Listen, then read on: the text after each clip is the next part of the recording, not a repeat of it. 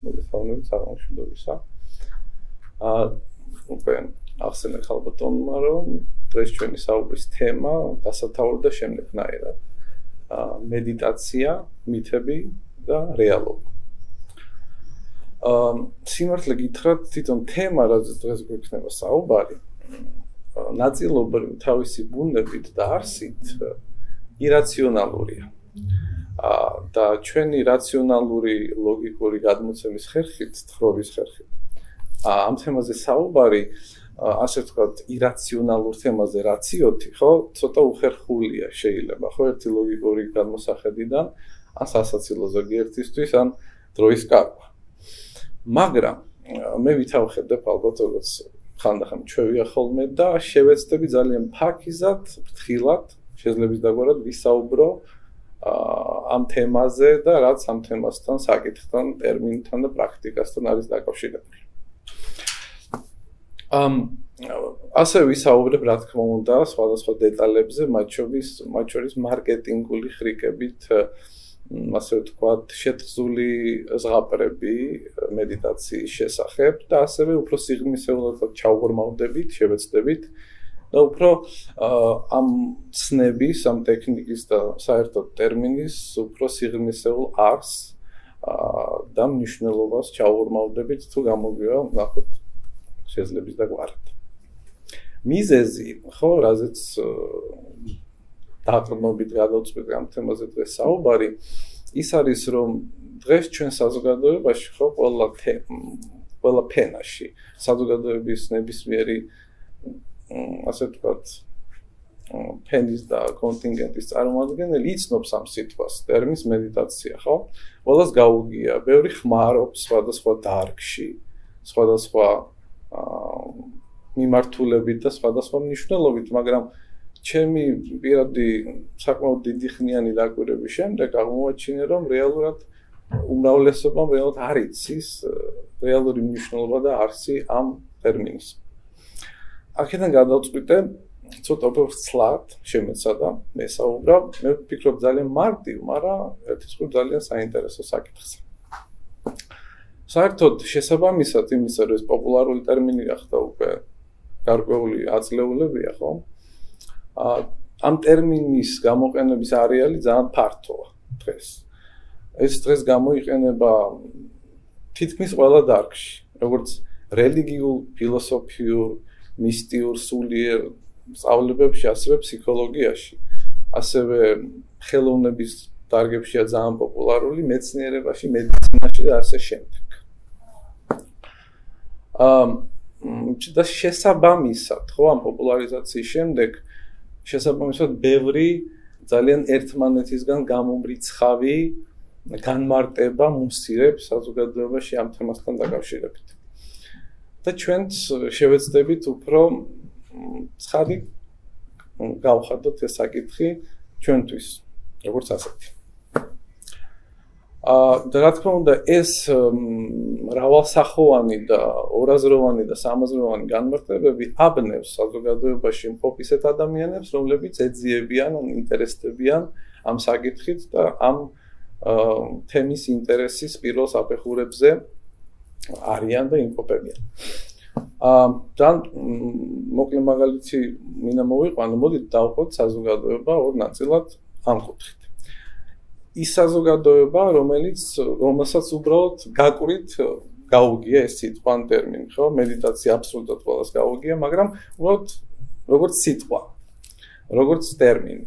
მათი უმრავლესობა ყოველფერს აღიქვავს, ან ასოცირდება მათთვის ეს როგორც რაღაც უცნაური რელიგიური აქტივობა ან რაღაც სიამოვნების ან ექსტაზის ან ნეტარების შეგზნებისთვის ზოგიერთი კატეგორიისთვის ეს საერთოდ გაუგებარია და რაც გაუგებარია ძირითად შემთხვევაში ჩვენი გონებისთვის შიშის მონგრელია და შიშის მონგრელი რომ არის ამის გაგრძელება არის ნეგატიური დამოკიდებულება და გაუგებრობიდან გამომდინარე ისიც ხო? მაგრამ მოდით ახლა შევეხოთ მეორე კატეგორიას ადამიანების, რომლებიც უფრო ეძიებიან ამ საკითხს, უფრო ინტერესდებოდნენ რაღაც წაუკითხოთ, რაღაც უფრო მეტი გაუგიათ, ხო? და გავაერთიანოთ მათთან ერთად ის ადამიანები, რომლებიც პრაქტიკოსებად იწოდებიან, რომლებიც მედიტაციულ პრაქტიკას ცხოვრებაში სხვადასხვა ფორმით იყენებენ. მათი ამ ძირითადი ასოციაციები ამ საკითხთან დაკავშირებით შემდეგი აი ვიწვით სიტყვა მედიტაცია და რა მოდის თავში ხო? მოდის ფიქრების კონტროლი, განსხვავება, აა სულიერ სამყაროსთან კონტაქტი, სრული სიმშვიდის დამყარება საკუთარ თავში, ზოგისთვის ჩანელინგი, ავტოტრეინინგი, ასე შემდეგ, ენერგიებთან მუშაობა, ასტრალში გასვლა და დაუსრულებელი საკითხია. შეიძლება ბევრი მსგავსი რაღაც ასოციაცია ამოგვიდევდეს, ხო? და ჩვენ დღეს შევეცდებით გავარკვიოთ ეს ყველაფერი სიმართლე შეესაბამება რაიმე ფორმით თუ არა. ასევე ძალიან ცნობილი მოსაზრებაა, რომ მედიტაცია შეიძლება იყოს მრავალნაირი ან რამოდენიმე სახის. ამასაც გავარკვევთ ეს სიმართლეა თუ რეალურად მორიგი მარკეტინგული პროფანაცია. შევეცდებით. აა თავშივე მინდა აღნიშნო, რომ ხშირად, ძალიან ხშირად უნებლიეთ თუ სპეციალურად არ ვიცი, სხვადასხვა სწავლებები, სხვადასხვა დარგები იყენებენ აა ტერმინს მედიტაციას, მაგრამ რეალურად ეს არანაირი კავშირი არ აქვს მედიტაციასთან. უფრო სწორედ რომ აღნიშნოთ, ისინი აღნიშნავენ კონცენტრაციის სხვადასხვა ფორმას, სხვადასხვა გამოხატულებას, კონცენტრაციასთან დაკავშირებულ სხვადასხვა შეგრძნებებს და ვარიაციებს აღნიშნავენ ტერმინი მედიტაცია. და ეს რა თქმა უნდა დამაბნეველია, ვისაც ვისაც ეს აინტერესებს და არ აქვს გამოცდილება, რომ მიიღოს ასე ვთქვათ ბაზისური, უტყუარი და basic ცოდნა ამის შესახებ, იქ უკვე სამაზროვანი სხვადასხვა გამაბნეველი ახსნა და უკვე ადამიანი ირჩევს რეალურად აქენა რომელიც მოეწონება იმას ეძახის მედიტაციას, ხო? მე პირადად ამის მომსწრე და შემსხშირად ყოფილვარ. კარგით. დღევანდელი ჩვენი შეხვედრა როგორც ხვდებით არ არის არც ტრეინინგი, არც სწავლება, დღეს არ ვისწავლით არანაირ მედიტაციის და კონცენტრაციის ტექნიკებს, არ შევადარებთ ერთმანეთს სხვადასხვა ტრადიციების გამოცდილებას, რომელი უკეთესია, რომელი უფრო პრაქტიკულია, არ. მოდით ეს ყველა ყველა საქმე ეს ინდივიდუალური და ეს ამაზე დროს მოდით აქ ნუ დავკარგავთ, იმიტომ რომ თვითონ ეს ჩემი საქმე არ არის პირადად. ყველას თავისი ინტერესები აქვს, თავისი გზა, თავისი გამოცდილება და ყველა დაეწაფება იმას, რაც თვითონ შეუძლია დაეწაფოს. მაგრამ ჩვენ უფრო ღირებული კუთხით შევეცდებით კიდევ განვიხილოთ ეს საკითხი. ანუ უფრო შეიძლება მასშტაბური ვიღაცისთვის ეს ზოგადი შეიძლება აღმოჩნდეს თავიდან, მაგრამ დამერწმუნეთ შეიძლება საუბრის ბოლოს ჩვენი გონება სულ სხვა ინტერესით მოვიდა ხო მოსასმენად, მაგრამ შეიძლება ბოლოს უფრო ღირებული აქცენტები გააკეთოს ჩვენმა გონებამ, რაც უფრო წაგვადგება შეიძლება ჩვენ ყოფით და ყოველდღიურ ცხოვრებაში. ანუ შევეცდებით უფრო ცხადი გავხადოთ ეს საკითხი. და დღეს ხო თუ ვინმე აქედან თუნდაც ერთი ადამიანი და მისთვის ეს საკითხი საუბრის ბოლოს იქნება უფრო ცხადი. ოდნავ მაინც. ანუ უფრო გასაგები და უფრო სიღრმისეულად მარტივი ახსაკმელი მე ჩავხსნი რომ ეს შეხვედრა ძალიან კარგად მიმდინარეობს და მე ყვაყოფილი ვიქნები პირადად ძალიან. ასე რომ მოდი გავაგრძელოთ. ამ იცით არის თავიდან ხო მომიწევს ცოტა არაჩემი სტილის ასე რომ საუბრის წარმართვა იმიტომ რომ მაინც პროტოკოლურს დავარქმევ რადგან ეს თემა რო იყოს თანმიმდევრობითი რო იყოს უფრო გასაგები ჩვენი ლოგიკური აზროვნებისთვისაც, ცოტა გავანებოდოთ ჩვენი ლოგიკური აზროვნებაც, შევეცდები. ა უფრო ექსკურსის სახით გავიაროთ, რაც არ არის ჩემი სტილი და არც მიყვარს ასეთი რამ, მაგრამ ჩავთვალე, რომ ესეთი მიდგომა უფრო წაადგება დღევანდელ დღეს და მსმენელს და შემდგომ უკვე ვისაუბრებ უფრო ბოლოსკენ არა, ალბათ მეორე ნახევარში უფრო თამამად. უფრო ჩემთვის კომფორტულად და უფრო გულახდილად და ჩემს რაღაც სუბიექტურ შეიძლება სუბიექტურ შეიძლება ობიექტურ არ ვიცი მოგრძალებულ მოსაზრებებს და გამოცდილების შესაბამის შეხედულებებს წარმოგიდგენთ და რა თქმა უნდა აა ისტორიული პერსონაჟების რომელსაც მე ძალიან დიდ პატივს ვცემ და თუ კომპეტენტურები იყვნენ ამ საკითხთან დაკავშირებით, მათაც მოვიშველიებთ, რა თქმა უნდა, ეს თავისთავად ცხადია. მაგრამ ერთამაზე შევთანხმდეთ კიდევ. ა თუ პროცესში ხო ჩვენი საუბრის პროცესში დაგებადებათ კითხვები, თქო დაიმახსოვრეთ.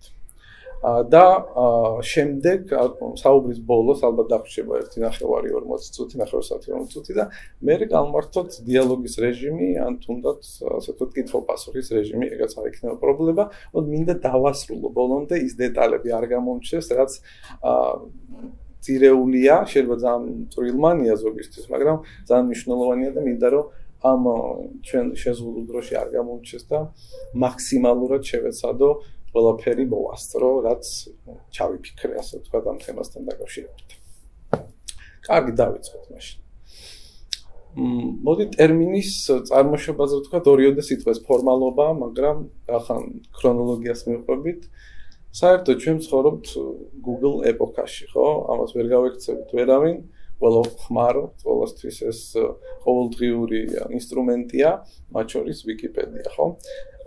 მაგრამ ვიცით რომ გარკვეული მიზეზების გამო ვიკიპედიაში არსებული ინფორმაციები და სტატიები არ არის ბოლომდე სანდობით გამსჭვალული. მაგრამ მე ვცადე ეგეთი ექსპერიმენტი გავაკეთე და ჩავწერე შეგით მედიტაცია. და ამობეჭდე ერთ-ერთ ენაზე სხვათაშორის შემდეგი განმარტება არის. სიტყვა მედიტაცია წარმოქმნილია ლათინური მედიტატიოსგან, უფრო ზუსტად კი ზმნა მედიტარისგან. რომელიც სხვადასხვა კონტექსტში ნიშნავს დაფიქრება, დაკვირვებას, ჭრეტა, განჭრეტას. გარდა ამისა, ტერმინი მედიტაცია გამოიყენება როგორც აღმოსავლური სულიერი პრაქტიკების აღნიშნულად სიტყვად. რასაც ინდოეთში ერქვა თიანა, რაც შემდეგ ბუდიზმში ეწოდა ჩან, ან ძენ, შემდეგ სონ და ასე შემდეგ და თიანა ასევე. სიტყვა თიანა წარმოქმნილია სანსკრიტში არსებული ფესვი თხაისგან. მისი მნიშვნელობა ასევე არის ჭრეტა, გონებრივი ღრმა განჭრეტა. ხო? პრინციპში დასაწყისისთვის ეს ვიკიპედიის ასეთო განმარტება საკმარისია. არ შევეწინააღმდეგე, იმიტომ რომ პრინციპში მე მომწონს. ბიადა, თუმცა დასაწყისისთვის. და დავიწყოთ ახლა უფრო ნელ-ნელა ჩავუღრმავდეთ ამ პროცესს, რომელიც ვთქვათ გაინტერესებთ. ნახოთ რა გამოგვია. მოდით ესე ვქნათ. პატრა შედარებები მოვიყვანოთ და უფრო მივხვდებით ნელ-ნელა რაზეა საუბარი. მე ჩვენი გონება წარმოიდგინეთ პირდაპირ შემოვთქვა გავს ტელევიზორს. რატო? წარმოიდგინეთ ჯერ ტელევიზორი. ტელევიზორში არის არხები, ხო? და სადაც არ უნდა გადართო, რომელ არხზე უნდა გადართო, სულ რაღაცა ხდება, ხო? ანუ ვიღაცა მღერის, ვიღაცა ჩხუბობს, ვიღაცა ცეკვავს, შეიძლება სიჩუმეა, მაგრამ აქტივობა ხდება, რაღაცა მოძრაობა, სულ რაღაცა ხდება, ანუ აქტიური ჩვეულებრივი არხი ვერცერც ვერ იპოვეთ, ასე სადაც არაფერი არ ხდება. ზუსტად ისეთი მდგომარეობა ჩვენ ტვინში. ანუ ფაქტობრივად ხმაურია ტელევიზორში ყველგან. ჩვენი ტვინი ანალოგიურად გადატვირთულია ყოველდღიური ფიქრებით. ყოველდღიური აზრების კორიანტელის ფრქვევით გაუჩერებელი რეჟიმია, ხო? ჩვენი შეხედულებებით, ჩვენი ყოველდღიური საფიქრალი თემებით, მე უფრო ღრმა რაღაც კონცეფციებით, ისიც გჯერა რა გვასწავლეს ჩვენი პროგრამები და ასე შემდეგ და ასე შემდეგ. და საინტერესო კვლევა ჩაატარეს ადრე მეცნიერებმა ადგინეს, რომ ძირითადად საერთო სტატისტიკური ადამიანი საშუალო დღეში კი არ გამოიმუშავებს, არამედ გაიელვებს მის თავში სადღაც 60000 ფიქრი დღეში. დაახლოებით. ხო ხტებით, ანუ აი ამაზეა საუბარი. ესე იგი, თუ არის ხმაური და არ არის სიჩუმე ჩვენ გონებაში, აა ეს რაღაცას მიგვანიშნებს. ძველად ბრძენმა ხალხმა თქვა. ზუსტად ამ თემასთან დაკავშირებით, რომ მხოლოდ სიჩუმეშია შესაძლებელი რეალურად გაიგონო. და დაინახო სამყარო ისეთი როგორიც არის. ხო? და კიდევ არანაკლებ შვენიერი გამონათქვამი არსებობს, მე ძალიან მიყვარს, რომ ჭეშმარიტება იწყებს აღმოცენებას მაშინ, როდესაც ჩვენი გონება იწყებს მიჩუმების პროცესს. აჰა. მოდი გავაგზავნოთ. აა მეორე შედარება. არანაკლებ საინტერესო, ჩვენი გონება შევადაროთ მდუღარე წყალს. რომელიც იმყოფება ჩაიდანში. ნუ ჩაიდანია, წარმოიდგინეთ ჩვენი კამუფლაჟი, ჩვენი თავი და შიგნით არის წყალი. რომელიც დუღს გაუჩერებლი, ხო, იგივე პრინციპი და ჩვენი ფიქრები 60000 და ასე შემდეგ. და ძალიან ცნობილ შედარებას მოვიყვან აქ. რომ იმისათვის რომ წყლის ზედაპირზე ტბის ამ შემთხვევაში ტბა იყო იქ მოხსენიებული ადრე. სრულ ფასოვნად აირეკლოს თვარის ანარეკლმა ხო ღამე. ამისათვის საჭიროა ლოგიკურად ეს ზედაპირი იყოს მშვიდი უძრავი და გაწონასწორებული ხო? და ლოგიკური მიხვდით უკვე რაზე ალაპარაკი ჩვენი გონება როდესაც არის აბსოლუტურ დუღილის მდგომარეობაში ჩვენ ვერ ხედავთ სამყაროს ისეთი როგორიც არის არამედ ჩვენ ხედავთ ამ სამყაროს დაქუცმაცებულ, დამახინჯებულ და განაწევრებულ მდგომარეობას. რატო? იგივე სიტუაცია, წარმოიდგინეთ ის ტბა, ის მშვიდი ღამის ტბა, რომელიც ირეკლავს ძალიან ზუსტად თლიანობაში აღიქვავს, ხო? იმ ცხადა ჩანს ის თვარე. უცებ რო კენჭები ჩავყაროთ, ან ავადუღოთ, ხო? აბსტრაქტულად ვიაზროთ. რა მოხდება? ის მთვარის თლიანი ვიზუალი დაიჩეხება, აიჭრება და ფაქტიურად დაკარგავს თავის მთლიანობას და რეალურად ვერც მიხვდები რა არის იქ ასახული და დაიწყებს შენი წარმოდგენებით ასე შექმნას რაღაცა წარმოდგენის კიდე ახალის. ნუ ნეტა იქ რა არის და რაღაც დეტალებს დავაკვირდებით, მაგრამ მთლიანობაში სამყაროს ვერ აღვიქვით. ესეა. აჰა, ტბაზე უნდა გამახსენდეს აუცილებლად ყოველთვის საყვარელი ალბათ ან მინიმუმ ნაცნობი კარლ გუსტავ იუნგი, რომელსაც ძალიან უყვარდა ჟენევის ტბასთან ჯდომა, ალბათ ანალიზი, საკუთარ თავში ჩაღრმავება და ერთ-ერთი ასეთი რიტუალის დროს ის უეცრად წამოიძახებს შემდეგ ფრაზას: ვინც გარეთ იყურება, მას ძინავს. ვინც შიგნით იყურება, ის იღვიძებს. ხო? კი ბატონო. ამასობაში ჩვენ ძალიან ცოტა ხანი ვისაუბრეთ, ხო, პრინციპში ძალიან 10 წუთიც არა. მაგრამ ამასობაში ჩვენ გვაქვს რეალურად აა უკვე განმარტება მედიტაციის და შორს წასვლა არ გჭირდება. აი წარმოიდგინეთ, ანუ ხმაური, დუღილი, რომელიც უნდა გაჩუნდეს, დამშვიდდეს. შემდეგ უნდა ამის შემდეგ შესაძლებელია ჩაიხედო საკუთარ თავში და დაინახავ. პრინციპში ასეთი ლოგიკური მარტივი და შესანიშნავი განმარტება არის და შეგვიძლია დაგემშვიდობოთ უკვე და მადლობა მორძანებისთვის, მაგრამ ორგანიზატორებთან სხვა შეთანხმება აქვს, ფორმატი სხვა არის და მომიწევს უფრო მეტი საუბარი და შესაძლო უფრო სიღრმისეული წკი. ნუ ეს ხუმრობი რა თქმა უნდა, მაგრამ ყოველ ხუმრობაში არის ამხელა ხუმრობა დანარჩენი სიმართლეა როგორც წესი. კარგი გავაგზავნოთ.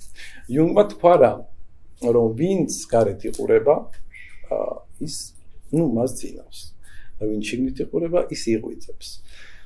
მოდით მოვიშველიოთ ამ საკითხთან მიმართებაში ფიზიკა, ოღონ კვანტური ფიზიკა. რას ამბობს კვანტური ფიზიკა? ის ამბობს, რომ ეს სამყარო შედგება ენერგიისგან, ერთი ენერგიისგან, ხოლო რომელიც უბრალოდ გამოხატულია სხვადასხვა სიმჭიდროვით. და ამ სამყაროში ჩვენი ა ემოციები და შეგრძნებებიდან გამომდინარე ჩვენ ვქმნით ამ სამყაროზე წარმოდგენას. ანუ და ძალიან ძალიან ვიწროს ამოდროულად. ანუ ჩვენ ვერ ხედავთ სამყაროს როგორც არის, არამედ ხედავთ მის ინტერპრეტაციას. თან ისეთ ინტერპრეტაციას, რომელიც ჩვენ კი არ მოვიდა, რაც გვასწავლეს. ანუ რაც გვასწავლეს ბავშვობიდან, შეიძლება ანუ გენეტიკური კოდიდან და ასე შემდეგ და ასე შემდეგ. ანუ ჩვენ რეალურად კვანტური ფიზიკიდან გამომდინარე ვერ ხედავთ რეალობას ისეთ როგორიც არის. აი ესა ნელონა მივიღეთ. აა შევთავაზოთ ერთ ძალიან მნიშვნელოვან რამეზე კიდევ. ანუ საკვანძო საკითხია ეს. რომ იმისათვის რომ ეს დამშვიდეს ჩვენი გონება, ეს დუღილი რომ დაიწიოს და ზედაპირი, ასე ვთქვათ, გასწორდეს, ხო? ამისათვის საჭირო არის კონცენტრაცია და არა მედიტაცია. მედიტაცია საერთოდ სხვა საკითხია, ამაზე ალბათ ლოგიკურად საუბარი ცოტა რთულია, მაგრამ შევეხებით. ეხლა შევეხოთ კონცენტრაციას. საერთოდ კონცენტრაციას კონცენტრაციის ხსენება როგორც ტერმინი ცოტა არ უართ ხალხს, იმიტომ რომ ნაკლები მისტიკურობა აქვს. ადამიანს, ოდესაც რაღაცა იზიდავს ჯამრთელი და თუნდაც ჯამრთელი რეგულარული და ჩვეულებრივი რამის, ოდესაც ამისტიფიცირებს მას და იზიდავს ტერმინი მედიტაცია, მაგრამ არა კონცენტრაცია. რეალურად კონცენტრაციის გარეშე ვერანაირი მედიტაცია ვერ დადგება. და იქიდან გამომდინარე, რომ ჩვენი გონება ასეთ ადუღებულ მდგომარეობაშია, ჯერ ეს გონება როგორც ჩვენ ადრე უნდა დამშვიდეს და დასამშვიდებლად, როდესაც 60000 ხო პირობითად ფიქრი არის შენ თავში. ნუ, პირობით. ა კონცენტრაციის გარეშე, როდესაც ეს ფიქრი, ასე ვთქვათ, იქცევა ერთ ფიქრად, იქამდე მედიტაცია უბრალოდ ვერ დადგება და იქნება უბრალოდ მითოლოგიის საკითხი. თუმცა ჩვენ ამ მითებსაც და ამ ილუზიებს ეს დავასწრებთ. იმენ მაქვს. და მედიტაცია თვითონ ძალიან მარტივი რაღაცა. აი უმარტივესი რაღაცა. რეალურად მედიტაცია არის ჩვენი გონების, ჩვენი ცნობიერების ბუნებრივი მდგომარეობა. ჯანმრთელი მდგომარეობა, რომელიც ჩვენ დავკარგებთ ძალიან ძალიან დიდი ხნის წინ და არ გვახსოვს. ეხლა ჩვენ შეიძლება მე მიყურებთ სხვადასხვანაირი ზერითან ფიქრობ სხვადასხვანაირად ზოგს ესმის ახლა რა საუბრობ, ზოგს არა, ზოგს აინტერესებს, ზოგს არა, მაგრამ მნიშვნელობა არა აქ არანაირი. იმიტომ რომ ჩვენ ყველას დაგვავიწყდა რა არის გონების სიმშვიდე. ეს ფაქტია პირადად ჩემთვის. კი ბატონო. მაგრამ კონცენტრაციის სწავლა და მისი ის ძალიან რთული პროცესია, იმიტომ რომ იქიდან გამომდინარე რომ ჩვენ არაჯანსაღ დუგლის პროცესს მივეჩვიეთ, აქედან გამომდინარე ამ ეტაპზე თანამედროვე ადამიანისთვის ეს იქნება ძალიან რთული. ეს ბუნებრივია, მაგრამ მედიტაცია სწავლა არ უნდა.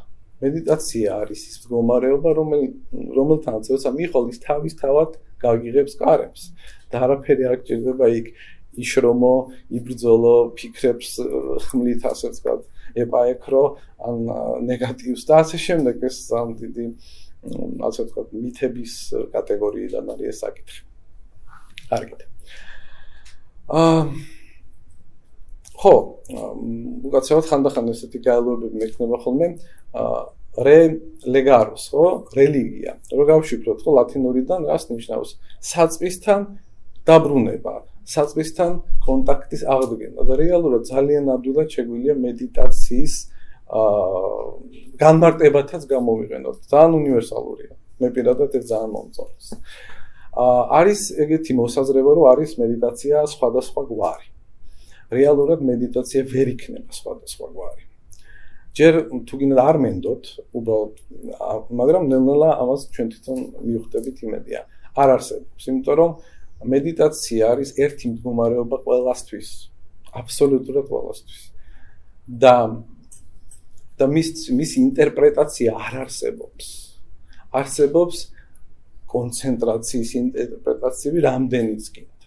რამდენი ტექნიკა გინდათ იმდენია. ყველა კულტურაში, ყველა ტრადიციაში, ყველა ეპოქაში სხვადასხვა გამოცდილება სხვადასხვა მუშაობის, რაღაც შემუშავებული ტექნიკები, რომ იმისათვის რომ ადამიანმა შეძლოს თავისი გონების დამშვიდება და ეს ინდივიდუალურად შეიძლება და ძალიან მრავალფეროვანია პალიტრა ამ ხრივ კონცენტრაციის ტექნიკებისა და პრაქტიკებისა. ამაში გეთანხმებით მეც და იმასაც ვინც ასე ფიქრობს. აა მაგრამ სტარი აზრი კიდე იცი სათყალიბდება როდესაც ადამიანი ხშირად ვარდება ასეთ მოდუნებულ ტრანსულ მდგომარეობებში სხვადასხვა პრაქტიკების დროს აა თუნდაც მედიტაციის პრაქტიკის ცდელობის დროს და ხშირად ის იღებს სხვადასხვა შეგრძნებებს, ხო? სხვადასხვა თითქოს სურათხატებს, ხედავს სხვადასხვა ხმებს, სხვადასხვა ინფორმაციას ლოგიკურ სააზროვნო პასუხები მოდის, ხო, საიდანაც. ხო, არის ეგეთი შემთხვევები, ზოგიერთს აქვს ამ სამწდილი. მაგრამ ეს რეალურად არ არის მედიტაცია და არადა ბევრი ეძახის ასე. ეს რეალურად არის ეგრეთ წოდებული ვიტალური სამყაროს გამოვლენა. რა არის ვიტალური სამყარო? ალბათ გაინტერესებთ. ეს არის ჩვეულებრივი ეგოისტური სამყაროსი, ჩვენი სუბიექტური სამყაროს გამოვლენა, უბრალოდ გაგრძელება. უფრო ფაქის და ოდნავ ლოგიკას აცდენილ საზღვრებში. როდესაც ჩვენ გვეგონება, რომ ეს ინფორმაცია შეგზნება ის რაღაცა შეგზნება, რომელიც მოდის თითქოს გარედან და ობიექტური სივრციდან, ხო? აი მაგალითად წარმოვიდგინოთ, ეს არის ობიექტური სივრცე. აი ეს არის ჩვენი დუღილის პროცესი. ხო, სიტყვაზე ეს არის ჩვენი გონება, ახ არის ჩვენი ფიქრები, ამას დაუბრუნდებით. და ჩვენ გვაქვს იმის ილუზია, რომ თითქოს ვიტალური სამყარო, ა ვიტალური სამყარო სავარაუდოდ არის ბოლო შრე და გონია რომ ჩვენ აქედან ვიღებთ ინფორმაციას, ხო? ინტუიციას არა, აი, აქედან. და ვიტალური სამყარო რეალთ არის ემოციებზე დამყარებული, საკუთარ სუბიექტურ გამოცდილებებზე და ხშირად ასე ვთქვათ, ამ ამის ასე ვთქვათ სპეკულაცია ხდება ამით და ძალიან კარგი გასართობის საშუალება ადამიანის ეგოისტური მდგომარეობიდან გამომდინარე და ეს ძალიან ნორმალურია და არ არის პრობლემა. მე არ ვეცინააღმდეგები არაფერს ამ სამყაროში, იმიტომ ყველაფერს აქვს უფლება, რომ არსებობდეს ჩემი აზრით. აა გამოკვეთილი არსებობს კიდე ორი შეხედულება, რომ არსებობს მედიტაცია ორი სახის. ნუ რეალურად მოდით უკვე გავშიფროთ, რომ ეს მედიტაცია არ არის, ეს არის კონცენტრაციის ორი სახე. ანალიტიკური კონცენტრაცია და გონების სრული სიმშვიდის კონცენტრაცია. ანალიტიკურ კონცენტრაციას რას ვეძახით? ანუ რაში გამოიყენებს ადამიანი? როდესაც გინდა ჩაუღრმავდე რაიმე კონკრეტულ საკითხს, აა საგანს, თუნდაც ნივთს, თუნდაც ადამიანს, რაღაც სფეროს, ხო? ჩაუღრმავდები და შენი, ასე ვთქვათ, უამრავი ფიქრი პასიურდება, ანუ ინდონეზია შეგიძლია კონცენტრაცია, რომ მხოლოდ ერთ საგანზეა მთელი ყურადღება მიმართული და შენ შეგიძლია გამოიკვლიო შინაგანი ჭრეთით. მაგრამ ეს რა თქმა უნდა გონებრივი პროცესია და ეს არ არის მედიტაცია, ეს კონცენტრაციის ერთ-ერთი ფორმა, რომელიც ძალიან სასარგებლოა და პრაქტიკულია ჩვენი ყოველდღიური ცხოვრებისთვის, სხვადასხვა გამოყენება შეიძლება ქონდეს. მეორე ანუ გონების სრული სიმშვიდე. უკაცრავად ბოდიში პირველი ფორმა ხშირად ეშლებათ ფსიქოანალიზში. და ხშირად ამბობენ ალბათ თქვენს გსმენიათ, რომ მედიტაცია და ფსიქოანალიზი თითქმის ერთი და იგივეა. ბერდაგეთ ახმებით სამწუხაროდ, იმიტომ რომ ეს არის უბრალოდ ანალიტიკური კონცენტრაციის ერთ-ერთი ფორმა. საერთოდ ამ ფორმას კონცენტრაციის ამ ფორმას იყენებენ ფსიქოთერაპიაში, რა თქმა უნდა, რაღაც ზედაპირული პრობლემების მოსაგვარებლად, აა სულიერი პრაქტიკების სისტემებისგან განსხვავებით. და ნუ ამას აღარ ჩამოვთქვი, ალბათ კიდევ გვექნება ამის საშუალება რა რასთან დაკავშირებით იყენებენ ამას. კარგით. აა თითრა მოდით რა გავაკეთოთ ახლა ხდები რომ რაღაც შეიძლება ბევრი ვილაპარაკე, რომ არ დავიბნეთ. აა მოდით გამოვყოთ, ეხლა ცოტა ხანი მედიტაცია დავივიწყო და უფრო სიღრმისეულად ჩაუღრმავდეთ რა დონის მნიშვნელობა აქვს ჯერჯერობით კონცენტრაციის ჩვენთვის. აა და შედარებასაც მოვიყვან. აა ჩვენი გონება კონცენტრაციის გარეშე გავს კარდიოგრამას. ანუ ზემოთ ქვემოთ, ზემოთ ქვემოთ, ჩვენი გონება დახტის, ხო, აქეთ იქით. ხან ბედნიერია, ხან უბედურია. ანუ რაღაცა ემოცია მოვა, რაღაცა შევიგზნობთ, რაღაცა ფაქტი მოხდება ნებისმიერ სიტუაციაში და ჩვენ გზნობთ სიხარულს, ხო? რაღაცა მოხდება საპირისპირო ჩვენ უბედურები ვართ.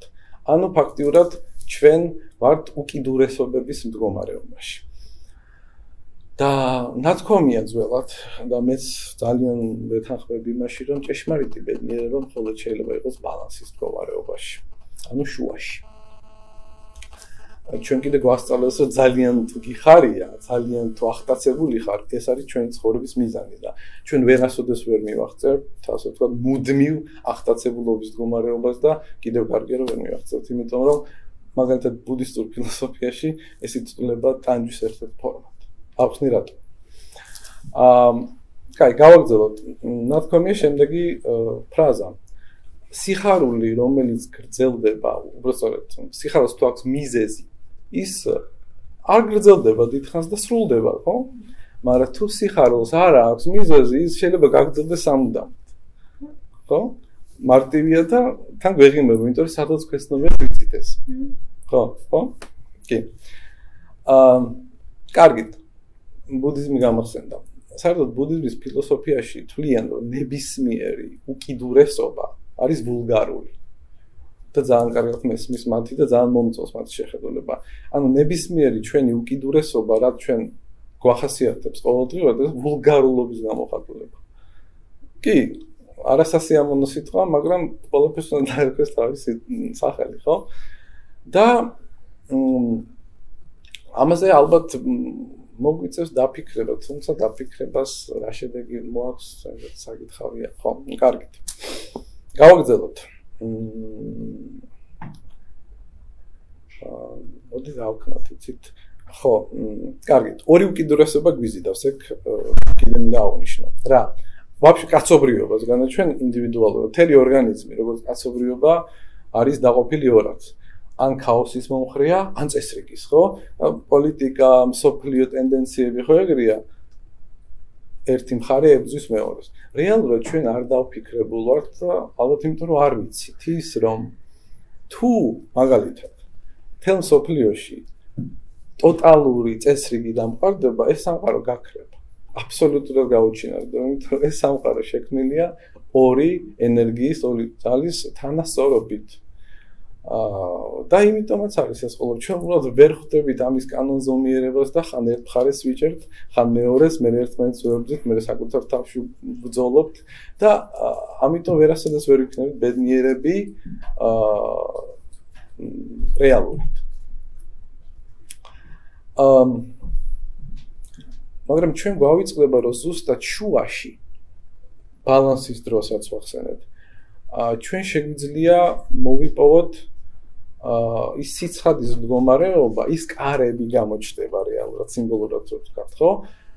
აი კარების მიღმა შეგვიძლია ვთქვათ, რომ არის მედიტაციური მდგომარეობა. თუმცა ახლა ჩვენი გონებისთვის რაღაც ეს არის ფრაზა, ეს არის რაღაცის აღნიშნული აა მისტიური ან აღმოსავლური თუ ოკულტური თუ სულიერი სიტყვა, რომელიც ცოტა გვიზიდავს, ცოტა გვაბნევს და ცოტა რაღაც ისეთ ასოციაციას გვიტოვებს რომ კარის მიღმა არის მედიტაცია. კარგი, მე ალბათ რაღაცებს კიდე გავართულებ, მაგრამ შეიძლება მე უფრო გავამარტიო. ნახოთ. აა და რეალურად სიцоცხლე ხო იბადება შუაში. ანუ ეს სამყარო ხო დაბადებულია, ოდესღაც ხო დაიბადა. იმიტომ დაიბადა, რომ ორი ენერგია ერთმანეთს შეერწყა და ის თანა შერწყმის მდგომარეობაში დღესაც არსებობს და ეს როდესაც აღარ იქნება ასე ის გაქრება. ისევე როგორც რომ ჩვენთაგანი ნებისმიერი ვინც აქვს ზივარ ჩვენ ხო ორი ენერგიის შერწყმით თუნდაც მოგვეცა სხეული ანუ ყველაფერი ორად გაყოფილი ხო? ნახევარსფერო ტვინის თვალები კიდურები. ასე შემდეგ და ასე შემდეგ. მარტო ერთი გული გვაქვს ხო? ну ხო. მაგასაც თუმცა ფსიქოლოგიაში ამბობენ რომ სამი გული გვაქვს ну მაგას მე ვილაპარაკებ შეიძლება სხვა დროს აა კარგით გადავიდეთ ახლა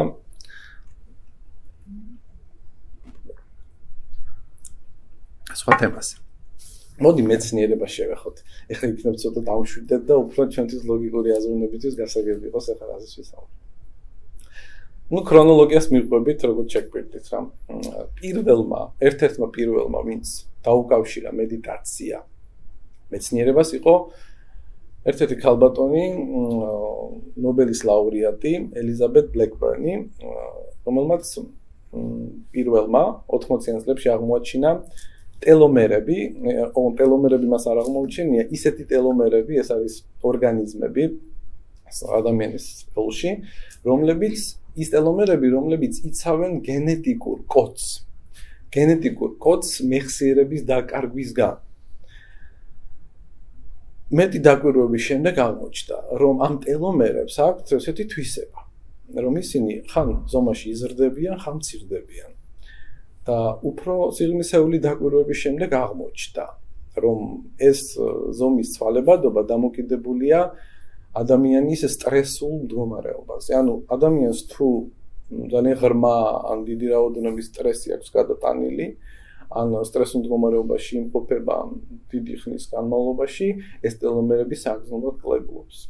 და ეს ტელომერების კლება პარალელურად იწვევს ძალიან დიდ რისკს და შანს იმისა, რომ ადამიანი დაავადდეს მაგალითად ალცგეიმერის პრობლემით, ხო? დაემართოს ინსულტი, ჭარბი წონის პრობლემა შეექმნას, ან დიაბეტი პრობლემა შეექმნას. ეს დამტკიცებულია ქალბატონი ელიზაბეთის და მისი კოლეგების მიერ, მაგრამ ჩვენთვის ყველაზე საინტერესო დღეს რომ აღმოჩნდა ის, რომ ერთადერთი პრაქტიკა რომელიც ამ ტელომერებს არა თუ იცავს ზომის შენარჩუნებისთვის, არამედ ზრდის, ეს არის მედიტაციური პრაქტიკები. და ასეც აღმოჩნდა. რა თქმა უნდა, არ შეგვიძლია არ შევეხოთ მეცნიერულ ჭრილში იმ ძალიან მარტივ ფაქტს, რომ ჩვენი ორი ნახევარსფერო ტვინის დაკავშირებული ერთმანეთთან ძალიან სუსტი ამ მდგომარეობაში რაც ვართ. სუსტი ნეირონული კავშირებით. და რა რას ნიშნავს ეს? სუსტი ნეირონული კავშირები, როდესაც ჩვენ ნახევარსფეროში აკავშირებს, ჩვენ გვაქვს დისბალანსის მდგომარეობა. არა მხოლოდ სამყაროს აღქმაში გვაქვს, ასე ვთქვათ, დარღვევები და სხვადასხვა ასე ვთქვათ, ჭრილში უყურებთ სულ სხვადასხვანაირად სამყაროს, არამედ წარმოიდგინეთ, რომ ერთი ფეხი სხვა რიტმით მიდიოდეს, მეორე სხვა რიტმით, ხო აი ის ბალანსი და ჰარმონია, რაც ჰარმონიული ცხოვრების და არსებობის და გააზრების საშუალებას მოგცემს, არ გვაქვს. ეს ისეთ პირობითი შედარება, მაგრამ ეს ფართო თემა, ეხლა ამაზე ვერ ვისაუბრებ ბოლომდე, მაგრამ მიხვდით რაც ვისაუბრებ. და აღმოჩნდა, რომ ადამიანები, რომლებიც მედიტირებენ, მედიტაციის პრაქტიკებში სისტემატურად არიან ჩართულები, თავისთვის წნარად, ინდივიდუალურად ოთახში, და არა ჯგუფური მედიტაციები, მაგაზე მე გადავალ. აა მათი ნეირონული კავშირები ხო ძალიან საგზნობლად მატულობს მათი სიხშირე, მათი სიმჭიდროვე და ყველაზე დიდ პრობლემას აგვარებს თითქმის ან ასუსტებს იმ პრობლემას, რაც კაცობრიობას და ადამიანს ახასიათებს. ეს არის შიში. შიშის გზნობა. მარტოობის შიში, სიკვდილის შიში და ნუ ჩვენი საოცარი მეგობრები, ხო? ამათ ძალას ეფექტს საგზნობლად აქვეითებს და ესაც ჩვენი მეგობარი მეცნიერების მხრიდან არის დასტური ამის შესახებ. კარგით. და რა თქმა უნდა ეს გამოიყენება ეგრეთ წოდებული მედიტაციური ტექნიკები, არ და კონცენტრაციული ტექნიკები, აა სხვადასხვა მოდიფიცირებული ნაირსახეობები აა თვით გიპნოზში, აუტოტრეინინგში და ასე შემდეგ და ასე შემდეგ. ფართო გამოყენება აქვს ამ მიმართულებას, ოღონდ ცოტა გადასხვაფერებულად. კარგით. მოდით ახლა გადავინახოთ ცოტა უკან წარსულში დროის მანქანაში ჩავიძეთ და წავიდეთ ინდოეთში. კერძოდ ინდუიზმში. ხო, წავიდეთ. მოკლედ, რა თქმა უნდა, შევეცდები ძალიან მოკლე ექსკურსი გავაკეთო ისე ქვაკუთხედო კულტურებში და ინდოეთში არის ძველი იოგების ერთ-ერთი ნაშრომი, იოგა სუტრა, პატანჯალი. პატანჯალი არის ყველაზე ძველი დოკუმენტი, ასე ვთქვათ, რომელიც რომელშიც ასე ვთქვათ, შენარჩუნდა და არის მონაცემები და ახსნა მედიტაციის შესახებ. განმარტება, სხვაგან არ ხდება ამაზე უფრო ძველი. პატანჯალიში ნათქვამია. შემდეგი განმარტება. მედიტაცია არის პროგრესული გონების სიჩუმე. რომელიც სანამის, ბოდიში, სანამის მიაღწევს ფიქრის საწყის. ხო, ეხლა სიჩუმე მოგვირდება, მაგრამ რა. კარგით. პატანჯალი რა თქმა უნდა ძალიან დიდი გავლენა მოახდინა საერთოდ იოგური სისტემის და ფილოსოფიის ჩამოყალიბებაში და ასე შემდეგ და ასე შემდეგ. და პატანჯალის მიხედვით ადამიანს რომ გამოუვლინდეს და გამოუაშკარავდეს, ასე ვთქვათ, აქტიურ პოზიციაში გადავიდეს, ასე ვთქვათ, სულიერი, ანუ არსების ხო. სულიერი შემადგენელი, ამისათვის ადამიანმა უნდა უარი თქვას პატანჯალის მიხედვით, ყნოსვით, ხედველობით და რაღაც შეგრძნებებით ამ სამყაროს აღქმაზე. ну შემდეგ პატანჯალიმ ისეთ გავლენა მოახდინა ამ ფილოსოფიაზე და ტრადიციაზე, რომ რვა საფეხურეობრივი სისტემა ჩამოყალიბდა ამის საფუძველზე. რომელიც ქრონოლოგიური და ეტაპობრივი იყო, რომელიც განკუთვნილი იყო ადამიანის ფიზიკური და სულიერი განვითარების სრულყოფისთვის და განვითარების ეტაპების ასეთად გავლაში ეხმარებოდა ადამიანს. ყველას ალბათ ხსმენიათ კი არა და ალბათ ბევრი შეიძლება უშუალო შეხებაში ხართ ხათხა იოგასთან, ხო? რომელიც ასე პოპულარულია მსოფლიოში და ჩვენთანაც სოკოები გამრავლდა, ხო? ეს კლასები. ხათხა იოგა რეალურად ამ რვა საფეხურეობრივი სისტემის ყველაზე დაბალი ან პირველი საფეხური. რას წარმოადგენს ის რეალურად? ის არის სხეულზე მუშაობის სხეულის დაკვირვების, სხეულის მართვის და ფაქტიურად სხეულის გაჯანსაღებისთვის არის მიმართული. მაგრამ ძალიან ცოტას თუ სმენია რაჯა იოგას შესახებ მაგალითად, რომელსაც სამეფო იოგას ეძახიან და მე ვფიქრობ უფრო ღირებული და ყურადღება მისაქცევი ტექნიკა, უბრალოდ დისციპლინა, რომელიც უკვე სხვა საფეხურია. იქ ხდება სიღრმისეული, ასე ვთქვათ, პრაქტიკები საკუთარ გონებაში შესახწევად მედიტაციის საშუალებით, დასაკვირვებლად, შესასწავლად და გამოღვიძების გონების სიცხადის შემოტანის მიზნით. აი ესეთი მიდგომებია. საერთოდ რაჯა იოგას აქვს სამი აა საფეხური, ხო, საფეხურია პრინციპში. პირველი არის გასუფთავება, საკუთარი თავის რა რა იგულისხმება? გასუფთავება, ანუ მორალური ცხოვრების ცხოვრება. რატომ მივდივართ შორს? იგივე პარალელი შეიძლება გავალოთ ჩვენ კულტურაში და რელიგიაში, ათიმცნება, ანუ მორალური წესების დაცვა, ну, პირობითად რა, შედარებისთვის რა, ეს პირველი საფეხურია. მეორე საფეხური არის კონცენტრაცია. ანუ კონცენტრაციის გონებაზე მუშაობის პროცესი, როდესაც კონცენტრაციის ბევრ საფეხურს გავიხარ და მესამე მედიტაცია. ანუ სიბრძნის მდგომარეობა, როდესაც რეალურად შეგიძლია მხოლოდ მაშინ იმ საფეხურზე შეგიძლია დაინახო და რეალური სამყარო როგორც არის და რეალური ხედვის უნარი გეღვიძება მხოლოდ მაშინ რაჯა იოგას მიხედვით. ხო. რა თქმა უნდა, ბევრ შეიძლება აინტერესებს ესეთი ისტორიული ფაქტები, ქრონოლოგია და ასე შემდეგ, არწმუნებულია და საინტერესოა, მაგრამ დღეს მოდით ესეთ თემებზე ნაკლებად ვისაუბროთ და დრო უფრო ღირებული რაღაცებისთვის გამოვიყენოთ. არწმუნებული ვესაც აინტერესებს ეს ინფორმაციული ისტორიული ცოდნა ნაშრომების გაცნობა, ინფორმაციული ეპოქა 21 საუკუნეში და ამის ყველა საშუალება გაქვთ და მოდით გადავინაცვლოთ შემდეგ საკითხს. შემდეგი საკითხი აუცილებლად ინდუიზმის შემდეგ უნდა გადავიდეთ ბუდიზმზე. თავისთავად აქ უკვე ცოტა ოდნავ იცლება სიტუაცია. ბუდიზმის ტრადიციაში მედიტაციას უკვე აღარ აღიქვენ როგორც უბრალოდ ვარჯიშს, რომელიც უნდა ტარდებოდეს ოთახში და იქ დამთავრდა ყველაფერი. არა, ეს ბუდიზმში არის როგორც ცხოვრების სტილის და ყოველდღიურობის ნაწილი. ანუ мотивация იყო შემდეგი, რომ მედიტაცია მათი აზრით არის ხერხი, საშუალება იმისათვის, რომ ჩვენი ყოფიერი, ყოფითი ცხოვრება გახდეს უფრო ხარისხიანი და უფრო მაღალი დონის.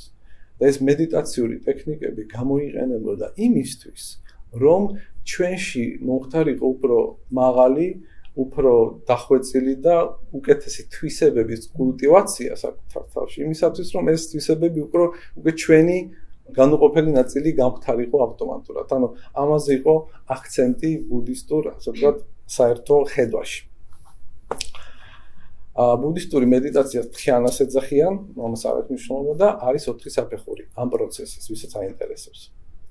იქ პირველი საფეხური რას გულისხმობს? როდესაც ადამიანს შეუძლია ყოველი ემოციის გარეშე სრულიად სიმშვიდეში დააკვირდეს და შეისწავლოს რაიმე არჩეული საგანი. ხოლო ეს მეორე საფეხურზე უკვე ადამიანი რომელიც უკვე არჩეული აქვს ის საგანი, მას აკვირდება ყველანაირი მსჯელობის გარეშე. წარმოიდგინეთ. წარმოიდგინეთ.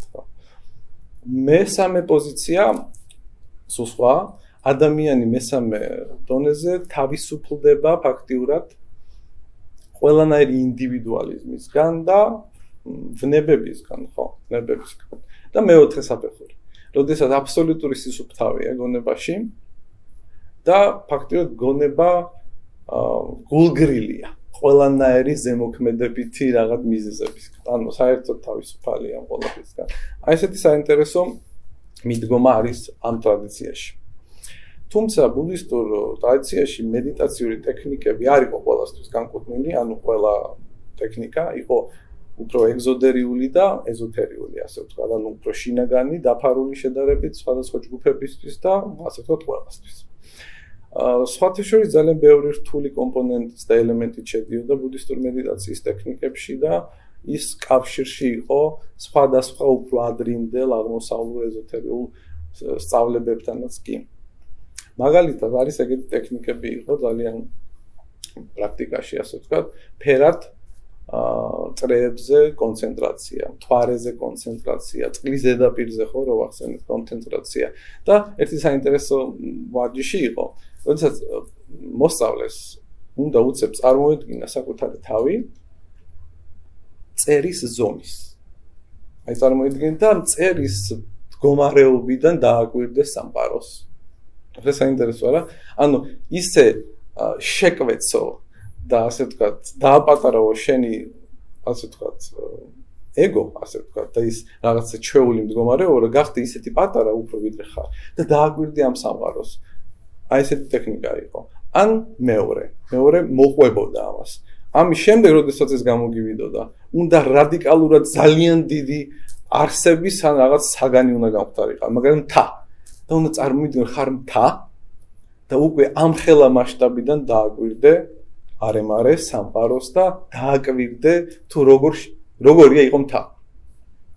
და ეს ტექნიკა რა თქმა უნდა ძალიან სასარგებლო იყო ადამიანის ასე ვთქვათ ცნობიერების გასაფართოებლად და მე პირადად ვთვლი ისედაც ძალიან სასარგებლოა მოქნილობის და დრეკადობის ჩვენი გონებრივი რაღაც კლიშეებიდან გამოსასვლელად. კი ბატონო. არის ერთი განშტოება ბუდიზმში, ტანტრიული ბუდიზმი ქვია, ასევე ალმასის გზასაც ეძახიან ტიბეტურ ბუდიზმსაც. მათი мотиваცია ამ ზოლის мотиваცია იყო გახდე უკეთესი თავად შენ იმისათვის, ხოლო შემდეგ შეძლო დახმარება სხვის. ანუ და არაპირიქით როგორ ჩვენ ვინახოთ, ჩვენ ვართ ისეთები როგორც ვართ, არ მუშაობთ საკუთარ თავზე, მაგრამ სხვებს ვეხმარებით, სხვებს ხარჯი უდგევართ, გადავყვებით, ну, ეს ჩვენი მიდგომა. რეალურად აქ განსხვავებულია სიტუაცია, იმიტომ რომ აქ უფრო სხვა პასუხისმგებლობა ალბათ ამ ფილოსოფიაში, რა თქმა უნდა. ვიდრე ჩვენს ყოველდღიურ ყოფით ცხოვრებაში. აა და პრინციპში ეს მიდგომა ძალიან ადვილად შეგვიძლია ახსნათ მეცნიერულად. დადგენილია თუ ადამიანის გონება მუშაობს რაღაც მაღალ ჰერცზე ვიბრაცია აქვს ძალიან სუბტაკმოდი ასე ვთქვათ და ძალიან მაღალ ჰერცზე არის მისი აზროვნების ხარისხი მას შეუძლია უფრო მეტად იმოქმედოს გარემოზე და სხვა ადამიანზე და ზეგავლენა მოახდინოს მას. ეს დამტკიცებულია. ეს პრაქტიკები ბევრი ჩატარდა და ასე რომ ეს ძალიან ძველი არქაული მიდგომა ძალიან მარტივად მტკიცდება მეცნიერულადაც კი დღეს. კარგით. თუმცა ამ მიდგომას ბევრი ძალიან ეგოისტურად ამპარტო მოტივებს და რაღაც ხიბლის მომცველია ხე მე დავჭდები. და აი ვიმოქმედებ მასზე დადებითად. მაგრამ რა თქმა უნდა საკუთარი სისუფთავის მოგვარების გარეშე ვინდა ხოლმე ეს და ეს ხშირად მინდება და რა თქმა უნდა სასაცილო არ არის აკრატი გასაფრაზებელი. კარგი, რა თქმა უნდა გადავხვდეთ ახლა მოკლედ ზენბუდიზმზე აუცილებლად. ზენბუდიზმი უკვე ჩამოყალიბდა მოგვიანებით, როგორც ეზოთერიული სექტა. მე-6 საუკუნეში ბოთხით ხარმას მიერ ისტორიული პერსონაჟი იყო. შემდეგ გადაინაცვლა ძალიან აქტიურად ეს მოძრაობა იაპონიაში. კერძოდ მე-12 საუკუნეში და საერთოდ ზენბუდიზმმა კოლოსალური გავლენა მოახდინა როგორც ჩინეთის, ისე იაპონიის კულტურის აყვავებაში და განვითარებაში. ძალიან დიდი. აქ ზენბუდიზმში ძალიან რადიკალური მიდგომა. აქ თვლიან და თვლიდნენ, რომ ტექსტები, საკრალური წიგნები, რიტუალები ტაძრები, კულტები დროის კარგვა, გარავის არაფერში არ ჭირდება და უშუალო პირდაპირ მეთოდით, ანუ მედიტაციით იყო შესაძლებელი და საჭირო საკუთარ თავში ჩაღრმავება, გონების მუშაობის პრინციპების შესწავლა და ხოლო ამის შემდეგ გამოღვიძების, ანუ გამოღვიძების მდგომარეობაში, რასაც ქვია ბუდა, იგივეა. ამ მდგომარეობის მიღწევა. კი, იქ რეალურად, ხო? პრაქტიკები იყო ძალიან ჩვენთვის ახალისა. მასწავლებელს შეეძლო უესრად წამოერტყა თამტკივნეულად მოსწავლისთვის უეცრად ან წამოძახილით გამოეხიზლებინა. რატო? ეს ხდებოდა იმისთვის, დატვირთვა იყო იმისა, რომ უცებ გამოაფხიზლოს მისი ცნობიერება მიძინებული ყოფიერებით და ანუ უნდა იყოს გონება ამ მიმართულებით ყოველთვის ხიზლად, ყოველთვის აცნობიერებდე რომ ხარ. და როდესაც ითიშები და დუნდები, ან ფიზიკურად კი არ უნდა იყო ესე. ანუ ცნობიერება შეიძლება ძალიან მოდუნებული იყო, მაგრამ შინაგანი ყურადღება რომ ხარ და ყურადღება რომ შენაცნობიერებ, რა ხდება, რას აკეთებ, რას ფიქრობ და ასე შემდეგ, უნდა იყოს მუდმივი. ну, ცდილობდნენ რომ ეს გამოსვლოდათ რა. კი ბატონო. ასევე გამოცანების ტექნიკები იყო და სხვა დონეზე უკვე იყო ეგრეთ წოდებული ტექნიკა მონდო. მონდო იყო უკვე ცოტა საინტერესო რაღაც, როდესაც მასწავლებელსა და მოსწავლეს შორის დგებოდა ტელეპათიური აა კონტაქტი და შეეძლო მასწავლებელს კოლოსალური ცოდნა და ინფორმაცია გადაეცა მოსწავლისთვის. ეს როგორ ხდებოდა? შევეცდები დავხსნა. ანუ მოსწავლეს უკვე შეეძლო დაეჭირა, მოდი ასე ვთქვათ, რეზონანსი თავისი მასწავლის მასწავლებლის ცნობიერებისა და აზროვნებისა, ფაქტი როგორც რადიო ტალღა მოემართა თავისი რადიო, ჩვენი ტვინი დამბეულ აპარატს გავს, სხვათა შორის დამოსი მივალთ, ერთ-ერთი შედარება რადიო, მომართ მომართავს იმ სიხშირეზე, რომელიც იწევს მის რადიოს და უკვე ეს ინფორმაცია გადაეცემა ძალიან მარტივად თუ რთულად არ ვიცი. მე ეს გამოსtildeება არ ქონია ასე თქვა. ასე რომ ვერაფერს ვერ ვიტყვი აა საერთოდ აა ზენ-ბუდიზმის მედიტაციის ჩაღრმავების პროცესი საკუთარ თავში შემდეგ ეტაპებს მოიცავდა. პირველ ეტაპზე ანუ ლოტოსის პოზაში რო იჯენ ამ პოზას ძაძენ ქვია მათ ტრადიციაში პირველ ეტაპზე ადამიანი ყურადღებას მიაპყროს მთლიან ყურადღებას თუ როგორ დუნდება ნელ-ნელა ჩვენი კუნთები. მე შემდეგ ნელ-ნელა გადაიტანს ყურადღებას თუ როგორ ვსუნთქავთ. ანუ სუნთქვის ცირკულაციას. ესაც რომ მოხერხდება, შემდეგ მთელი ყურადღება გადადის გონებრივ მუშაობას. იქაც რა ყველაფერს გავარკვევ, იქაც დამშვიდდება ყველაფერი, უკვე აზროვნება ადამიანის ლოგიკურ აზროვნებას ცდებოდა და ასოციაციურობა ჩვენ აზროვნებაში ქრებოდა. ანუ ძალიან აბსტრაქტული ხდებოდა და აი, დგებოდა მედიტაციის მდგომარეობა, რომლის განმარტება მე არ შემილია ლოგიკურად ეს ცხადია. კარგით. მოდით ახლა ალბათ ძალიან გაინტერესებთ ეს. შევეხოთ ქრისტიანობას. ქრისტიანობა სანამ მიიღებდა ძალიან ადრე. სანამ მიიღებდა რელიგიური ასე ჩამოყალიბებული სისტემის მდგომარეობას ქრისტიანულ ტრადიციაში იყო მედიტაციური ტექნიკები რომლებიც ძალიან გავდა აღმოსავლურ მედიტაციურ ტექნიკებს როგორც შესრულების და ანუ ინსტრუქტაჟის მიხედვით ასე და მიზანსტრაფის მიხედვითაც. მაგრამ დროთა განმავლობაში ნუ ჩვენ არ ვიცით ეს ისტორია კარგად და იმიტომაც შეიძლება ზოგისთვის ახალია ეს ინფორმაცია. მაგრამ დრო გავიდა და მედიტაციები ჩაანაცვლა ხანგრძლივმა ლოცვებმა. ლოცვები, რომლებიც გრძელდებოდა საათობით და მრავალი საათი, რომელიც ამავდროულად წარმოადგენს მედიტაციის ერთ-ერთ ერთ-ერთ ხერხს, ერთ-ერთ ფორმას. მაგრამ უფრო რთული მედიტაციური ტექნიკები აღინიშნებოდა შუა საუკუნეებში ცოტა ადრე დაფარულ ქრისტიანულ ორდენებში როგორც არის ტამპლიერები, დომინიკანელები და ჰოსპიტალიერები და ასე შემდეგ. რა თქმა უნდა, უნდა აღნიშნოთ, ეხლა ჩვენთან უფრო ახლო მოვდივართ, სერაფემ საროველის, ასე ვთქვათ, გრძელვადიანი, ხანგრძლივი ლოცვები მაპატიეთ. ანუ იესოს ლოცვა, რომელსაც მას ასეთ სახელწოდებით ვიცნობთ. ასევე ამ ტიპის ლოცვას ეძახიან ჭკვიან ლოცვას. და რა ხდება ამ დროს? ამ ლოცვის გამეორება ხდებოდა ძალიან ბევრჯერ ისევე როგორც ჯაპა მედიტაციის ტრადიციაში ინდოეთში მანტრების გამეორება ხდებოდა. ანუ ძალიან საინტერესო პარალელის გავლება შეგვიძლია. თვითონ დამკვირვებლის პოზიციიდან, იმიტომ რომ თვითონ ფსიქოლოგიური ზემოქმედება, ანუ კონცენტრაციისა, ფაქტიურად ერთი და იგივე იყო, უბრალოდ სხვადასხვანაირი ტრადიციიდან გამომდინარე. კი ბატონო, მაგრამ არ დამოვიწყდეს იესოს ლოცვა შედიოდა შეიძლება არ იცის ასკეტური სულიერი პრაქტიკების ძალიან რთულ სისტემაში, რომელსაც ქვია ისიხაზმი. აა სხვათა შორის განმარტება რო წაგიკითხოთ ახლა სპეციალურად ამობეჭდეთ თქვენთვის.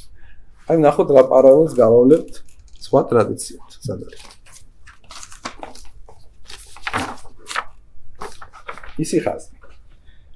გულისმიერი ლოცვის რთული ასკეტური სისტემა სუნთქვის რეგულაციით, რომლის დროსაც მონაწილეობას იღებს ადამიანის მთელი არსება, სული და სხეული, მიიღწევა განწმენდა ქვენა ინსტინქტებისგან და ნებათა დაცხრა.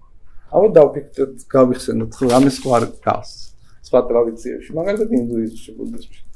ძალიან გავს, პროცესს ჩვენ სიმართლეს ვიტყვი, საზოგადოება არ იცნობს, საკუთარ ჩვენი საზოგადოება არ იცნობს არც საკუთარ კულტურას საკმარისად და არც საკუთარი რელიგიის წარმომავლობის ძალიან ბევრ დეტალს. არა უშავს, არასდროს არ არის გია.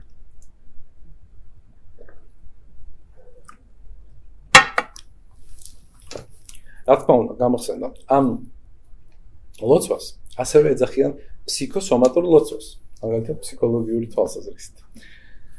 არ ვიცი ახლა ამ ჭილში რაოდენ ღირს ხსენება ამ ფაქტის, მაგრამ ამასაც ვახსენებ მაინც მაინც ექსკურსია და 91 წელს ლონდონში თუ არ ვწდები, ჩამოაყალიბეს ქრისტიანული მედიტაციის ცენტრი. რომლის საქმიანობა მე არ ვიცი, არ ვარ ჩახედული, უბრალოდ როგორც ფაქტს ვამბობ. და ის როგორც მიზანი ამ ორგანიზაციის იყო ამ საზოგადოებაში, ქრისტიანულ საზოგადოებაში მედიტაციის პოპულარიზება. კარგი, დავანებოთ ახლა. ამ თემას გადავიდეთ კიდევ შემდეგზე. უფრო ჩვენთან ახლო მდებარე ისლამი. მოგიხსენებათ ალბათ, რომ ისლამი შედგება ორი ნაწილისგან. ანუ გარეგანი, ეგზოდერიული, რომელსაც ჩვენ ასე თუ ისე ვიცნობთ ყველა და შინაგანი, ანუ ეზოთერიული ისლამი, ანუ სუფიზმი. ალბათ გაგიგეთ. სუფიზმის აა ფესვები მოდის ზოროასტრიზმისგან, როგორც ბევრი კლევარი ამას ამტკიცებს და მეც რა თქმა უნდა რომ ასეა და მანიქეიზმის ტრადიციისგან.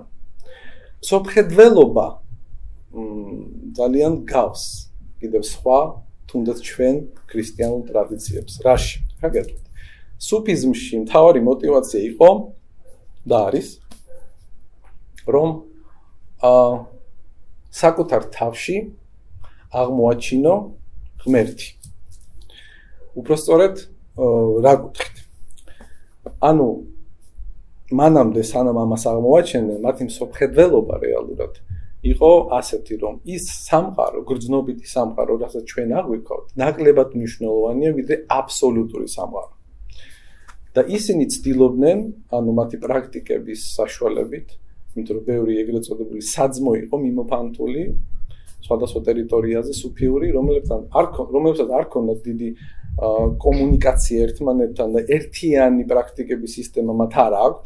კი აქვთ რაღაც საერთო ძალიან ბევრი, მაგრამ რაღაც ინდივიდუალური განსხვავებული ძალიან ბევრი, იმიტომ რომ ას განცალკევებულად პრაქტიკოს პრაქტიკოსობდნენ და უღრმავდებოდნენ საკუთარ თავს და არ ქონდათ ასე ვთქვათ სურვილი რომ ეს სისტემად განვითარებულიყო მათი მსოფლმხედველობა, არამედ მუშაობას ალბათ უფრო მეტ ყურადღებას აქცევდნენ, არ ვიცი. აა ისინი ცდილობდნენ მათი მიზანი და მსოფლმხედველობა იყო რომ ა თელი თავისი არსების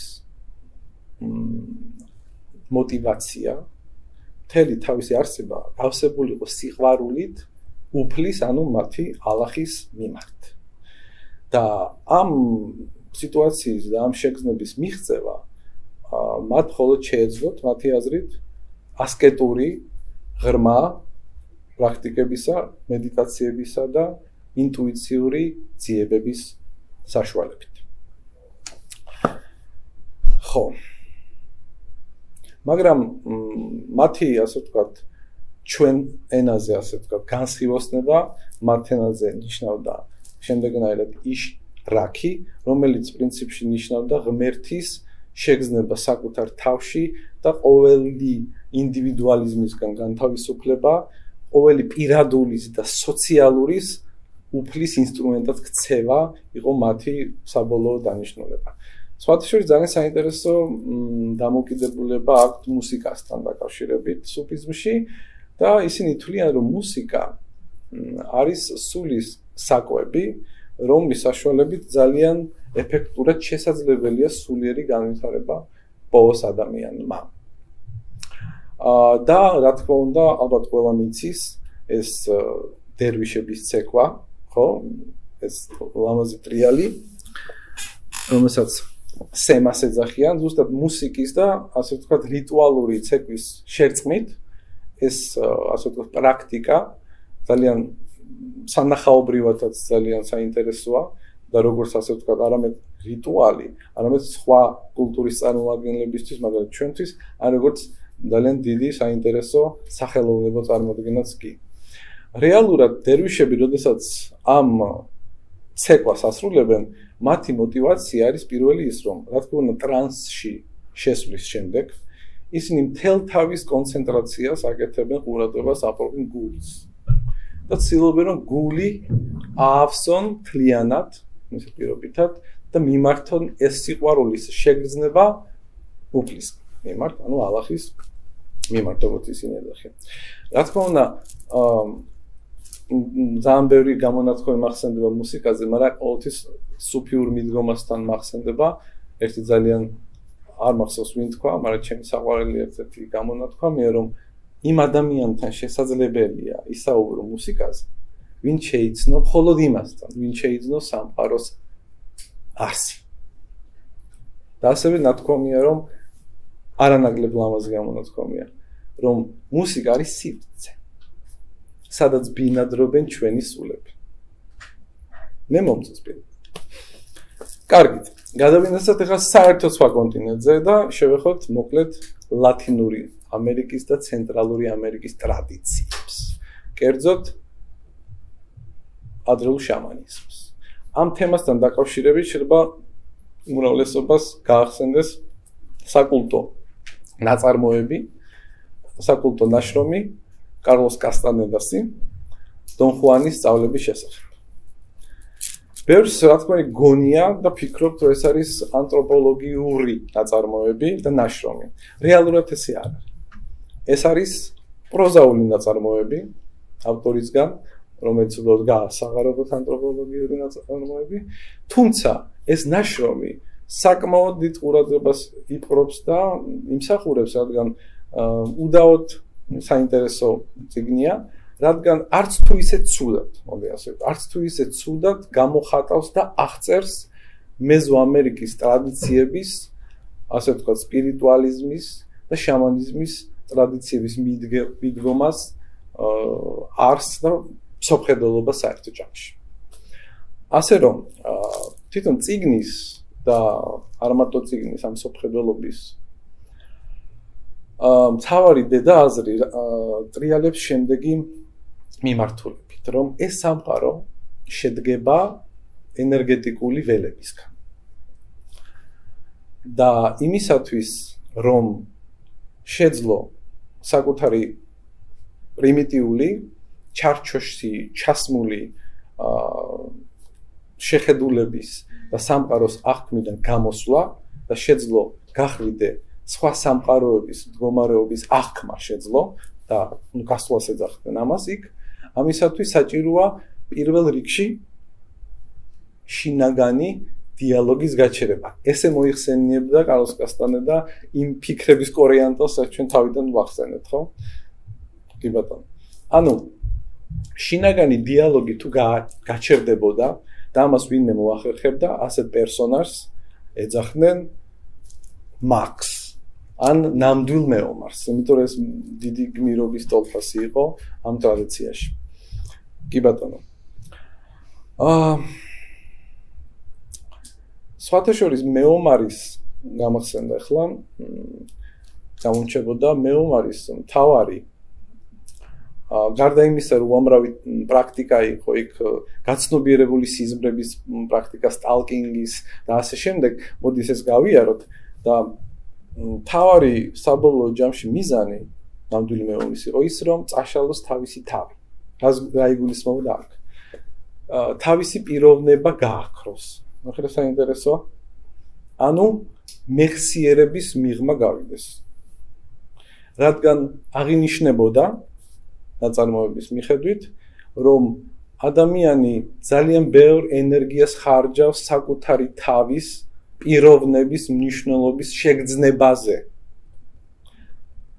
ძალიან კოლოსალური ენერგია იხარჯება და ამის ეკონომიის მიზნით, რაც საბოლოო ჯამში სულ სხვა დანიშნულებით იქნება გამოყენებული ეს ენერგია, ეს იყო ძალიან მნიშვნელოვანი მომენტი.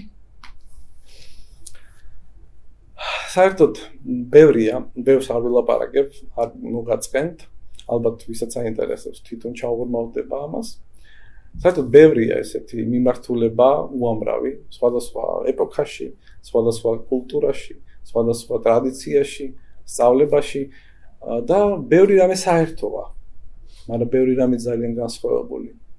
თუმცა თუ კარგად დავაკვირდებით, შეგვიძლია ყველა სწავლებაში, ყველა რელიგიაში, ყველა კულტურაში, ყველა ტრადიციაში ერთი და იგივე დავინახოთ. ადრე ძალიან თქვენს ძალიან ჭკვიანმა ადამიანებმა, რომ ვინც მრავალფეროვნებაში ხედავს ერთს და ერთიანად აღიქოს ამ ყველაფერს, ის ნამდვილად ხედავსო. სხვა შემთხვევაში ყველაფერი ჩვენი გალუცინაცია. ესე გამოიქცა. კარგით. გადავიდეთ უფრო თანამედროვეობაში და ჩვენი ეპოქა, რომელიც თანამედროვე ეპოქა, რომელიც იწყება უკვე მე-19 საუკუნის ბოლოდან მე-20 საუკუნე, ძალიან ბევრი ასე ვთქვათ, გათანამედროვებული, ადაპტირებული, მოდიფიცირებული სწავლებები ხალიფდება. აა ძალიან ბევრი. მოდით მაგალითად ვახსენოთ ტრანსცენდენტალური მედიტაცია. TM, როგორც ეძახიან. რეალურად აღწარმოადგენს ის. ის არის ჩვეულებრივი მოდიფიცირებული ვარიანტი ძალიან ძველი მანტრა იოგასი, სადაც თავარი პრაქტიკა მდგომარეობდა ბგერაზე, ანუ მანტრის გამეორებაზე, კონცენტრაციაზე. რა თქმა უნდა, არა მარტო ეს პრაქტიკა იყო, მოდიფიცირებულ ვარიანტში არის ასეთი ზედაპირული დამწყებებისთვის პრაქტიკა, როდესაც დღეში ორჯერ 20 წუთი უნდა იმედიტირო სიჩუმეში, ну, ვერბალურ სიჩუმეში.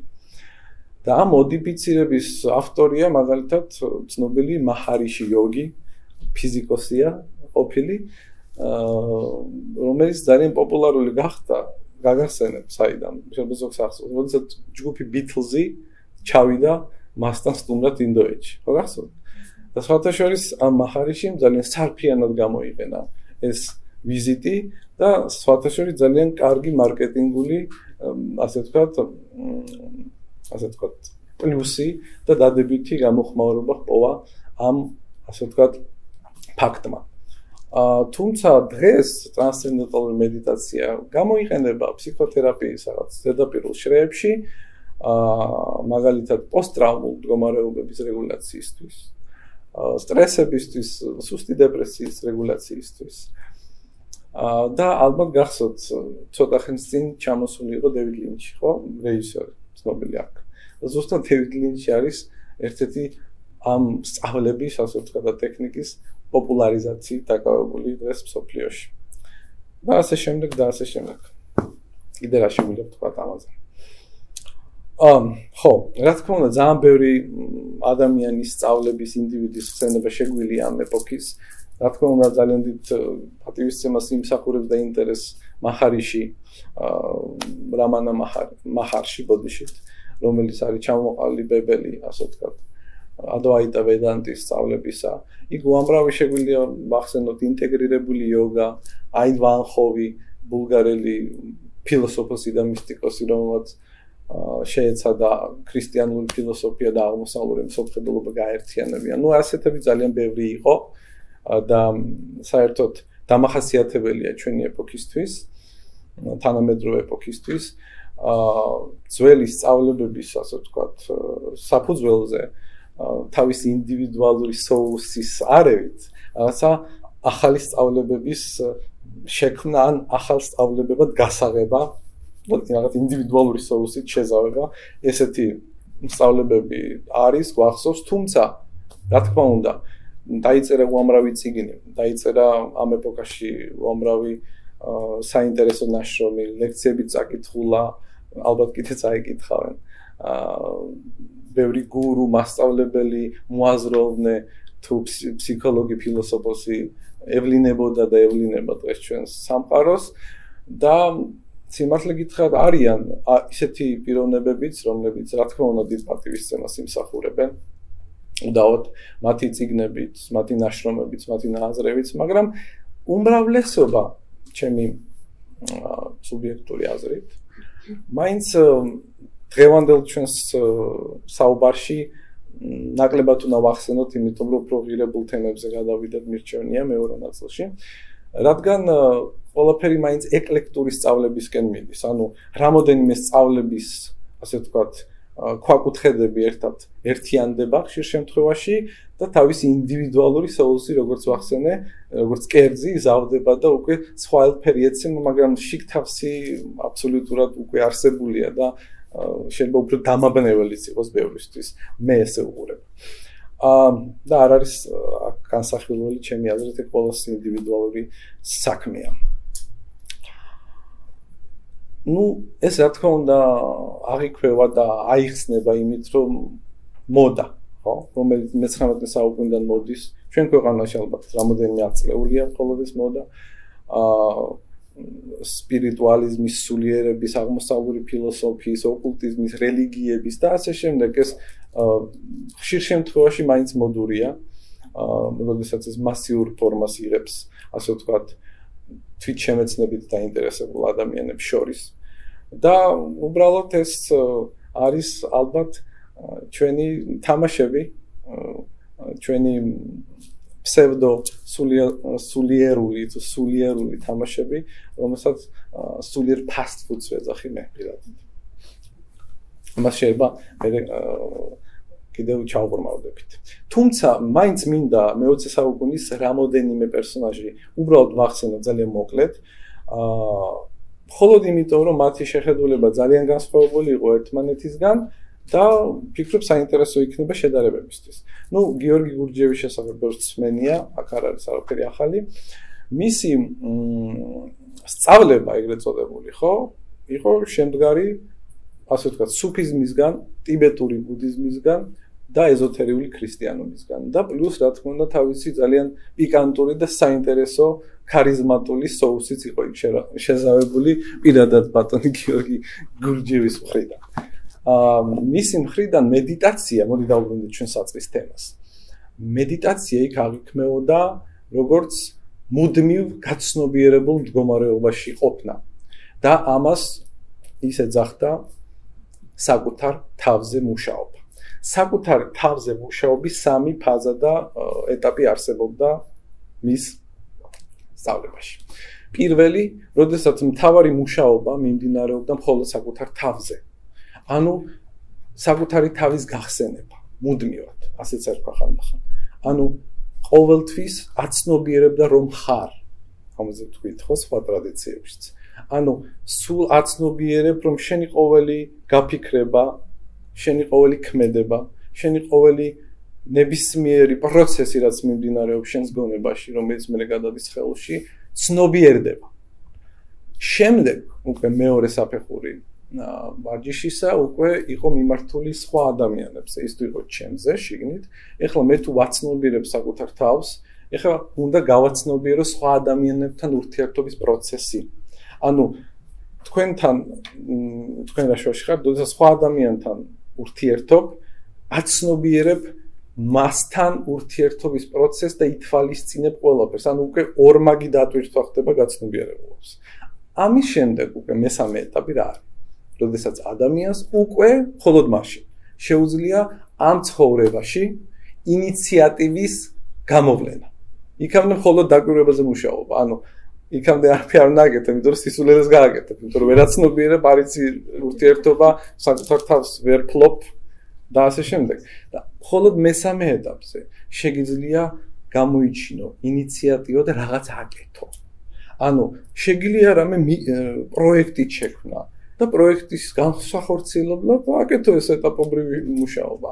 არ იყო პრობლემა, ნებისმიერი. მაგრამ არავითარ შემთხვევაში არ უნდა ყოფილიყო თავარი მიზანი ქმედებისა, აი მაგალითად რაღაც საფეხურის განვითარებას მივახცევ მე.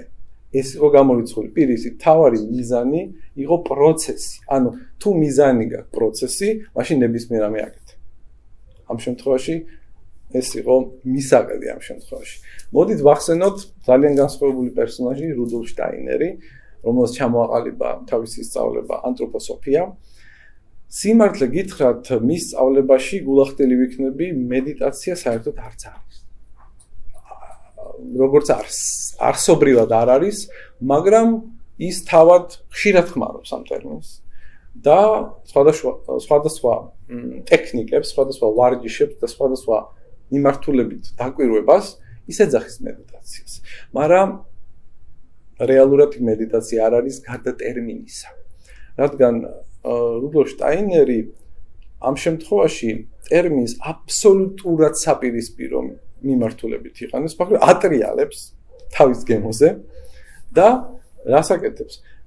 იქ მის არამარტო მედიტაციური ტექნიკების არსი, არამედ მთელი მისი სწავლების შინაარსი და მიზანი იყო ის, რომ განავითარო თავად ფიქრი. გაგვიდგეთ როგორ განსხვავება რაზეც ვისაუბრეთ მანამდე. განავითარო ფიქრი. ანუ იმ დონეზე განავითარო შენი ეგოისტური სამყარო. ნუ შეგაშინებთ ეგ სიტყვა, თუმცა როდესაც ეგო ძალიან ძლიერია, მაშინ საშიშია, მაგრამ ისე არ არის საშიში, თუ კონტროლირებადი. ეგოისტური სამყაროს ფაქტიურად იმ დონემდე დახვეწა. აი ამ სამყაროს განა მიღმა აზროვნება. არამედ ეგოისტური სამყაროს იმ დონემდე დახვეწა, რომ ჩვენ ფიქ საბოლოო ჯამში ისეთი ძალა ჰქონდეს, რომ შევქნათ და შეგვეძლოს, შეგვექნა მატერიალური სამყაროები. ფაქტობრივად ღმერთკაცის მდგომარეობამდე მისვლა იყო მისი სწავლების მიზანი. ხო, ეგრეა. ხედავთ როგორი განსხვავებებია? აა რეალურად მის სწავლებაში რა ერთიანდება? ადამიანი ევოლუცია და ღმერთი. და რაც შეეხება მაგალითად სხვა მიდგომებს, მაგალითად თუნდაც ბუდისტურ, ან ინდუისტურ, ან სუფისტურ, თუნდაც ქრისტიანულ მიდგომებში რეალურად ხდება დამკვირვებლის სუბიექტის და ობიექტის გაერთიანება. მოდით ახლა სხვანაირად დავაკვირდეთ ამ პროცესს. აი სუბიექტი მე ვარ, ხო? ეს არის ობიექტი.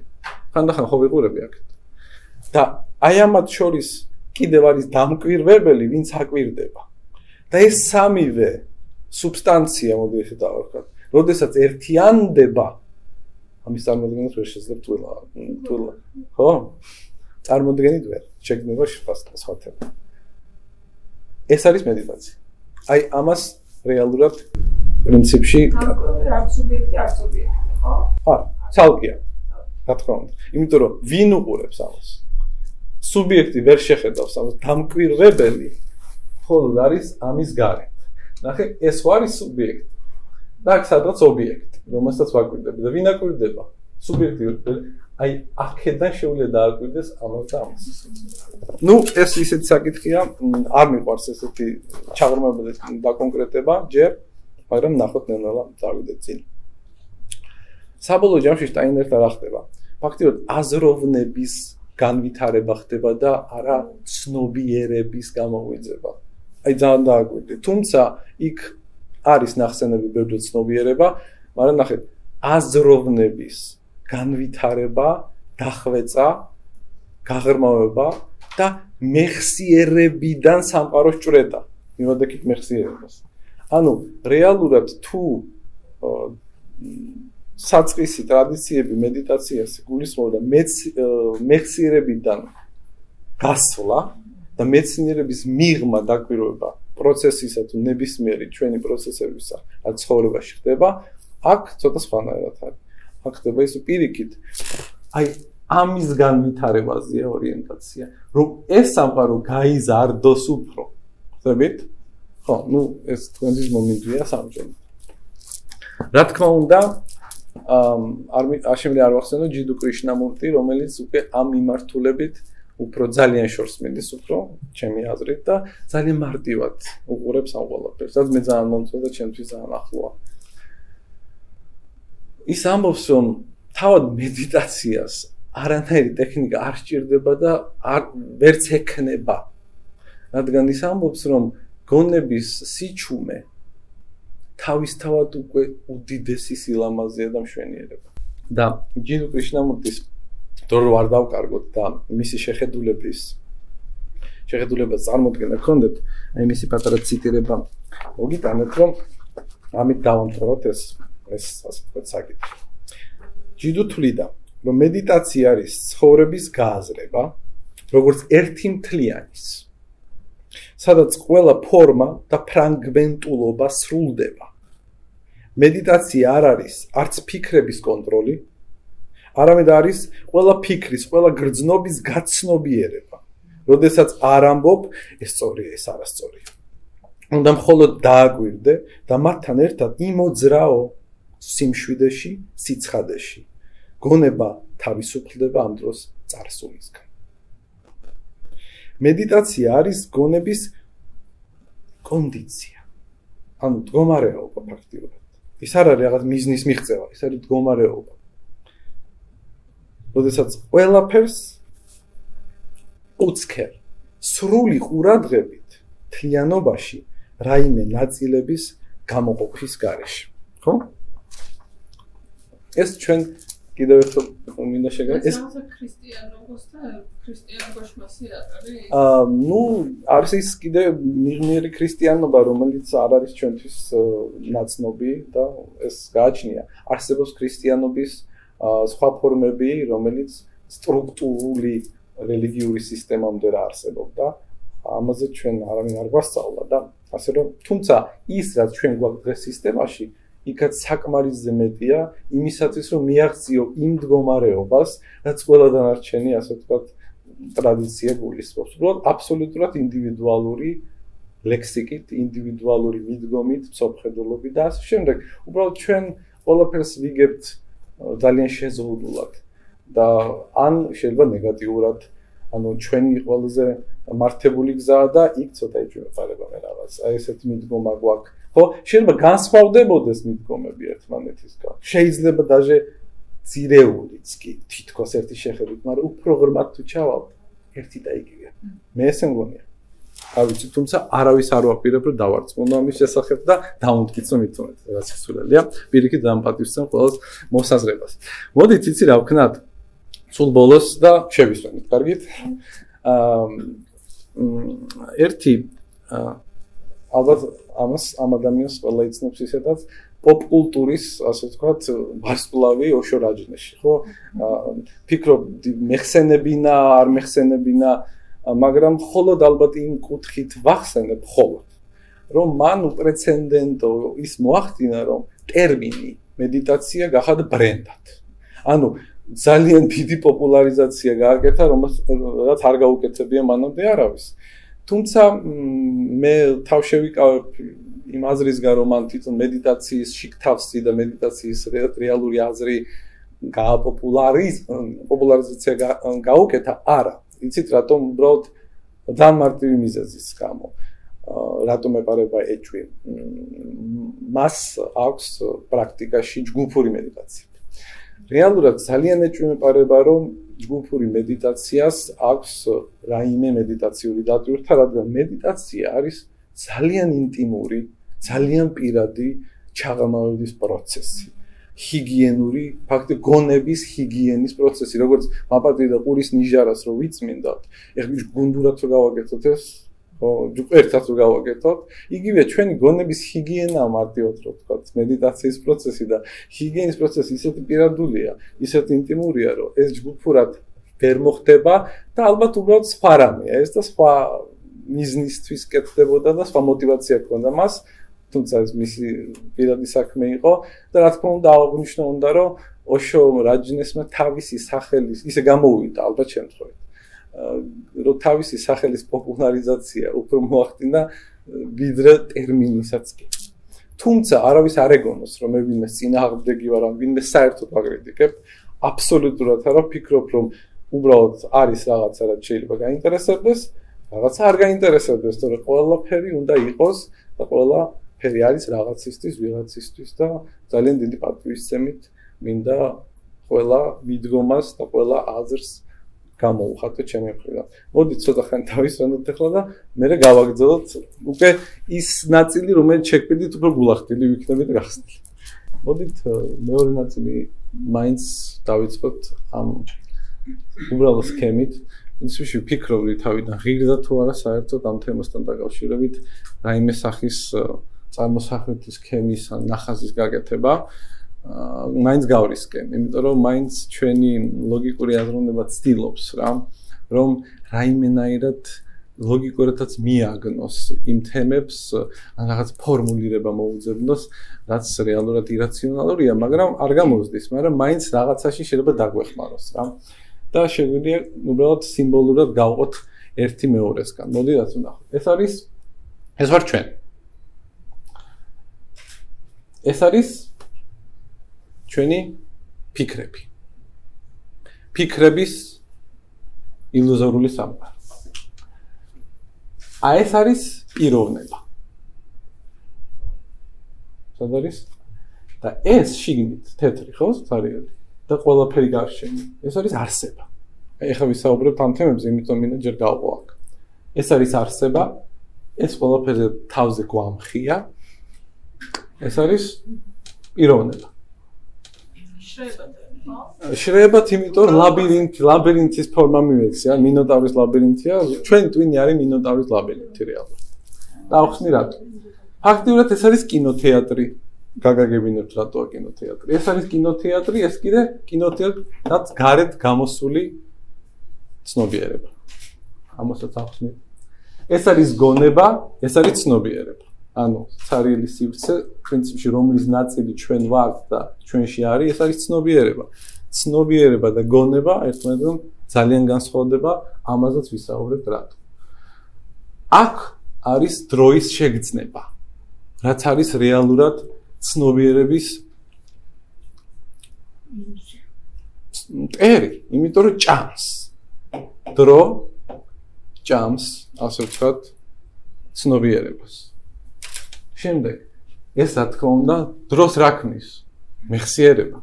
მეხსიერების garaში დრო მერი არსებებს ანუ აქ ყველაფერი არის დრო მეხსიერება კინოთეატრი გონება პიროვნება. ამ სივრცეში აქედან გამომდინარე არის რეალობა ცნობიერება არსება მუდმივობა და მედიტაციური მდგომარეობაც. ნახეთ ერთი შემოვიტოვე ბოლოს. კონცენტრაცია. კონცენტრაცია არის ხერხი, რომ მოდი დავხატო ეს ჯერ.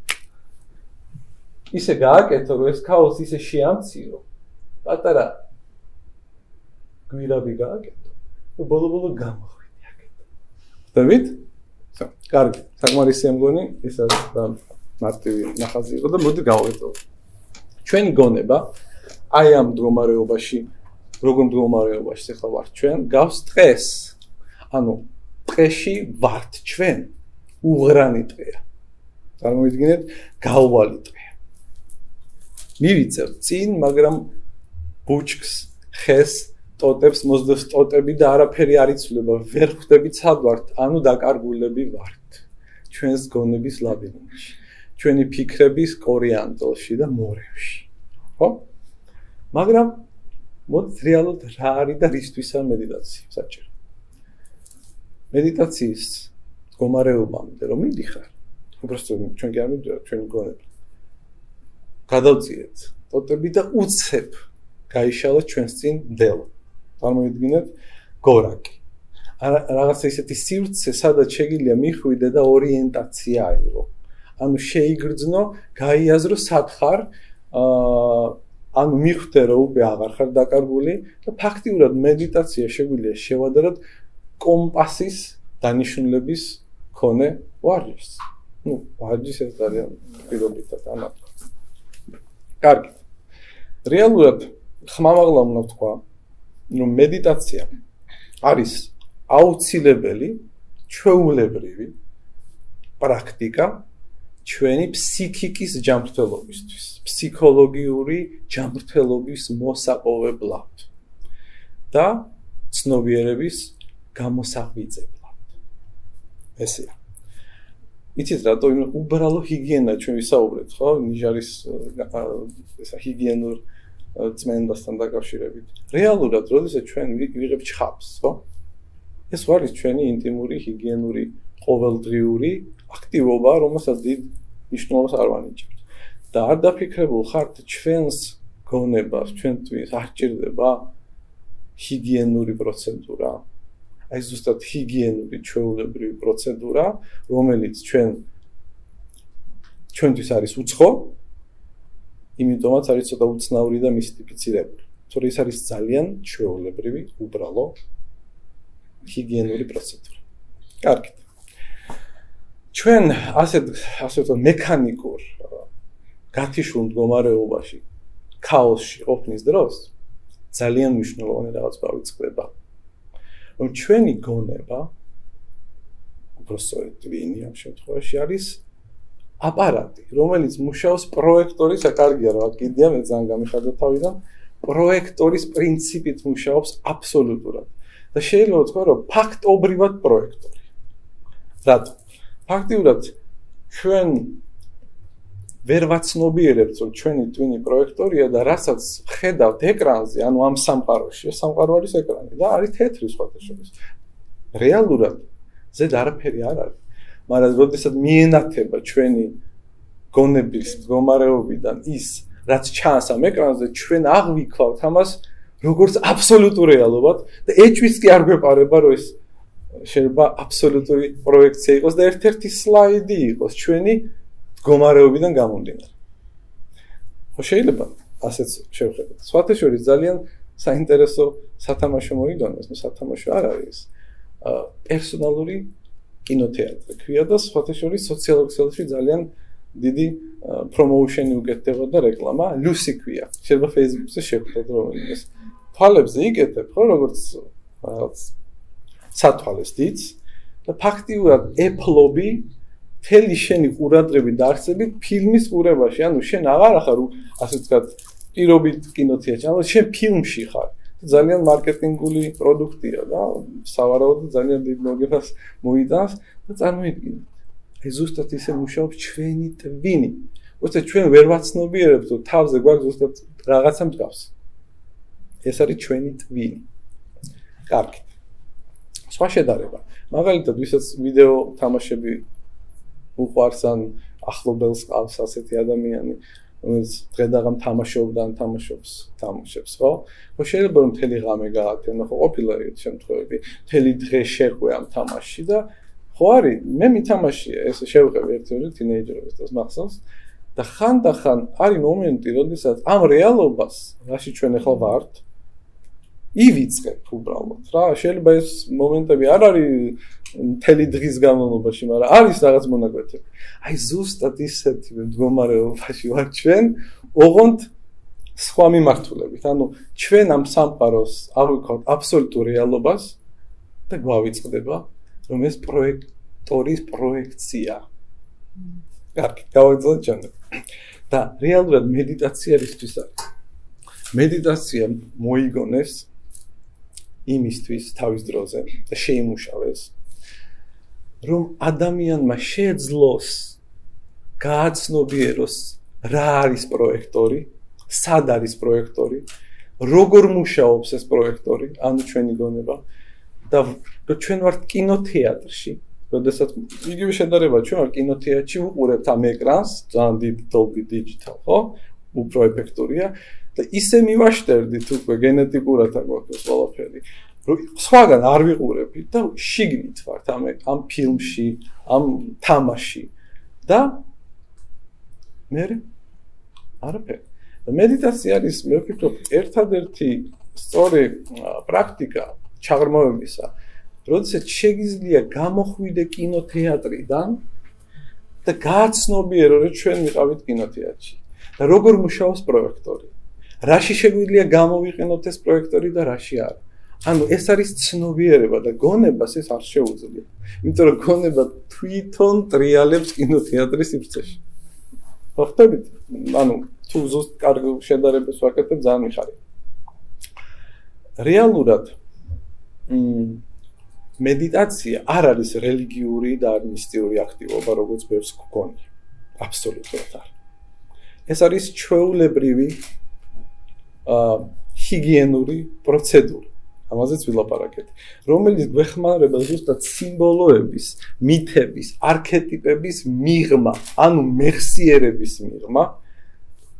კი არ გავიქცეთ, არამედ ოდნავ გავიდეთ ამ სივრციდან და იქიდან დავაკვირდეთ ჩვენ ყოფას ჩვენს არსებას ჩვენ თავს და საერთოდ ყველაფერს რაც მიმდინარეობს და რა პროცესი მიმდინარეობს ამ დროს როდესაც ხარ კინოთეატრში როდესაც ხარ პროექციის ასე ვთქვათ მექანიკური მაპროექცირებელი აპარატის მსხვერპლი ამას ვერასოდეს ვერ გაიგებ ამის ვერასოდეს ვერ დაინახავ და ვერ შეიმეცნებ. ამის შემეცნება აზროვნებით შეუძლებელია. ამაში ღრმად რატომაც ვარ დარწმუნებული. და არა მარტო მესაბედნე. არ არის ეს ჩემი აღმოჩენა. ასე რომ მოდი გავაგრძელოთ ეს ზოლინელა. და ძალიან კარგი გამონათქომია ამასთან დაკავშირებით. ჩემი საყვარელი. ღმერთი იწება იქ, სადაც მთავრდება ჩვენი მასზე წარმოდგენები. ანუ ჩვენ კინოთეატრში გარდა წარმოდგენების არაფერი არ გვაქვს. ჩვენ გვაქვს წარმოდგენა რა არის ღმერთი, ჩვენ გვაქვს წარმოდგენა რა არის სიყვარული, რა არის ბოროტება, რა არის სიძულვილი, რა არის სწორი ცხოვრება, რა არის არასწორი ცხოვრება. რა არის რა რა არის? ჩვენ პასუხები გვასწავლეს ხო გენეტიკაში ვიდეოს. მაგრამ რეალურად ეს ხოლმე წარმოდგენებია და მეტი არ და ზუსტად ღმერთი იწება იქ, სადაც ფთავდება ჩვენი მასზე წარმოდგენები და მეს გამონათქვამი ძალიან ძალიან მომწონს. კარგი. აა მედიტაცია ასევე შეგვიძლია შევადაროთ აზროვნებაზე მუშაობას. ანუ ძალიან პრაგმატული რაღაცა ის არ არის რაღაც მიღმიერი, მიუწდომელი ადამიანებისთვის რაღაც ძალიან აღმატებით მდგომარეობაში გადასვლის საოცარი ჯადოსნური პრაქტიკა არა.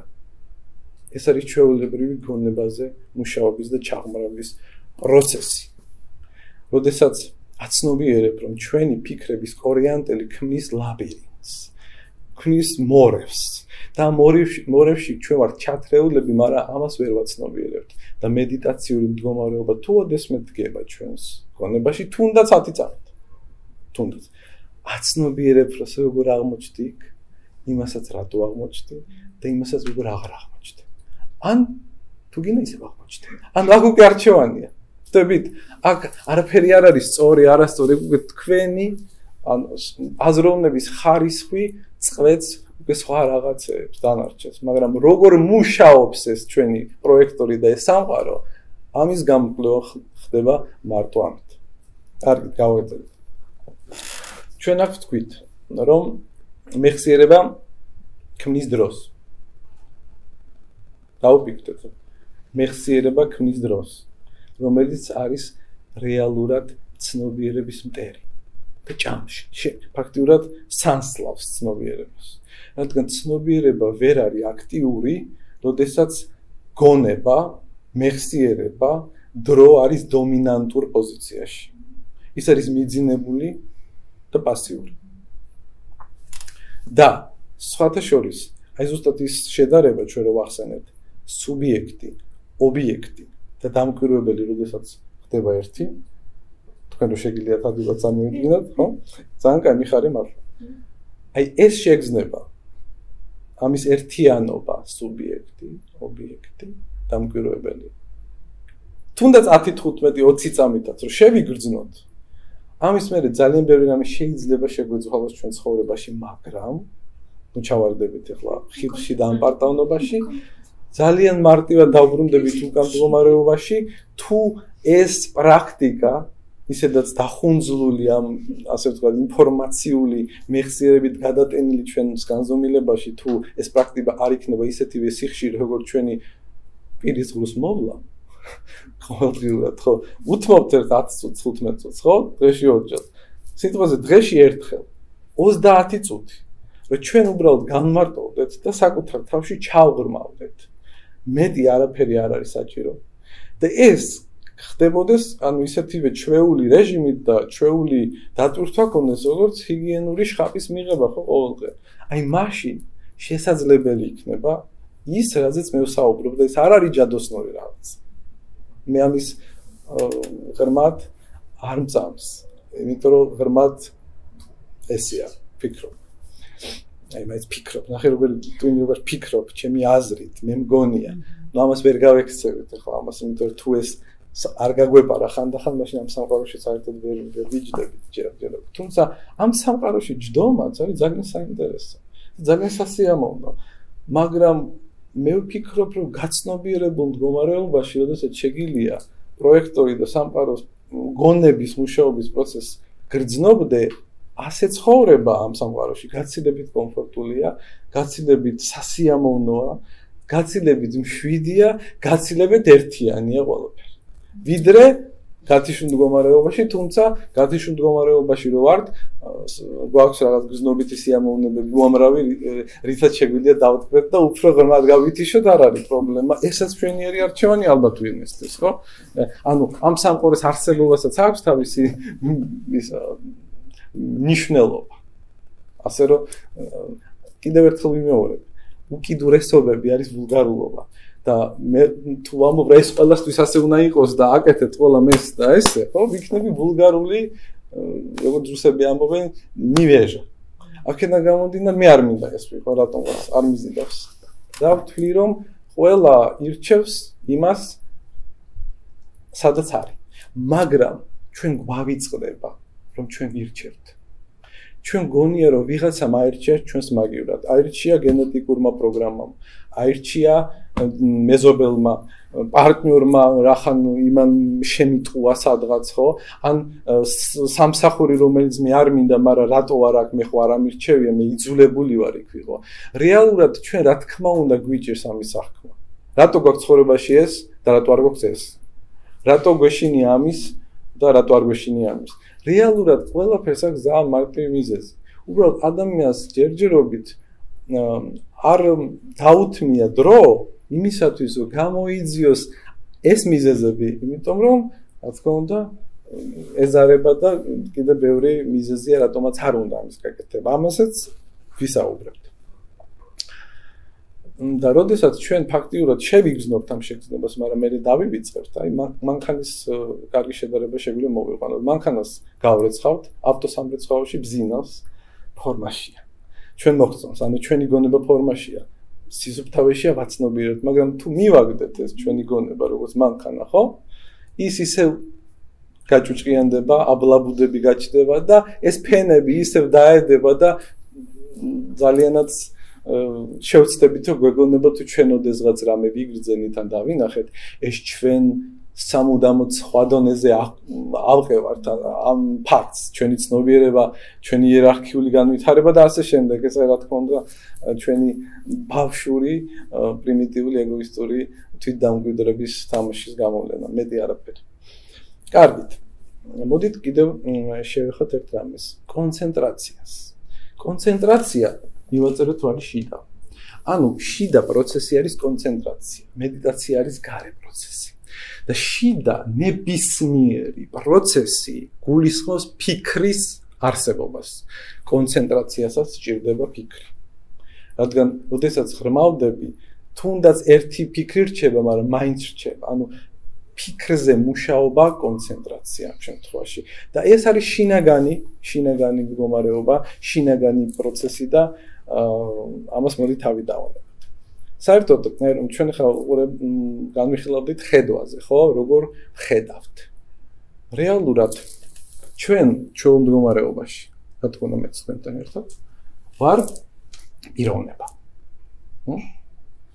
გამომაცხადეს გიორგი ნიკაბერის რაღაცას ისაუბრებსო და ასე შემდეგ.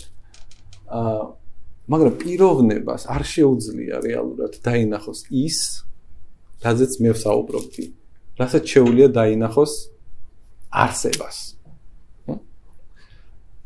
მოდით კიდე ასე ვთქვათ. შეუძლებელია ინტელექტმა და გონებამ დაინახოს ის, რაც შეუძლია დაინახოს ცნობიერებას. ცნობიერება არის ამის მიღმა სიმბოლოების, მითების, არქეტიპების, მეხსიერების, დროის მიღმა. ის არის მუდმივობაში. და ჩვენი პროექცია, როგორც ნებისმიერი ფილმი და რემისის სლაიდი არის დროებითი მოვლენა, ხო? უბრალოდ ჩვენთვის ეს დრო ძალიან გაწელილია. და რახან კინოთეატრში დავიბადეთ. ხო?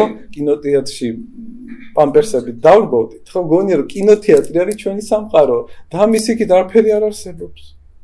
ესე გვასწავლეს დედიკომ, მამიკომ, ბებიამ, ძიძამ, სკოლამ, უნივერსიტეტმა ქუჩამ, რავი, მეგობრებმა და ასე შემდეგ და ის ჩვენ ერთმანეთს ვასწავლეთ და ჩვენ ვართ ძალიან კარგ სამყაროში. არა, კარგი სამყარო ერთის ხო, ძალიან საინტერესო, მაგრამ ეს არის კინოთეატრი.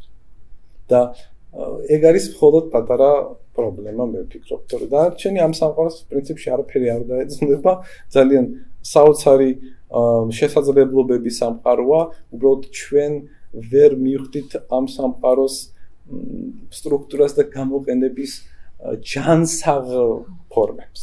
აი ეს კიდე სხვა არის. კი. ამ კარგით. ну, თქვით რომ მედიტაცია ზუსტად აკრობს დროს. მედიტაცია აკრობს მეხსიერებას. მედიტაციას გადაყავს უკანა პლანზე პიროვნება. ეს ყველა გვიშლის დავინახოთ. დავინახოთ სამყარო ისეთი როგორიც არის. ანუ ანარეკლის მაგალითზე, ხო? ეს ყველა ჩამოთვლილი პუნქტები, რომელიც არის ამ ჩვენი მუზარადი, სხვათა შორის ძალიან კარგი ციგნია ვიქტორ პელემინის საშინელებად და მუზარადი, შლემ უჟასა, სადაც სიმბოლურად ძალიან კარგად აღწერილია ხატრულად ჩვენი ტვინის, ასე ვთქვათ, ასე ვთქვათ, თვისებები, თუ როგორ ვართ ჩაკეტილი ამ მუზარადში და როგორ გვახურავს ეს მუზარადი გონია რომ ეს უნდა გვეხუროს და ვერ ხვდებით რომ ეს მუზარადი შემოიხსნათ და სხვანაირად შევხედოთ ამ სამყაროს. ну, ვისაც დაინტერესებს შეუძლია გაეცნოს. კარგით. აა პრინციპში გურჯიევსაც ქონდა ნახსენები ეს საკითხი, რომ ადამიანს აქვს როგორც პიროვნება, ისე არსება, უბრალოდ ჩვენს დღევანდელ მდგომარეობაში. არსება არის პასიურ მდგომარეობაში, გაპასიურებულია და იმისათვის ადამიანი განვითარდეს, საჭიროა რომ ორივე არსებობდეს და არა ერთი მხოლოდ. და პიროვნების გაქრობა სულაც არ არის საჭირო, იმიტომ რომ ეს ამ სამყაროში მისაღები გამოცდილებისთვის და ასე ვთქვათ, შეგნებებისთვის პიროვნებად საჭიროა, მაგრამ არსება უნდა იყოს არანაკლებ აქტიურ ფაზაში, როცა საჭიროა. როდესაც გეძინება უნდა გაიღვიძო. აი ეს შეგეძლოს უნდა. მაშინ არის დაბალანსებული ყველაფერი ზუსტად იმ ბულგარულობას ავწდებით, რაც ჩვენ ყოველდღიურობაში და ჩვენ ყოფაში გვაქვს და ვლინდება. კარგით.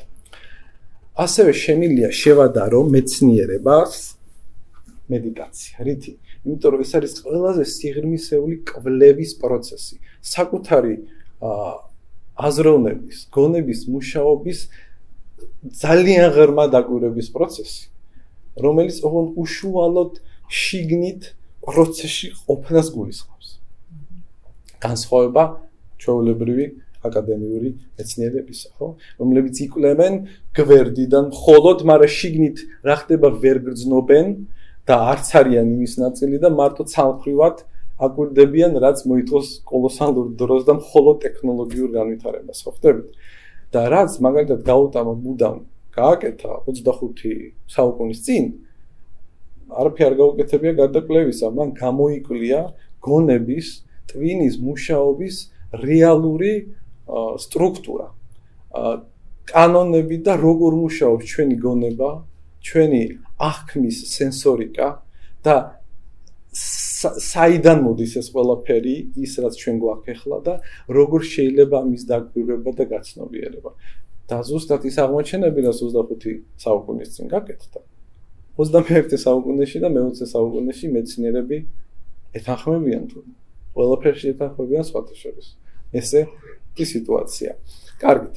ჯერ სხვათა შორის ინდუიზმში დავის დროზე, მერე ბუდიზმში და შემდეგ უკვე გეშტალთერაპიაში და მისმა მამამ პელსმა თქვა რომ ტვინი შეიძლება ფიქსირდებოდეს სამ ზონაში. აქედან ორი პირველი არის ცხოვრების ზონა, მეორე მესამე ილუზიის. ნახეთ როგორია გავშიფრო და მივხვდებით. აი ნაცნობია კომუნისტის. მოდი დავხსნათ. პირველი არის, როდესაც ადამიანს შეუძლია მატერიალური ამ სამყაროს შეგრძნება. აი შევეხოთ და ამას ვაკვირდებოდეთ. ანუ ამაზე ვამახვილებდით ყურადღებას. გზნობთ, შემილია დავადო ხელი, დავლიო წყალი და ასე შემდეგ. და ამაზე ვარ ორიენტირებული და გზნობ. ეს არის ცხოვრების პირველი ფაზა. მეორე, როდესაც შეიძლება შინაგანი პროცესები, რაც მიმდინარეობს შიგნით, ემოციურ ორგანიზმშიც კი, ემოციურ დონეზე და ფიზიოლოგიურ დონეზე, ამას დააკვირდეთ და იცნო. მაგალითად, წყალსოს და სხვა, ჩვენ ხო გონია რომ აქ თავდება ხო ყურადღება. აკვირდები როგორ ჩადის ბოლომდე. კუჭნაწლავში ხო? როგორ მოედება ლამაზად ხო? როგორც ვისკი ჩიკას ხო? ეს დაახლოებით. აი მის შეგრძნება არის უკვე მეორე ფაზაში ყოფნა და არის მესამე. ილუზიაში ყოფნა რომელიც თანამედროვე ადამიანს ახასიათებს ანუ ჩვენ. რა არის ეს? მუდმივად ყოფნა ყველგან გარდა აქ და ახლა ჩვენი ფიქრების აქეთ-იქით სირბილი ხან იქ ვართ ფიქრებით, ხან აქ ვართ, ხან წარსულში ვართ, ხან მომავალში, ხან სახში ვართ, სამსახურში ვართ ფიქრებში, სამსახურში ვართ, სახში ვართ ფიქრებით, ხო? მაგალითად, ძალიან მარტივი მაგალითი, როდესაც კიბეებზე ჩადიხარ, თან რაღაც გზას გადიხართ რუტინულს, ხო? ყოველდღიურ სამსახურში მაგალითად, ხო? ისე დამოღამებული გაქვს ეს გზა, რომ ხარ ფიქრობთ გზაზე, რომ აი ხა თქვენ ამ გზაზე მიაბიჯებთ ამ პროცესს აკვირ. არა, მიდიხართ მექანიკურად და სავარაუდოდ ფიქრობთ სხვა ადამიანებზე. ეხა იქ რა იქნება, ხო რა გავაკეთო. და ასე ანუ ჩვენი ფიქრები არ არის აქ და ახლა, არამედ იმყოფება კიდევ დამატებით გალუცინაციურ ვირტუალურ სამყაროში. ეს უბრალოდ ეს არის ილუზიის ეს ზონა. და სამ ადამიანს საერთოდ ახასიათებს რა ჩვენ ისედაც ვიმყოფებით პროექციაში ხო იდეაში იდეაში. ძალიან შეგეშინებათ ამ სიტყვის. ის რეალური პროექცია არ არის. თან თან არა რეალურია თან რეალურია. გააჩნია რამ მდგომარეობაში აღვიქოთ ამას. ჩვენ გვახასიათებს სამყაროში ყოფნის დროს კიდევ დამატებითი ინდივიდუალური სამყაროების შექმნა ჩვენი ფიქრებით ჩვენ ყველა სათითაო სავარაუდო თავის სამყაროს ქმნის. ხო ხო გაქვთ ალბათ რაღაც მონახაზები. იმიტომ რომ თქვენი ფიქრები ტყალიბდება საერთოდ სამყარო დამატებითი სამყარო და აი ნახეთ როგორ მივიდიოთ ფრაქტალური განვითარებაა რა ფრაქტალი როგორ მივიდ ერთიდან მეორეში გადადით აი რაც შტაინერს ქონდა. ფაქტიურად ამის განვითარებას უთმობდა ის თავის სოფხედველობას ხო? და დავაკვირდეთ ეს ხო მექანიკურია ერთის მხრივ და გინდ გაცნობიერებულად აა შექმნა სამყაროები დამატებით იმის garaშე რომ არიცი რეალს ვინ ხარ. ხო რაღაცნაირად ბულგარულია ხო ბულგარულია ხო? და ზუსტად ამას ვაკეთებ ახლა ჩვენ. აა მოდით იცი რა ვქნათ. ჩვენ ეს ყველაფერი გვიზიდავს ვიცი მაგრამ მეცნიერებიც აგეთებენ დამატებით კვლევებს რომლებიც ჩვენ კიდევ ერთ ნიშანს გვაძლევენ, რომ ცოტა არ არის თლათ ისე როგორც ჩვენ მივეჩვით და ვართ. მაგალითად, რამოდენიმე წლის წინ ასტროფიზიკოსებმა აღმოჩენა გააკეთეს, გონი ორი წლის წინ, ხო? მახსოვს. აა და აღმოაჩინეს იცით რა? თვითონ შოქში იყვნენ, რომ აბსოლუტური რეალობა არ არსებობს. ეს თეორია იყო. დამტკიცდა. რომ აბსოლუტური რეალობა არ არსებობს. და ის ჩვენი ფუნდამენტალური შეხედულება რომ 2 2 4-ია ესაც არ არის მართალი თუ ანუ 2 2 შესაძლებელია სულაც არ იყოს 4 და არ არსებობს არაფერი რაც არის უცვლელი. გარდა მდგომარეობის ანუ რაც არის შიგნით აი ამ სამყაროში არაფერი არ არის ფუნდამენტალური. როგორც პროექციაზე ასახული კინო არის კინო იქ არაფერი არ არის ისეთი ფუნდამენტალური ხო და არაფერი არ არის რეალური. იგივეა ზუსტად ჩვენი ახმა ამ სამყაროსი და ამ სამყაროს კანონზომიერება. მაგრამ ნუ შეგვაშინებს ეს. ცოტა შეშინებულად მიყურებს, არ არის ეს საშიში. საშიში სხვა რამეა და მივალთ ახლა ჩვენ. სამყარო არ არის საშიში. ეს განზომილება, ეს სამყარო არ არის საშიში აბსოლუტურად და არც ერთი საშიში არ არის. უბრალოდ საშიში და ცოტა პრობლემატური სხვა რამეა და ის ჩვენში იმალება. მაგასთან მივალთ. და რეალურად ზუსტად ამის შეგრძნება ახლა რაზეც ჩვენ საუბრობთ, რაც მეცნიერებაც დაამტკიცეს, ხო, ასტროფიზიკოსებმა. ამის რეალურად გათავისება და შეგრძნება შესაძლებელია სიღრმისეული მედიტაციის მდგომარეობაში. ძალიან, იმიტომ რომ ეს ცდება ჩვენ ლოგიკას და ზუსტად სადაც ლოგიკა უკვე იკარგება, იწევს ცნობიერება. ცნობიერება სხვა კანონები აქვს, რომელიც ჩვენ ვერ ხვდებით. ვარაუდობთ 1000 სწავლება, 1000 წიგნი იწერება ფილოსოფიური. აა, ვარაუდია ეს ყველაფერი, იმიტომ რომ ნამდვილი შეგრძნება რა არის ამის იქით. არის ისეთი რომ დაივერსიტვი ალბათ, იმიტომ რომ ლოგიკურ გამოხატულებაში ვერ ჩდება. სხვათა შორის, აი გაკრას ბოდიში ასე ვთქვათ, სლენგისტის ხანდახან აა ერთი რუსი ფილოლოგია და ძალიან ღრმად მოაზროვნე ადამიანი უბრალოდ აღარები გარდაიცვალა ის ამბობდა მათემატიკაზე შემდეგ ამის როგორც ფუნდამენტალურ მეცნიერებას. ჩვენ ხო გონია რომ მათემატიკა ფუნდამენტალური მეცნიერება? ოკეი. ის ამბობდა. ну ამის გარდა რაც მეცნიერება დაამტკიცეს მათემატიკა პროფანაციული მეცნიერება რომელსაც რეალური ყოფიერების არსი არ გააჩნია შესაბამისად არ არსებულია. მათემატიკა მათემატიკა მოიცვა ადამიანის წარმოსახვის ცალკეული ტერიტორიები და შემდგომ უმართავად გავრცელებულმა მათემატიკურმა ნიშნებმა მათემატიკურმა დეფინიციებმა თლიანად დაიპრო ჩვენი ტვინის არემარე. ხო მეთახმები ალბათ იმიტომ ამობეჭდე აი ზუსტად ჯდება იმ აღმოჩენაში, რაც ზუსტად გაკეთა 2 წლის წინ, მე სიტყვები უფრო დიდი ხნის წინდელია და მე ძალიან მომწონს და მიხარია, რომ ის ცოდნა, ის ჭრეტა, რომელიც ძალიან სიღრმისეულ ჩაღრმავებას მოითხოვს, ნელ-ნელა მეცნიერული დისციპლინების მხრიდანაც ტკიცდება. თუმცა ეს აღმოჩენა მაგალითად ასტროფიზიკოსების არ გაპიარდა ისე ძალიან, იმიტომ რომ ეს მაინც დარჩა მეცნიერების და მეცნიერებ წარმოადგენლების მეცნიერის წარმოადგენლის სფეროში, ხო? მათი თავსატეხი გახდა, მაგრამ სამაგირო ჩვენი სოციალური ქსელის ტელევიზორის საშუალებით იმდენი სისულელები არდება ჩვენთვის, ხო? კარგია. და ჩვენი არის არა. ყველაფერი ნარსებობდეს, ასე რომ ვიცით ესეც, ხედავთ იმას, ჩვენ ამერჩიოთ, რაზე ვიფიქროთ, რა ვიკითხოთ, რას ვუყუროთ, ვისთან ვიურთიერთოთ, რა ვიფიქროთ, რა ვაკეთოთ ბოლო-ბოლო, ჩვენი ყოველდღიური დრო როგორ გავსაზღვროთ რა. და ამას ჩვენ არ ვაკეთებთ, იმიტომ რომ ლუსი გვიგეთია. ის კინოთეატრი, ხო და იქ არაფერი არ ნაკეთე, უფრო ნერო ჩართული. და რა თქმა უნდა ჩვენი სენსორები, ნებელობის სენსორები არის ძალიან დაქვეითებული, ძალიან გაზარმაცებულები ვართ. და არა უშავს. კარგით. ხო. მოდი დავუსვათ საკუთარ თავს ერთი კითხვა. ვინ ვარ მე? ან რა ვართ, ხო?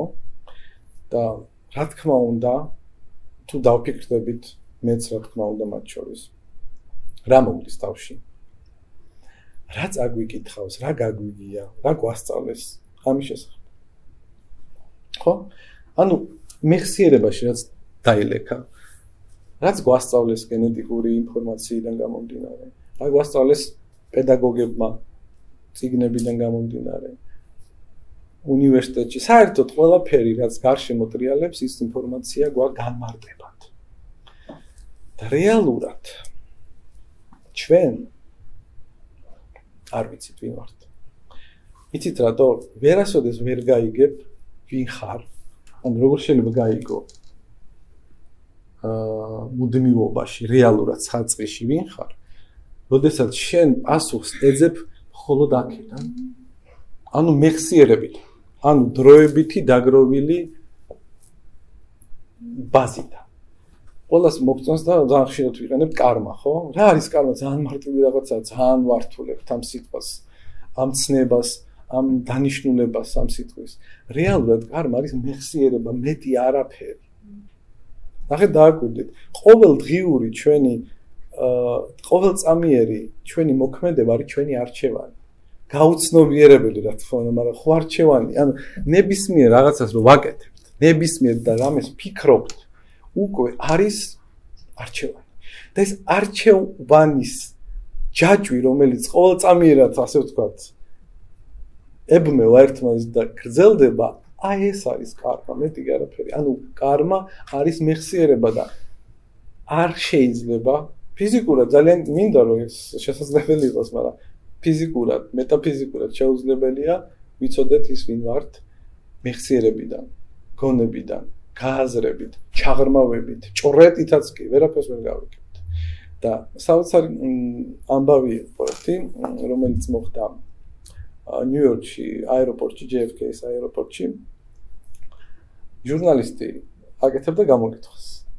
და პასაჟ ისა გზავრებს ბოდიში გზავრებს ეკითხებოდა ერთი და იგივე კითხვას. ა თუ რა არის ყველაზე საშინელი ამ სამყაროში თქვენი აზრით? ანუ ადგენდა რაღაც სტატისტიკას, ხო? ну, ყველა სხვადასხვა რამის პასუხობდა და მიადგა ერთ-ერთ ბუდისტ ბერს, რომელიც ელოდებოდა თავის ძეს. არ გამართლა ჟურნალისტს. სულ სულ სულ ტიპს მიადგა აშკარად ამ თემით არ უნდა მისულიყო. და კითხა თუ შეიძლება მიპასუხეთ თქვენი აზრით რა არის ყველაზე საშინელება ამ სამყაროში. ბერმა დაუბრუნა პასუხი კითხვით და კითხა: შენ ვინ ხარ? დაიბნა რა თქმა უნდა რეპორტიორი და ვერ ხვდები რას მეკითხები მე ჟურნალისტი ვარო. არა, ეს შენი პროფესიაა. შენ ვინ ხარ? დაუბრუნა მეორე. აა მე ბოლო-ბოლო სახელი თქო, დევიდი ვარ. არა, ეს შენი სახელია და შენ ვინ ხარ? მე დაფიქრდა, მე ადამიანი ვარ ბოლო-ბოლო რა, რა გამიწყალეო საქმეო და არა, ეს შენი ბიოლოგიური სახეობაო და შენ ვინ ხარო და გაბრაზდა ეს ძალიან მოიშალა. არ ვიციო რა, არ ვიციო რა. აი, ზუსტად ყველაზე საშინელება ამ სამყაროში ისე რომ ჩვენ არ ვიცით ვინ ვართ. და ძალიან მიყვარს ეს ისტორია და ზუსტად ამ თემასთან მახსენდება. აა კი მართლა არ ვიცით ვინ ვართ და ალბათ აი ზუსტად ეს არის საშინელება და არა ის რომ ეს სამყარო კი არ არის საშინელება. ზოგს გონი ეს სამყარო არის ბრძოლა. ომი დაპირისპირება გამარჯვებისკენ ბრძოლა ერთი უკიდურესობა უნდა დაჩაგროს მეორე და საშინელი რაღაცებია ხო ეს სამყარო აუტანელია და მოდივარ გავი გავიკაჟოთ ჩვენი სხეული სული გონება ბულშეთ ა მე ვფიქრობ რომ ზუსტად ჩვენშია პრობლემა და არა სამყაროში. ჩვენ რო ვიცოდეთ ვინ ვართ ხომ მე აღარ ვიცი. ეგ უკვე სხვა საკითხია. ალბათ ცოტა სხვანაირად იქნებოდა ყველაფერი. როგორც მინიმუმ. კარგით. გავაგრძელოთ. აა და ზუსტად ამაშია ამაშია საქმე რომ თუ ვერ შევიცნეთ საწყისი ვინ ვართ ჩვენ საწყისში. აი მედიტაცია რისთვისაა უნიკალური, უპრიმიტიულესია თავის დროზე, ხო, საწ უმარტივესია. ძალიან მარტივი დანიშნულება აქვს, მაგრამ ყველაზე მნიშვნელოვანი დანიშნულება აქვს. გაიგო ვინ ხარ? რეალურად საწყისში ვინ ხარ? ის კი არა რომ რა შეგიძლია გახდე, რაც უყვართ ძალიან ევოლუციის მიმდევრებს. ანუ, კი, მე ვეთანხმები, რა თქმა უნდა, მათ, რომ ევოლუცია ძალიან მატერიალურია და შესაძლებელია, პიროვნება მუდმივად იცლება. პიროვნება მუდმივად შეიძლება დეგრადირდეს ან განვითარდეს და ზე ადამიანათაც იქცე შეუძლია უნარი განსაზღვრელი აქვს შესაძლებლობები პიროვნებას აქვს ძალიან მასშტაბური. მაგრამ ჩვენ მხოლოდ ვიცით რა შეგვიძლია ვიყოთ მაგრამ არ ვიცით რა ვართ. ანუ საწყისში და შესაბამის მდგომარეობაში როდესაც არ ვიცით რა ვართ ვასკვნით თუ რისთვის ცხოვრობთ ვირჩევთ მიზნებს, ვირჩევთ 1000 მისიას ხო ცხოვრებაში, რომ აი და საიდან გამომდინარე ვირჩევთ, ანუ სიმნელეში საუბრობთ სინათლეზე, აი დაახლოებით იგივე სიმნელეში ხარ თუ ისაუბრობთ სინათლეზე, როგორ შეიძლება ეს? იგივეა, რომ ჩვენ სიმნელეში ვართ და ვამბობთ, რომ მე ცხადად ვიცი მე ვარ, არა და არასოდეს არ გინახია ვინ ხარ. ანუ არ გინახია პირობით, რა თქმა უნდა. კარგით. ძალიან დიდი ხნის კამათია ზუსტად ორ პოლუსების, ორი პოლუსის წარმომადგენლებისა. რომლებიც არიან სხვათა შორის ერთი მხარის ცნობიერი აზროვნების ტიპები და მეორე. ზოგი ამბობს, რომ ჩვენ უნდა პროგრესირებდეთ, აქტიური ცხოვრებით ცხოვრობდეთ, ქმნიდეთ, ვაშენებდეთ, წინ მივდიოდეთ ევოლუციური გზით. ზოგიერთი კი ამბობს, რომ არა. ჩვენ უნდა ვიყოთ პასიურად, შვიდად, ვაკვირდებოდეთ ამ პროცესს და ნაკლებად ჩავერიოთ საერთოდ რამის კეთებაში. აი, ხო არის ეს ორი პერიოდი და ორივეზე ოდნავ მეცინება მე პირადად. რატო იცით? რეალურად სანამ ადამიანი დაუსრულებს საერთოდ ამ კითხვას საკუთარ თავს რომელი ერთი უნდა აკეთოს ხო? ჯერ აუცილებლად უნდა გაიგოს ვინ არის საწყისში რა საიდან მოდის. და შემდეგ უკვე დარწმუნებული ვარ რატომღაც რომ შემდეგ უკვე ზუსტად ეცოდინება რა უნდა აკეთოს და რა არ უნდა აკეთოს. რისთვის იცხოვროს რისთვის არა. რას დაუთმოს დრო და რა რას არა? ჩვენ კიდე რას ვაკეთებთ? უამრავი ეს ფილოსოფიური ფსიქოლოგიური სულიერი სწავლებები შემოვიდა ჩვენ ცხოვრებაში თანამედროვე.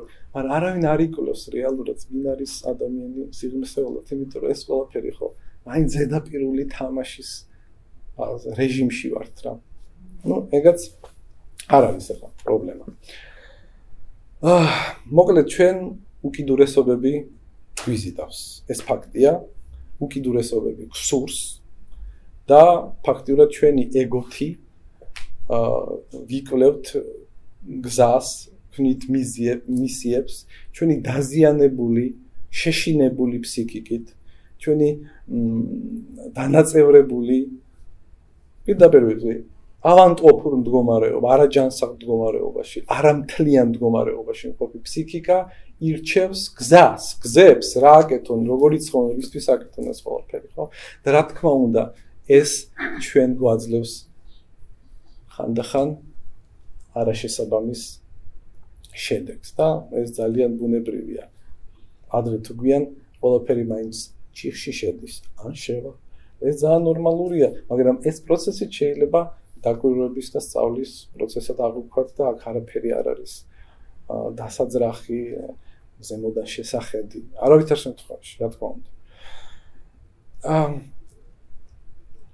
კითხვა მაქვს. ჯერ კვერცი იყო თუ კაფე მიპასუხეთ მაინც? კარგი. ეხლა წაიკითხე? კარგი. ეს კითხვა ხო გაცობრიოს გონი რა თელი ისტორია. ახე დავიდა დავიდა. აი რო ზუსტად. ეხლა ნახოთ რა მე ეს კითხვა ყოველთვის მიზიდავდა და მხოლოდ ერთადერთი ამ კითხვაზე პასუხი მომეწონა რაც კი გამიგია. და ეს ამოვიკითხე ერთ-ერთი ლამას ბუდისტი ლამას რიმპოჩეს ციკში ნაწარმოებში. და როდესაც მას ეკითხებია რა იყო ჯერ? კვერცხი თუ ქათამი ის პასუხობს. ჯერ იყო გონება რომელმაც გაყო ქათამი კვერცხისგან. და კვერცხი ქათმისგან აი ზუსტად ანუ ჩვენ ჯობია იმის მაგივრად რომ ერთმანეთს ვასწავლოთ რა ვაკეთოთ რა არ ვაკეთოთ როგორ ავაშენოთ ციხე კოშკები თუ ბაბილონის გოდოლები და როგორ ვიყოთ ლამაზები ჯანმრთელები წარმატებულები და ყველას მოვწონდეთ და ვიზიდავდეთ. მოდით ისი რა ვქნათ. ის რჩევი სახით, ჩემ თავსაც ურჩევ რა თქმა უნდა. რომ მოდით გავიგოთ. აი, სანამ ეს ყველაფერი გაიყო. როგორ იყოფა ეს ყველაფერი? როგორ მუშაობს ეს ყველაფერი? როგორ ყოფთ, როგორ დიფერენციაციას როგორ უკეთებს ეს ტვინი ამ ყველაფერს? და მე ალბათ ჩვენ twins ესეთი სულელური კითხვები აღარ შეაწუხებს როგორც არის კვერცხი თუ ქათამი იმიტომ რომ ესაც ალბათ ბუდისტური შეხედულებით ვულგარული კითხვა ალბათ არ ვიცი კარგი შემდეგ რა რა შეგვიძლია ამ ხო, ჩვენ ვახსენეთ ადრე რომ ზოგს გონია რომ კონცენტრაცია არის ფიქრების კონტროლი. ხო, ხოცმენია ესეთ შეხედულება. რეალურად მ უბრალოდ მედიტაცია არის კონტროლი ფიქრებისა. წარმოიდგინეთ, როდესაც აკონტროლებ ფიქრებს, ანუ ებრძვი მათ, ანუ რაღაც ბრძოლის რეჟიმში ხარ, ხო? ანუ რაღაცა იძაბება იქ სიტუაცია, ხო? და სადაც არის ესეთი დაძაბულობა, იქ უკვე ხმაურია. გონებისთვის რეალურად ხმაურია, აი სუპირველი ტელევიზორის ხმაური. გამოსანთ, ხო? ან მაგალითად თუ შეგვიძლია ავირჩიოთ გაანალიზება სიღრმისეული სიმშვიდით, მაგრამ გაანალიზება მედიტაციის არსისა და ჩვენი ოფისა. ნახეთ, გაანალიზებაც, რა თქმა უნდა, ფიქრის საშუალებით ხდება და სადაც ფიქრია, აქ მაური. მაგალითად, ჩვენ წავედით ახლა და მიზნად დავისახეთ, რომ შევიდეთ სიღრმისეულ მედიტაციაში, ანუ მიზანია. ნებისმიერი მიზანი არის ბლოკი აქედან გამოსასვლელად და რა მიზანიც არ მოგხონდეს, ეს არის ესეც სიხშირია ხმაურის და ხმაურში კიდე რო არაფერი წესიერი და რეალური არისმის, ესაც უკვე ჩვენთვის გასაგებია, ხო? ანუ ძალიან ბევრი დეტალია, რომლის არა მხოლოდ გამოკვლევა, არამედ შეგრძნება მთელი არსები და გააზრება გვჭირდება, რომ ეს არ იქნება უკვე ისეთი რთული, ჩემი აზრით. ეხლა შეიძლება ჩვენ ძალიან ბევრ ამაზე ვიფიქროთ, აა უიმე რამდენი პრობლემა გქონია და ეს როგორ უნდა კონტროლო ეს ყველაფერი, ვაუ. მაგრამ რეალურად ნახე ჩვენი ტვინი, იმიტომ რომ მე ხო მაინც ნაწილობრივ ლოგიკურად ტვინით გადმოგცემთ იმას, რასაც საუბრობ. და ჩემი ის უფრო ართულებს. და შევეცდები ბოლოს უფრო გამომარტივო ყველაფერი, ძალიან უნდა ვებრძოლო ეხლა ამ სიტუაციას საკუთარ თავში. ნახოთ. კარგით. აა საინტერესო თემა შევხვდით. თქვენ ალბათ ბევრს კითხულობთ, ხო? თქვენი ახლობლები ეს ეპოქა ინფორმაციულია. ბევრს კითხულობთ, უსმენთ ლექციებს, დადიხართ ლექციების მოსასმენად, უყურებთ ფილმებს, უსმენთ სხვადასხვა ავტორიტეტულ ადამიანებს, ისტორიულ ფიგურას თუ დღეს არსებულს, ფილოსოფოს, ფსიქოლოგს, გურუს, coach, trainers, whatever, რაც არის. უსმენთ და რეალურად გეტყვით რატომ დიდი ალბათობით უმრავლესობა შეიძლება სულაც არ ამბობს სიმართლეს. გეტყვით რატომ? იმიტომ რომ რაც გადმოიცემა გონებით, ნახეთ? შეიძლება იმ ადამიანს სულაც არ უნდა მოგატყუოთ. შეიძლება ზოგი გატყუოთ, ეგაც არის ეგეთი. ხო რა თქმა უნდა.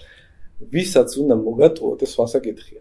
რეალურად ადამიანი გონებით დაგროვილი ინფორმაციით, ძირითადად შემთხვევაში 99 და 9% ფარწმუნებულია მაგაში. გადმოსცემს გონებით თავისი ბაგაჟით, წაკითხულით, გაგონილით, მოსმენილით, მე გადამუშავებულით, დახარისხებული, ხო? და ეს ხო არის გონებიდან გადმოსული ინფორმაცია, რაც ავტომატურად ძალიან დიდი ეჭვის ქვეშ დგება. კარგი, წავიდეთ წინ და მე ვფიქრობ უფრო გასაგები იქნება რაზე მინდა მიგანიშნოთ. და შესანიშნავი სიტყვა გამონათქვამია ნათქვამი ძველად რომ სიტყვით გადმოცემული ჭეშმარიტებას ამახინჯებს. ხდებით? ეხლა მე რამდენი ცალმა ვეცადო. როგორც თქვი ფაქიზად თხილად ვისაუბრო ამაზე. შეიძლება ძალიან შევეცადო რაღაცე, მაგრამ რეალურად ის მაინც დამახინჯებული იქნება მინიმუმ იმიტომ, რომ ყველა თავისებურად თავიქავს. ყველა თავისებურად იგებს, რატო იცით? იმიტომ რომ თქვენს გონებით მისმენთ. და ყველა ეს განმანათლებელი ოსტატი, გურუ, ფსიქოლოგები, ფსიქოთერაპევტები, ფილოსოფოსები, მოძღვრები და ასე შემდეგ თუ გონებიდან გადმოსცემენ ისინი რეალურად არ განსხვავდებიან არაფრით მსმენელისგან. ანუ ისინი მხოლოდ განსხვავდებიან ინფორმაციის რაოდენობით.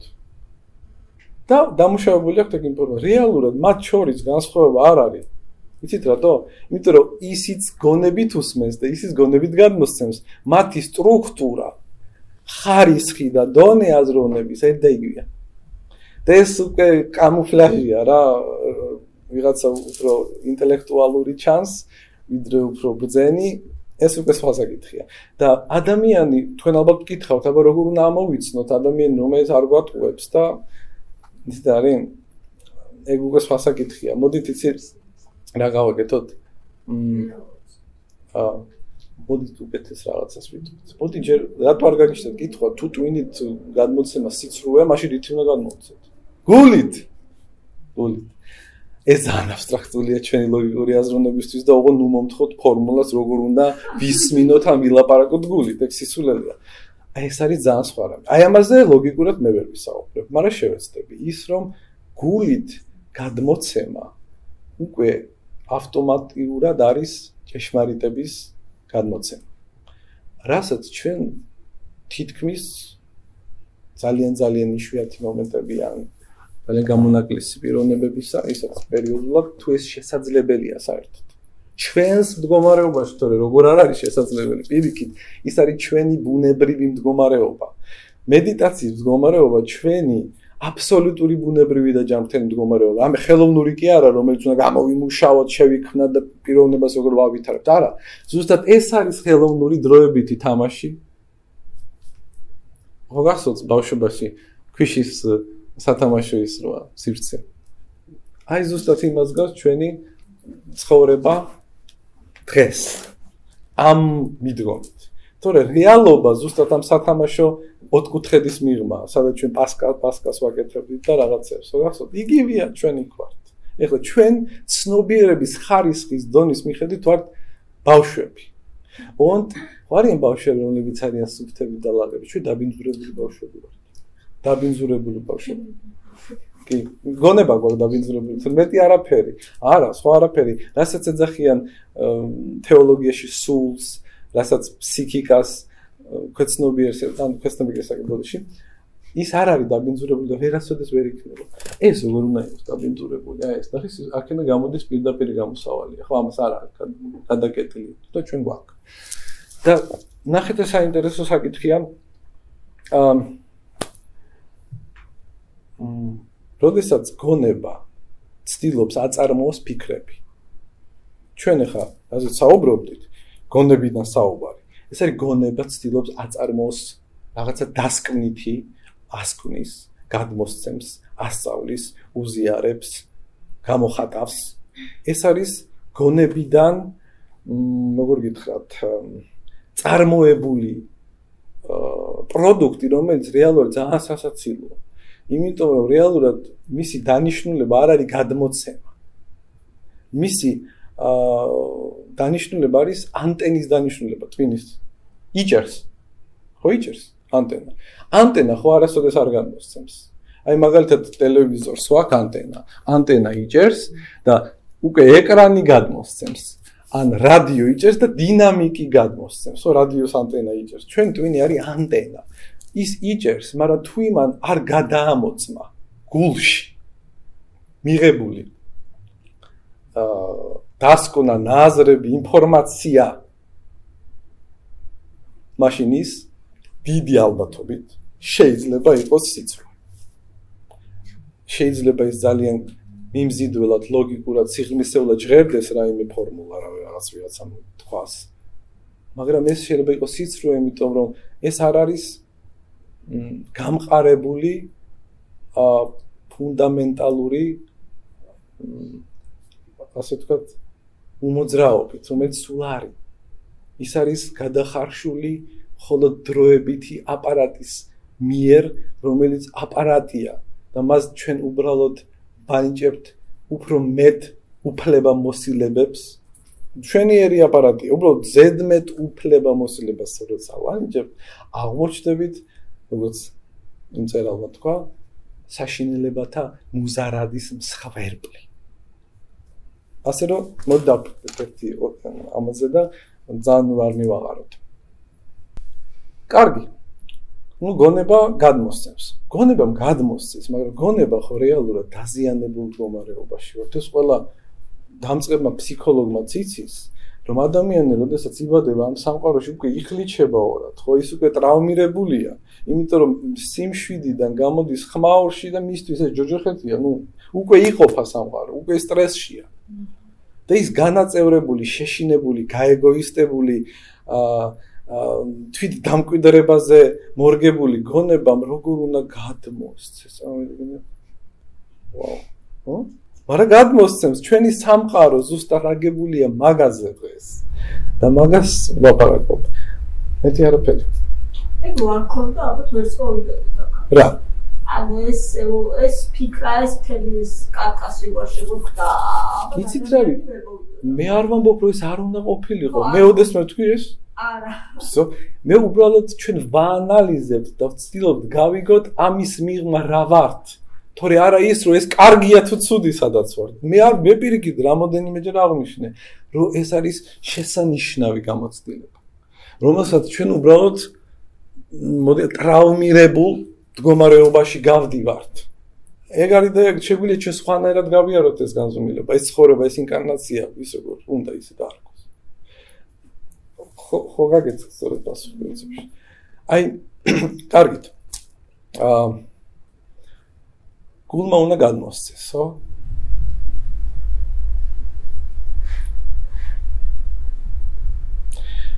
მაგრამ ვერ გადმოსცემს, იმიტომ რომ სანამ ფსიქიკა ჩვენი გონება ვერ იქნება გამთლიანებული.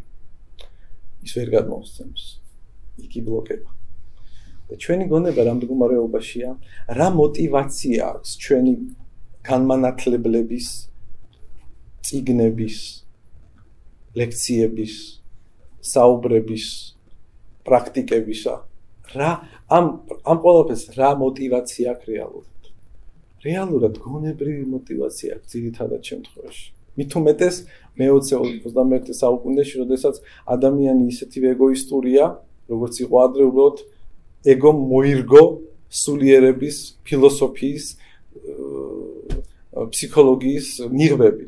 თორე ადამიანი ისეთივე იყო, როგორც სოციალურ მდგომარეობაში, და როდესაც თუ რაღაც მიღმიერით ინტერესდება და გადადის, ასე ვთქვათ, პოსტსოციალურ მდგომარეობაში, ეს არაფერს არ ნიშნავს. ადამიანი ისე ისეთი ვერ რჩება, როგორც სოციალურ მდგომარეობაში, უბრალოდ ეცვლება ინტერესები. ინტერესთა არეალი. სხვა რამე აინტერესებს, მაგრამ შენ იგივეა. ეს ნორმალურია, ეს ჩვეულებრივი საფეხურია ჩვენი განვითარებისა და გულისხმობს, რომ ინფორმაციის შევაგროვოთ. რაღაც საინტერესო, სულიერი, თეოლოგიური, ეზოთერიული, მიღმიერი, რაღაც რაღაც მეტაფიზიკური ინფორმაციებს ვაგროვებთ, რაც რეალურად 99% თეორიად რჩება და მხოლოდ არის ენის ფხანა და ინტელექტუალური შეჯელობების შეჯელობები ძალიან ესეთი სერიოზულ პოზაში. მეტი არაფერი არ არის. ადამიანივე ისეთივეა, როგორც იყო 100, 1000, 2000, 3000, 5000-იც. ხო, შეიძლება 5000 და ცოტა მეტი. იგივეა, ჯერჯერობით. ანუ ეს ციკლი არ იცვლება ესე მალე. ადამიანი ჯერ არ არის გამთლიანებული, არ არის მასში გეშტალტი შემდგარი და ეს კი ვცდილობთ, მაგრამ იქნებ კი ვცდილობთ სხვადასხვა ინსტრუმენტებით. მაგრამ იქნებ თავარს არ ვაკეთებთ. ჯერ იქნებ გავიგოთ რა ვართ. საიდან ვართ? როგორები ვართ საწყისში? და იქნებ ეს ყველაფერი დაალაგდება, თუმცა ვაღიარებ, ჩვენი გონება ისე გადატვირთულია და ისე მიჩვეულია ამ ქაოს და ამ ლაბირინთს, რომელზეც ჩვენ ვერ ხვდებით რა არის ეს. თანამედროვე ადამიანისთვის ეს ზართულია საწყისში ადვილად შეაღწიო. და გააცნობიერო, რომ დააკვირდ. ეს ეს რთულია, მაგრამ ამაზე მნიშვნელოვანი და საინტერესო მე ვფიქრობ და საჭირო ჩვენი სრულ ყოფისთვის და უბრალოდ ჯანმრთელად გზნობისთვის რა დაგჩენია იდეაში.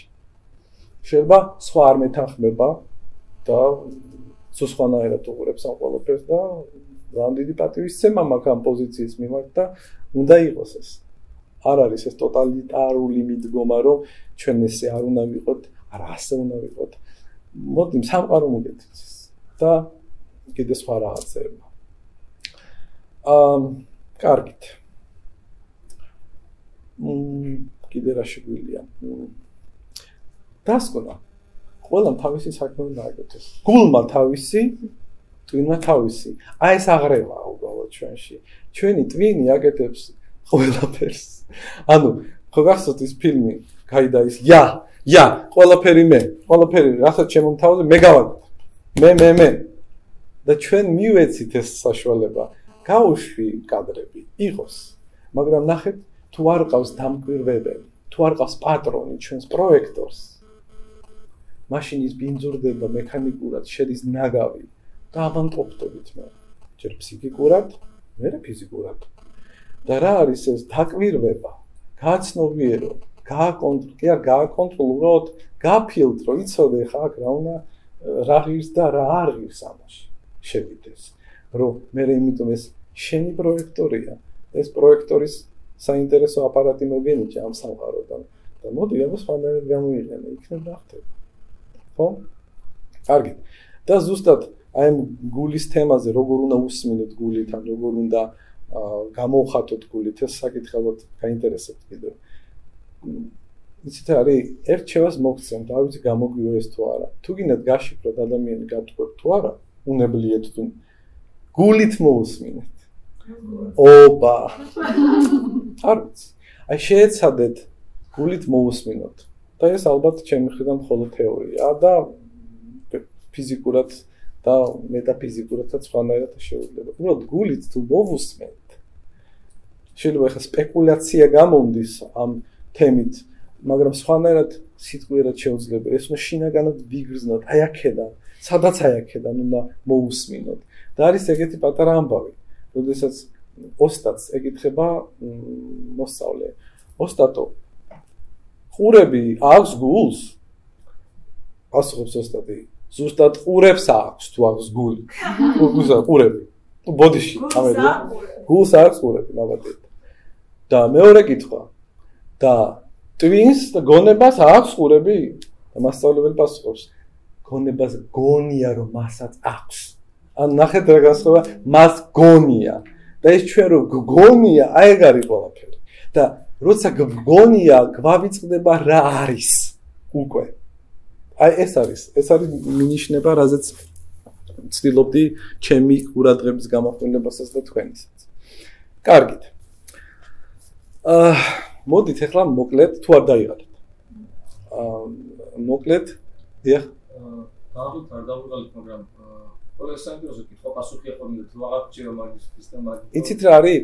კი ბატონო, აი ცოტა მინდა მაინც გავიარო მე მინდა სრულფასოვნად შედარებით გამოხატა თუ არ გეჩქარებათ თუ არ დაიღალეთ ოდნა გავაგზავნოთ და სიტყვა რეჟიმში გაц კი ბატონო კი მე ხშირად არზი ვარ საჯაროდ არ მიზიდა ხალხი რომ დღეს დაგიტმოთ ბატონო? არა დღეს არ გაგიქცევი დღეს არა. სხვა დროს ვერ შეკვირდებით სხვა თემა კარგი. მოდი ახლა გამიხილოთ ძალიან პრინციპული საკითხი არ მინდა ეს გამოვტო პრაფანაციულად გამოყენებული მედიტაციის ტერმინი არსი თუ როგორ ვიყენებთ 21 საუკუნეში ამ ცნებას ამ თვითონ ამ შინაარს როგორ ვუცვლით და როგორ ვამახინჯებთ ყველაფერს. ნახეთ ეს ინტერესა. გამიხელოთ აი წარმოვიდგინეთ 6 საათი თქვენ ლოტოსის პოზაში იჯდეთ გაქოვებული ბოსტნეულივით და თანაც სუნთქვაც რო გააჩეროთ ხო? მაგრამ ეს უპირობო სიყვარულის შეგრძნების გარეშე აკეთოთ ეს არ იქნება მედიტაცია. მაგრამ ჩვენ ესეთ გონებას რომელსაც ეს ყველაფერი ძალიან მოსწონს იზიდავს და კარგად იგებს მას ეგონება რომ ეს იყო მედიტაცია და ამაზე მეტიც. მას ეგონება რომ ეს იყო საოცარი დონეზე ასვლა ჩვენი ცნობიერების. და ნახეთ რა ხდება შემდეგ ადამიანს ეს უხარია. ამაყობს სადღაც შეიძლება არ იმჩნევს რაღაცა შფოთავს მოსწონს ღელავს ცდილობს რაღაცაში გამოხატოს სტატია დაწეროს წიგნი დაწეროს Facebook-ზე გამოაქვეყნოს მეგობარს მოუყვეს აი მე ესე განიცადე ან შეიძლება ძალიან აღელვებულმა მოუყვეს. ან ძალიან ესე მოთან ეს უკვე ფსიქოთერაპევტს გააჩნია. ნახეთ რა ხდება ამ დროს. ა რა ხდება ამ დროს? არაფერი. და ჩვენ დღესდღეობით და ყოველთვის იყო ასე უამრავი რელიგიური ასე ვთქვათ სპირიტუალური საკუთარ თავზე მუშაობის ის განკუთვნილი სისტემები. აა ყოველთვის ქონდა არის დღესაც კიდე სოკოებით მრავლდება და მე-20 საუკუნის საერთოდ ამის ეპოქაა.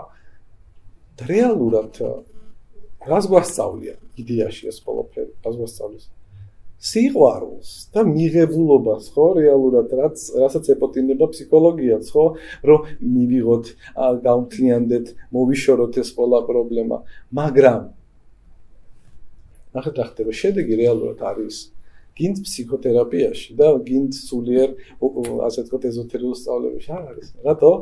იმიტომ რომ ადამიანი ყველაფერს უდგება ზედაპირულად.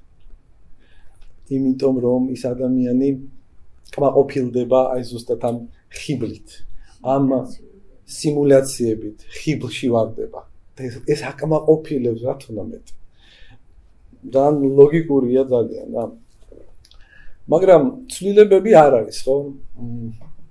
მარტო რა აკმაყოფილებთ კიდე მინდა ჩამოთვალო.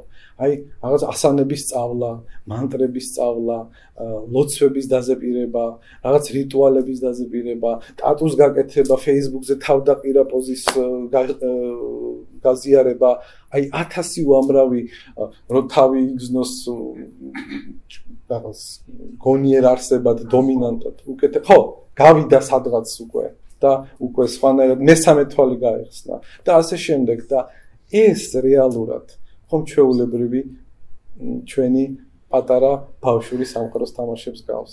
მხოლოდ ძამცირედად არის შედეგები იმ ადამიანების მდგომარეობაში როდესაც მათი ინტერესი არის აკეთოს რაღაცა საკუთარი თავისთვის და არასხოების დასანახად არასხოებისთვის ანუ რეალური საკუთარ თავში ჩაღრმავება და ზუსტად ეს ინტიმური ძალიან ჩვეულებრივი ჰიგიენური პროცედურის ჩატარება.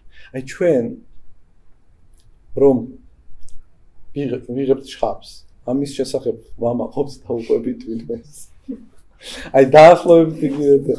ხო, ნუ ხო, ფაქტიურად ეს ყველაფერი რაც ახლა თქვი ეს გამოხატულება არის პოსტსოციალური ადამიანისთვის დამახასიათებელი. და თქვით ეს უკვე რა არის პოსტსოციალური ინფორმაციის უბრალოდ მოძიება, ახალი ინფორმაციები დაინტერესება, რაღაც იმის ილუზიის შექმნა, რომ შენ გადახვედი სხვა საფეხურზე ცნობიერების, უფრო გაიწმინდი, უფრო გასუფთავდი, უფრო ხედავ. არა დამდოს ისე კინოთეატრში ვარ. და გონიერო კინოთეატრიდანაც გავედი უკვე და ხედა უკვე სხვა კინოთეატრს გვერდიდან და ასე შემდეგ და ასე შემდეგ. მარკეტინგში, მოდი რაღაცა ვთქვათ. მარკეტინგში ხშირად გამოიყენება, როგორც მე ვაკვირდები, არა მარტო მარკეტინგში, ბიზნეს სტრუქტურებში, კოუჩინგში, ტერმინი მედიტაცია, რატომღაც რა და დავაკვირდი და ცუდად ეს სიტყვა გამოიყენება თითქოს და ინსტრუმენტის ერთ-ერთი ინსტრუმენტის აღნიშნელად, რომელიც საბოლოო ჯამში მოგცემს რას? წარმატებას. მოგცემს რომ ხალხს მოეწონო, მიგიღონ, დაგაფასონ, მიიზიდო, ბევრი ფული იშო. არ არის ეს ცუდი ეს, ხო მშვენიერია, მაგრამ რეალურად მედიტაცია ხო არ არის ეს? ხო შეიძლება, ანუ ეს არის ჩვეულებრივად კონცენტრაციის.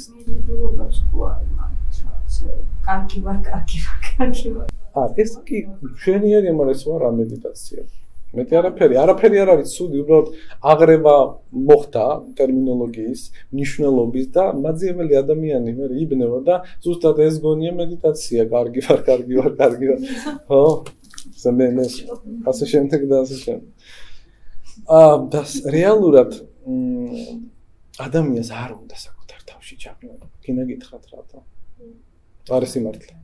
იმიტომ რომ ადამიანი თუ ჩაღრმავდება რეალურად ოდნავ მაინც აღმოაჩენს რა მაგარშარში. რა მაგარშარშია რამდენი რამე დაგროვდა თურმე აქ. თუხთუხებს, მაგრამ ის თუხთუხს რას თუხთუხებს კამკამაწყალს არა გეუნდებს, ფარამე სათუხთუხებს იქ, ხო? და კარგით, გაცდა ამას, უფრო ღმად ჩავიდა და იქ იცით რას აღმოაჩენს დიდი ალბათობით. აღმოაჩენს რომ ყველაფერი ერთია. რომ ყველა ადამიანი არის ერთი ენერგიის გამოხატულება.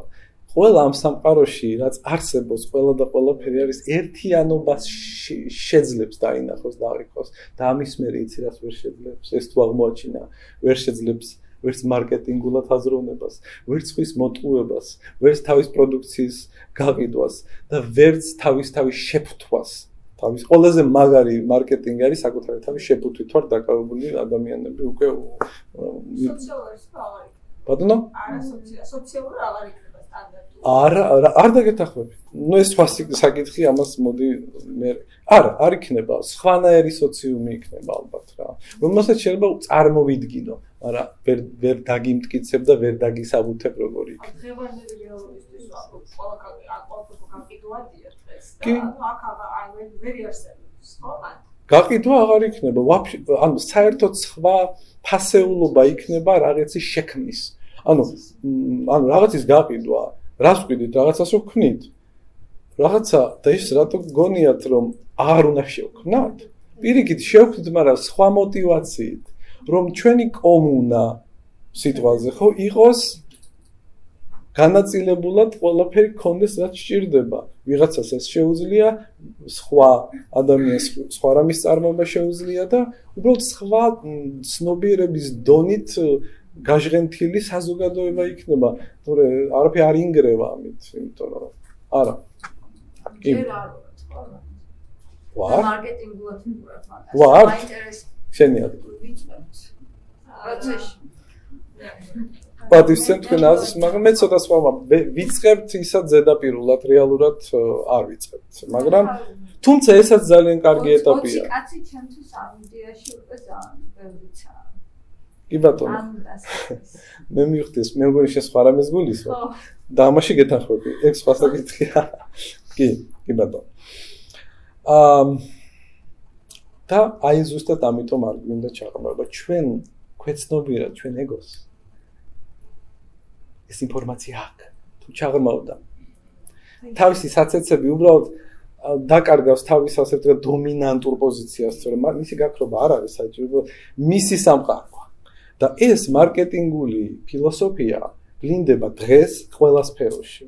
თითქოს და სადაც არ უნდა იყოს არა მარტო ბიზნესში, არამედ ფსიქოლოგიაში, ფილოსოფიაში, სულიერებაში, ეზოთერიკაში, ოკულტიზმში, მეცნიერებაში, მედიცინაში და ასე შემდეგ. ფაქტიურად მარკეტინგულმა ჩვენმა მექანიკურმა ხარისხმა და ასე ვთქვათ, დაიპრო ჩვენი როგორც მათემატიკამ დაიპრო თავიდან ჩვენი ასე ვთქვათ გონება მთლიანად დაუკითხავად ისე უკვე მათემატიკა გადავიდა სხვა ხარისხში აბსოლუტურ მარკეტინგში რაც ჩვენი ინდივიდუალურად ჩვენი საფასებელი თემაა ამის განსჯა არ იქნება ჩემი მხრიდან სწორედ და არც ჯი რეალურად სიმართლე რო გითხრათ კარგით აა ну ესაც გავიარეთ.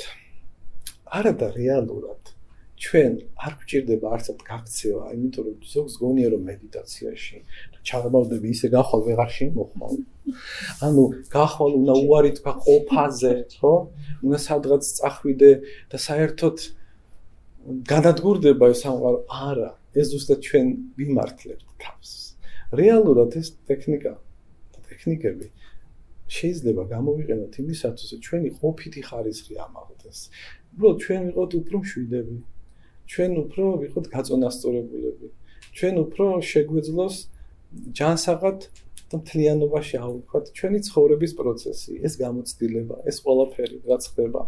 ბოღმისგან, შურისგან ამ უფრო შორს წავიდეთ და რაღაც თვით დამკვიდრების მოთხოვნილებისგან. ანუ ჩვენი ფსიქიკა გამოჯამრთელდეს. მხოლოდ მაგისტვის არის ეს შექმნილი არა და სამი გაიქცე ამ პირიქით შინი შევარდე.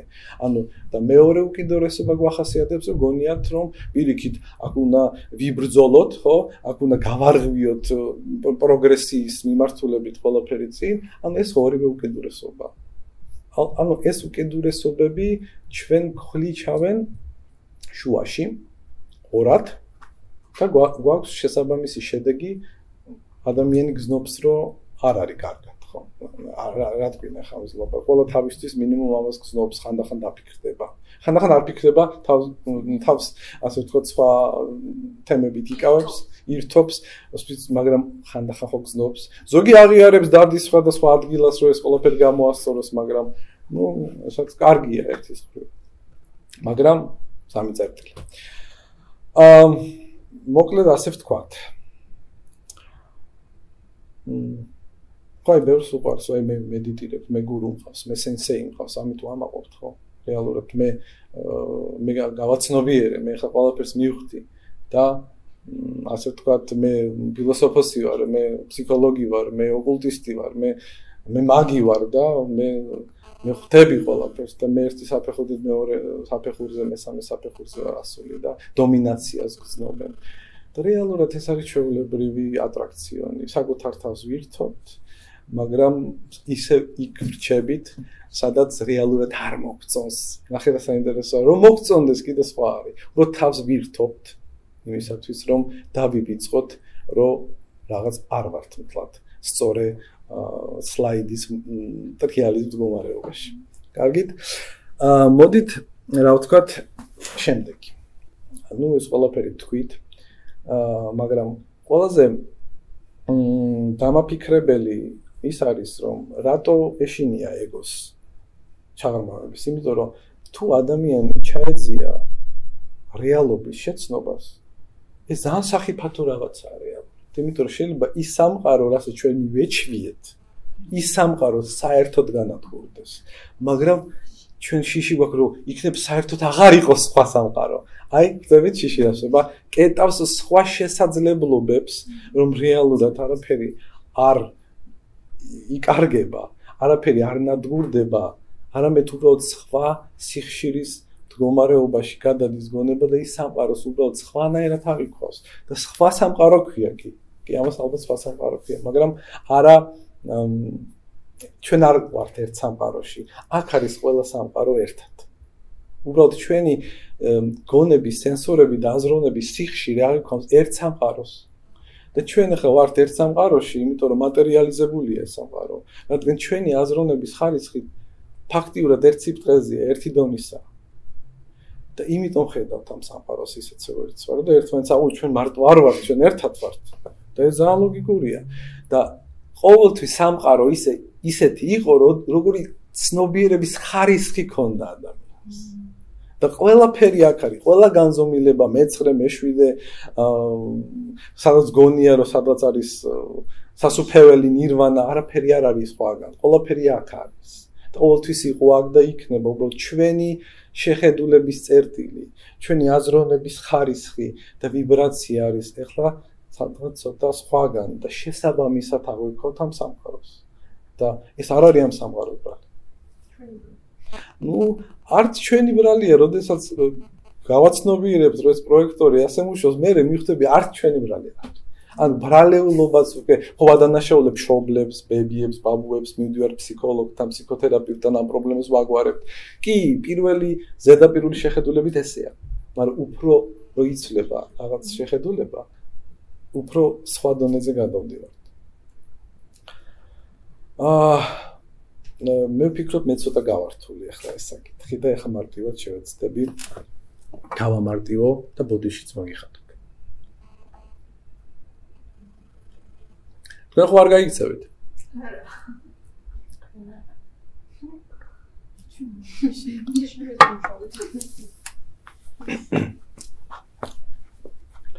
რეალურად გონებრივი დასკვნა მაქვს ეს ჩემი, მაგრამ მაინც უნდა გავაჟღერო. რეალურად ფიქრობდი ერთ პერიოდი და მივხვდი, რომ უფრო ადვილია იყო შემქმნელი. ვიდრე პასიური დამკვირვებელი. უფრო ადვილია რეალურად სამყარო შექმნა. თუნდაც მატერიალური. ვიდრე იყო ჩვეულებრივად შვიდი გაწონასწორებული, დაბალანსებული პასიური დამკვირვებელი ამ ყველაფერს. მე ეს მგონი. და ამიტომაც რეალურად ჩვენ ისტორიაში უფრო მეტი შემქმნელი, თუნდაც გენიალური შემქმნელი ყავს, მაგრამ ძალიან ცოტა ბედნიერი ადამიანი. არ არის ეს? გენიალური შემქმნელები, საოცარი ინდივიდები ახსოს ისტორიას, მაგრამ ბედნიერი ადამიანები ძალიან ცოტა. აი იმიტომ არის ადვილი იყო დაჟე ზე ადამიანი იყო ეგოს ზე აღმატებითი ხარისხი უძლიერესი ძლევამოსილი ასე და ასე შემდეგ. მაგრამ უფრო ძნელია იყო უბრალოდ აქ. და ეს ფაქტია. ეს ფაქტია. იცით უფრო ძნელია სიტყვაზე ერთმანეთის თვალებში დავინახოთ ღმერთი. ნახე საინტერესო. აი შევხედოთ ერთმანეთის თვალებში და ეს უფრო რთულია. ავაგოთ უბზარმაზარი კონსტრუქცია, რომელიც თელი თაობა იამაყებს. ეს უფრო ადვილი. ვიდრე ერთმანეთში დავინახოთ ერთიანობა, ერთი. და ის რასაც ჩვენ აქ ვეძახით საშინელებას ბრძოლას, ეს არის ჩვენი ინტერპრეტაცია ამ სამყაროს. და არა მოცემულობა და აბსოლუტი. როგორც უფები ამბობენ, აბსოლუტური სამყარო. გაცილებით მნიშვნელოვანია, ვიდრე ჩვენი გრძნობითი სამყარო, რასაც ჩვენ აღვიქვთ. რეალურად ჩვენ ისე არა ჯანსაღ მდგომარეობაში ვართ ფსიქიკა, რომ ნებისმიერ ჯანსაღ თუნდაც ძალიან უბრალო ჯანსაღ საქმიანობას ან ქმედებას ვანიჭებთ მისტიკურ, მიუწდომელ, ზე მაგიურ საოცარ დატვირთვას ვაძლევთ, ხო? დაგვიდგეთ. და რატო ვაკეთებთ ამას? ეს იმას ნიშნავს სუბთა ფსიქოლოგიური თვალსაზრისით თუ გონება ამას ასე ხედავს და პროეცირებს, ესე იგი ჩვენ დატუმბული ვართ ძალიან სიღრმისეულად, ჩვენი ფსიქიკა ძალიან არასწორი პროგრამების გაუცნობიერებელი პროგრამების კორიანტებით. და ეს უკვე ფაქტია. კარგით. მინდოდა შევხედოდი, აქ ჩანიშნული მქონდა, საერთოდ ადამიანი როდესაც ვარდება თავის წარმოსახვით ხიბლებში, ხო, ჩვენ ხო გვაქვს წარმოდგენა რა არის ეს. მაგალითად ამ შემთხვევაში ჩვენ გვაქვს გაგონილი ჩემგანაც რაღაცა გაიგეთ, სხვაგან რაღაცა წაიკითხეთ, რა არის მედიტაცია. ან რაღაცა რა არის სულიერი წდომა, სხვა სამყაროების და ასე შემდეგ. და როდესაც ამას ცდილობთ, ხდება წინ წარმოდგენები. და ეს წარმოდგენები ისე ხშირ შემთხვევაში ან ზოგ შემთხვევაში ხიბლავს რომ გონია რომ ეს არის საოცარი მიღმიერი გამოცდილება ჩვენი არსებისთვის და ჩვენი ცნობიერების ანუ მიღმიერი გამოცდილება და აქვე მინდა აღნიშნო რა თქმა უნდა ფსიქოდელიური ნივთიერებების მომხმარებლების გამოცდილება ძალიან საინტერესო დასაკვირვებელი საკითხია ეს ანუ ფსიქოდელიური ნივთიერებების ან პოსტმომხარებლები ან მომხარებლები ძალიან ხშირად არის ჩემი დაკვირვებით ეგეთი მომენტი. მათი ვიზიონერული ტრიპების და მოგზაურობის შემდეგ მათ უყალიბდებათ ხშირ შემთხვევაში იმის 100%-იანი განცდა რომ მათმა განიცადეს მიღმიერი სამყაროს აღქმის გამოცდილება.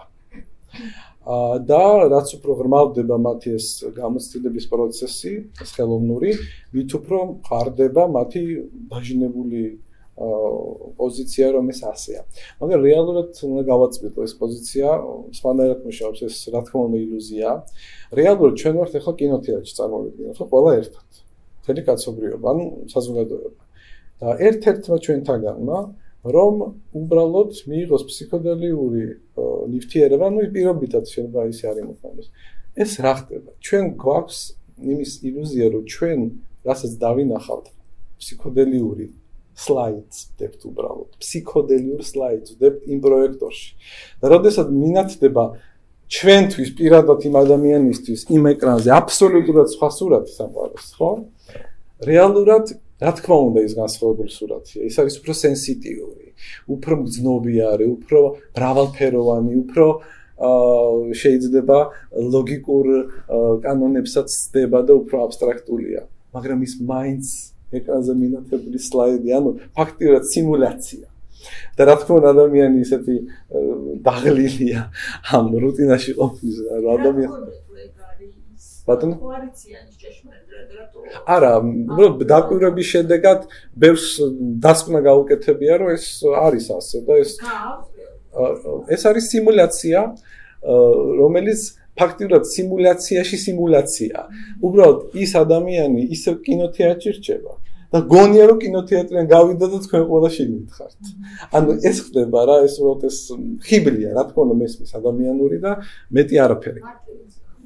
ხო, ეს ყველას ინდივიდუალური გზა აქვს და ზუსტად ერთი ამერიკელი პოეტი, რომელიც ზუსტად ძალიან ფსიქოდელიური მოძრაობის აქტიური წევრი იყო ამერიკის შეერთებულ შტატებში ხიპების ეპოქის დროს, მან უკვე სიბერეში ალბათ სხვა მოხუცებულობაში რომ მე უამრავი ნარკოტიკი გამისინჯოს, ყველანაირი ნარკოტიკი გამისინჯოს, მაგრამ სიღრმისეული მედიტაციის შეგრძნება ვერაფერს ვერ შეედრება, რადგან ის რეალურია. ანუ უკვე განასხვავა მიხვდა.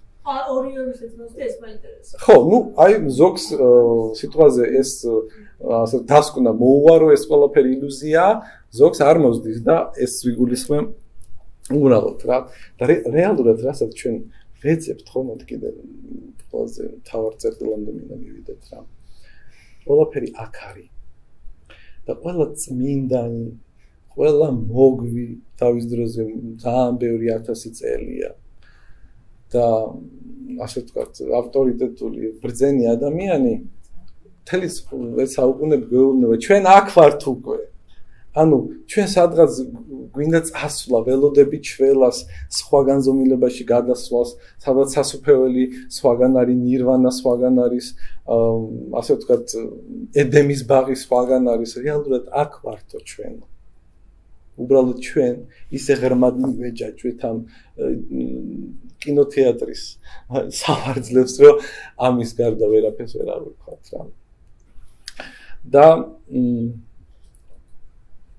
რა ვთქვა მეტი? საოცარი გამონათქვამია ვისაც სმენია სამსარა იგივე ნირვანა. ეს ბუდისტური გამონათქვამია ახსნი მარტივად რას ნიშნავს?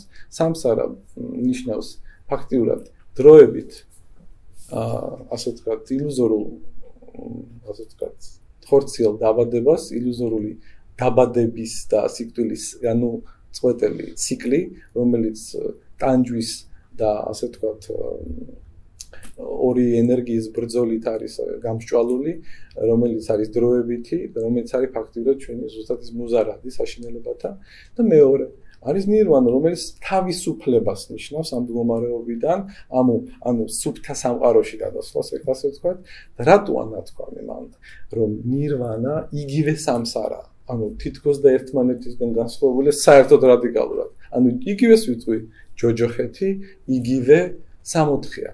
რატო? რეალურად იქნებ ეს სამსარა და ეს ჯოჯოხეთის აღქმა ჩვენ ეს არის კამუფლაჟი იქნებ და იქნებ ჩვენი ეს გონება ეს ცენტრირებული აზროვნება ეს დანაწევრებული ჩვენი მდგომარეობა აზროვნების ხელს გვიშლის რეალურად დავინახოთ. ის ედემის სასופველი აქ. საკუთარ თავში. მე ვფიქრობ არაფერს არ ვფიქრობ. ძალიან ბევრი ამ ამ სიტყვას ჩვევა მაგ ვიცი. და ბრალტო აუცილებლად მოთქვა ერთი პატარა ზღაპარი მოუყვეს ზღაპარი რა.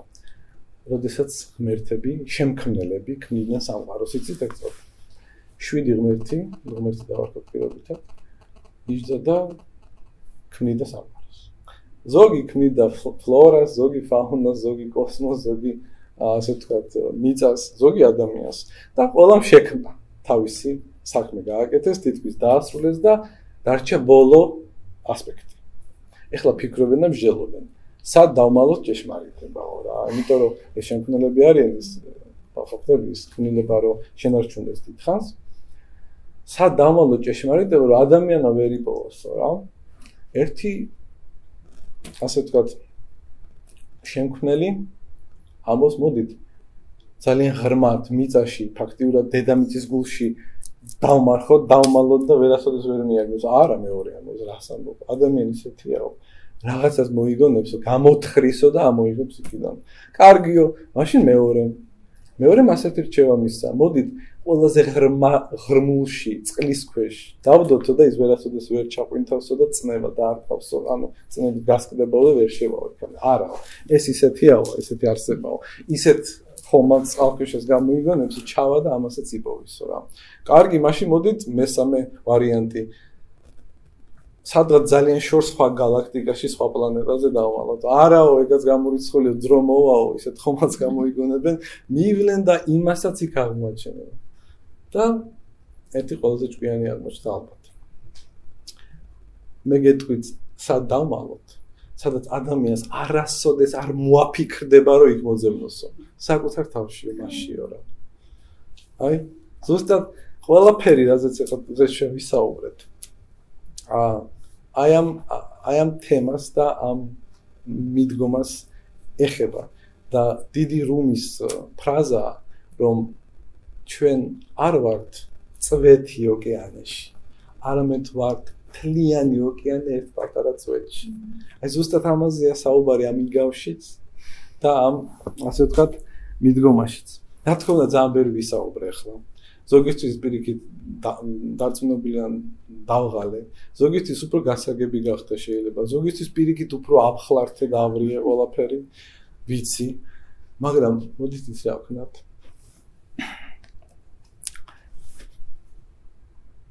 დავქნათ.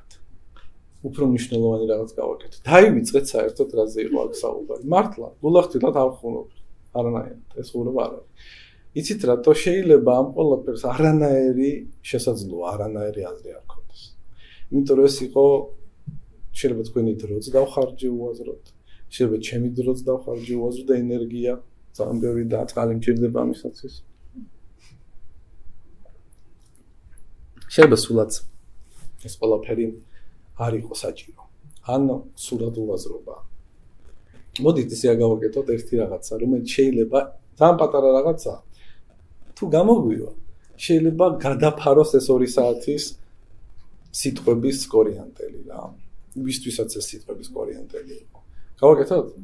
მოდით ისე რა ვქნა, თვალები დახვეჭოთ ყველა. არ მომზადება რა ასეთი.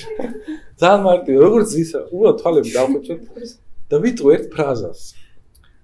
აინშტაინის ფრაზა, ჩემი საყვარელი, თუმცა არ აქვს მნიშვნელობა ვისი ფრაზაა, საერთოდ. დაივიწყეთ ეგ. და უბრალოდ და მე კომენტარსაც გავაკეთებ. ჩაუღრმავდეთ თელი ჩვენი არსებით და გულიც როგორ მოусვინოთ, ხო? აი ნახოთ რა გამოგვი.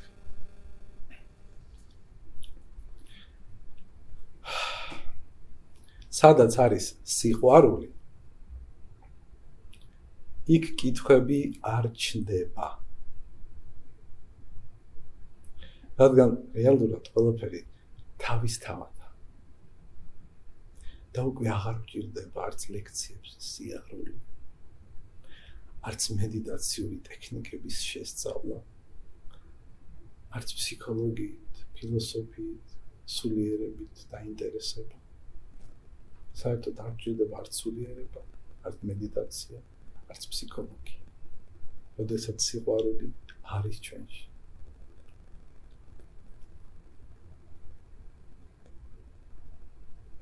მაგრამ ეხლა დარწმუნებული ვარ თქვენი ტვინიცით რა შვება. ო, ეხლა გეტყვით. ეხლა ეძებს ასოციაციებს. რა არის სიყვარული? როგორ უნდა მიგცნოთ სიყვარული? როგორია ბრაქსმენია სიყვარულზე ანუ როგორ უნდა იყოს ანუ რა გაგვიგია აგდებს ახლა ვარიანტებს ძალიან მაიმუნია ეს გონება ხო გაახილეთ გაახილეთ არა მომწონს რომ ერეხარ მაგრამ გონება მაინც ნახე აი ხო გვიშლის მაინც აი ზუსტად ამაზე საუბარი რაც ორი ორი საათი ვისაუბრეთ აი ამ ხელი შეშლაზე და მინდოდა და თუმცა ერთი წამით გეგზნოთ დაბრკოლებაზე რაც უნდა რეალურად შეგვეძლოს შეგზნება და არ შეგვიძლია იმის მიუხედავად რომ თითქოს ვინდომებთ. ესე იგი ესეთია ჩვენი მდგომარეობა. მოდი დავასრულოთ და ერთი წინადადები დავასრულებთ და მოვჭით. სიყვარულის შეცნობა შეუძლებელია.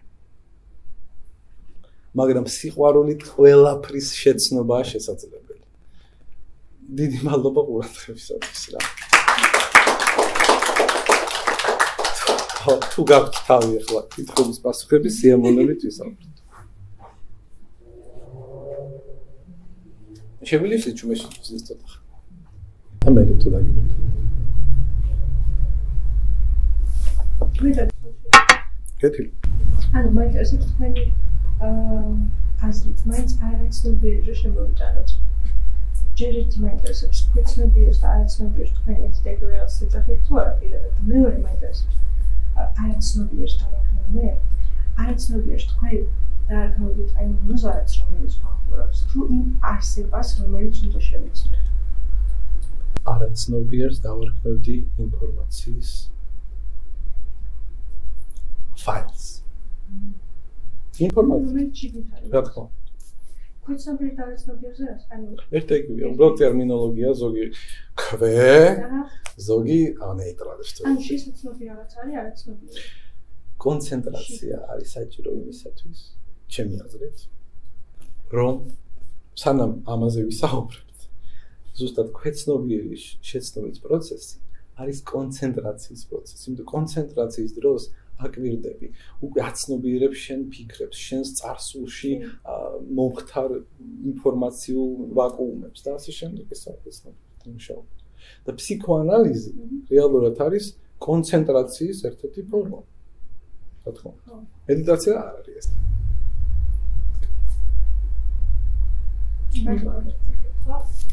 უფრო პრაქტიკული კითხვა მედიტაციას მეჩე. ხო აქ ცოტა კი ბატონო ანუ რამე ინსტრუმენტი სტუდიით მედიტაციისთვის, აი მაგათაც არსებობს სუნთქვითი ტექნიკები. კი ბატონო. სუდაშაკრია, რომელიც უნდა პირადად გამიკეთებია და რაღაც შეგრძნებებს იწვევს და ეს ეგზოტიკურად ჟღერს სახელწოდება ეგზოტიკურად ჟღერს ზიად აა შეიძლება ამით რაღაც მედიტაცია პროგრამაში. აა ნახეთ სუნთქვითი ტექნიკა თქვი ძალიან მარტივია ჩვენ ხო ვახსენეთ ზენ ბუდიზმი. ზენ ბუდიზმის მედიტაციის პრაქტიკა ძალიან ყველაზე მინიმალისტურია. ძალიან ფინად კულტურა ზენ ბუდისტთან დაკავშირ მინიმალისტურია.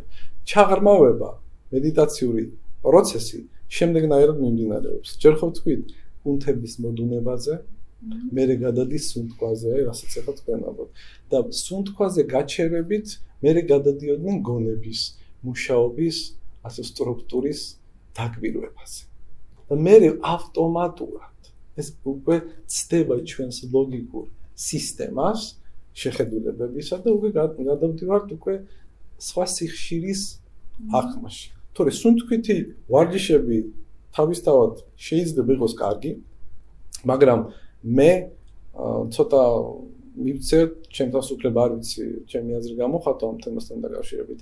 სუნთქვითი ვარჯიშები ერთის მხრივ ძალიან კარგია, მაგრამ მხრივ შეიძლება იყოს ძალიან სახიფათო.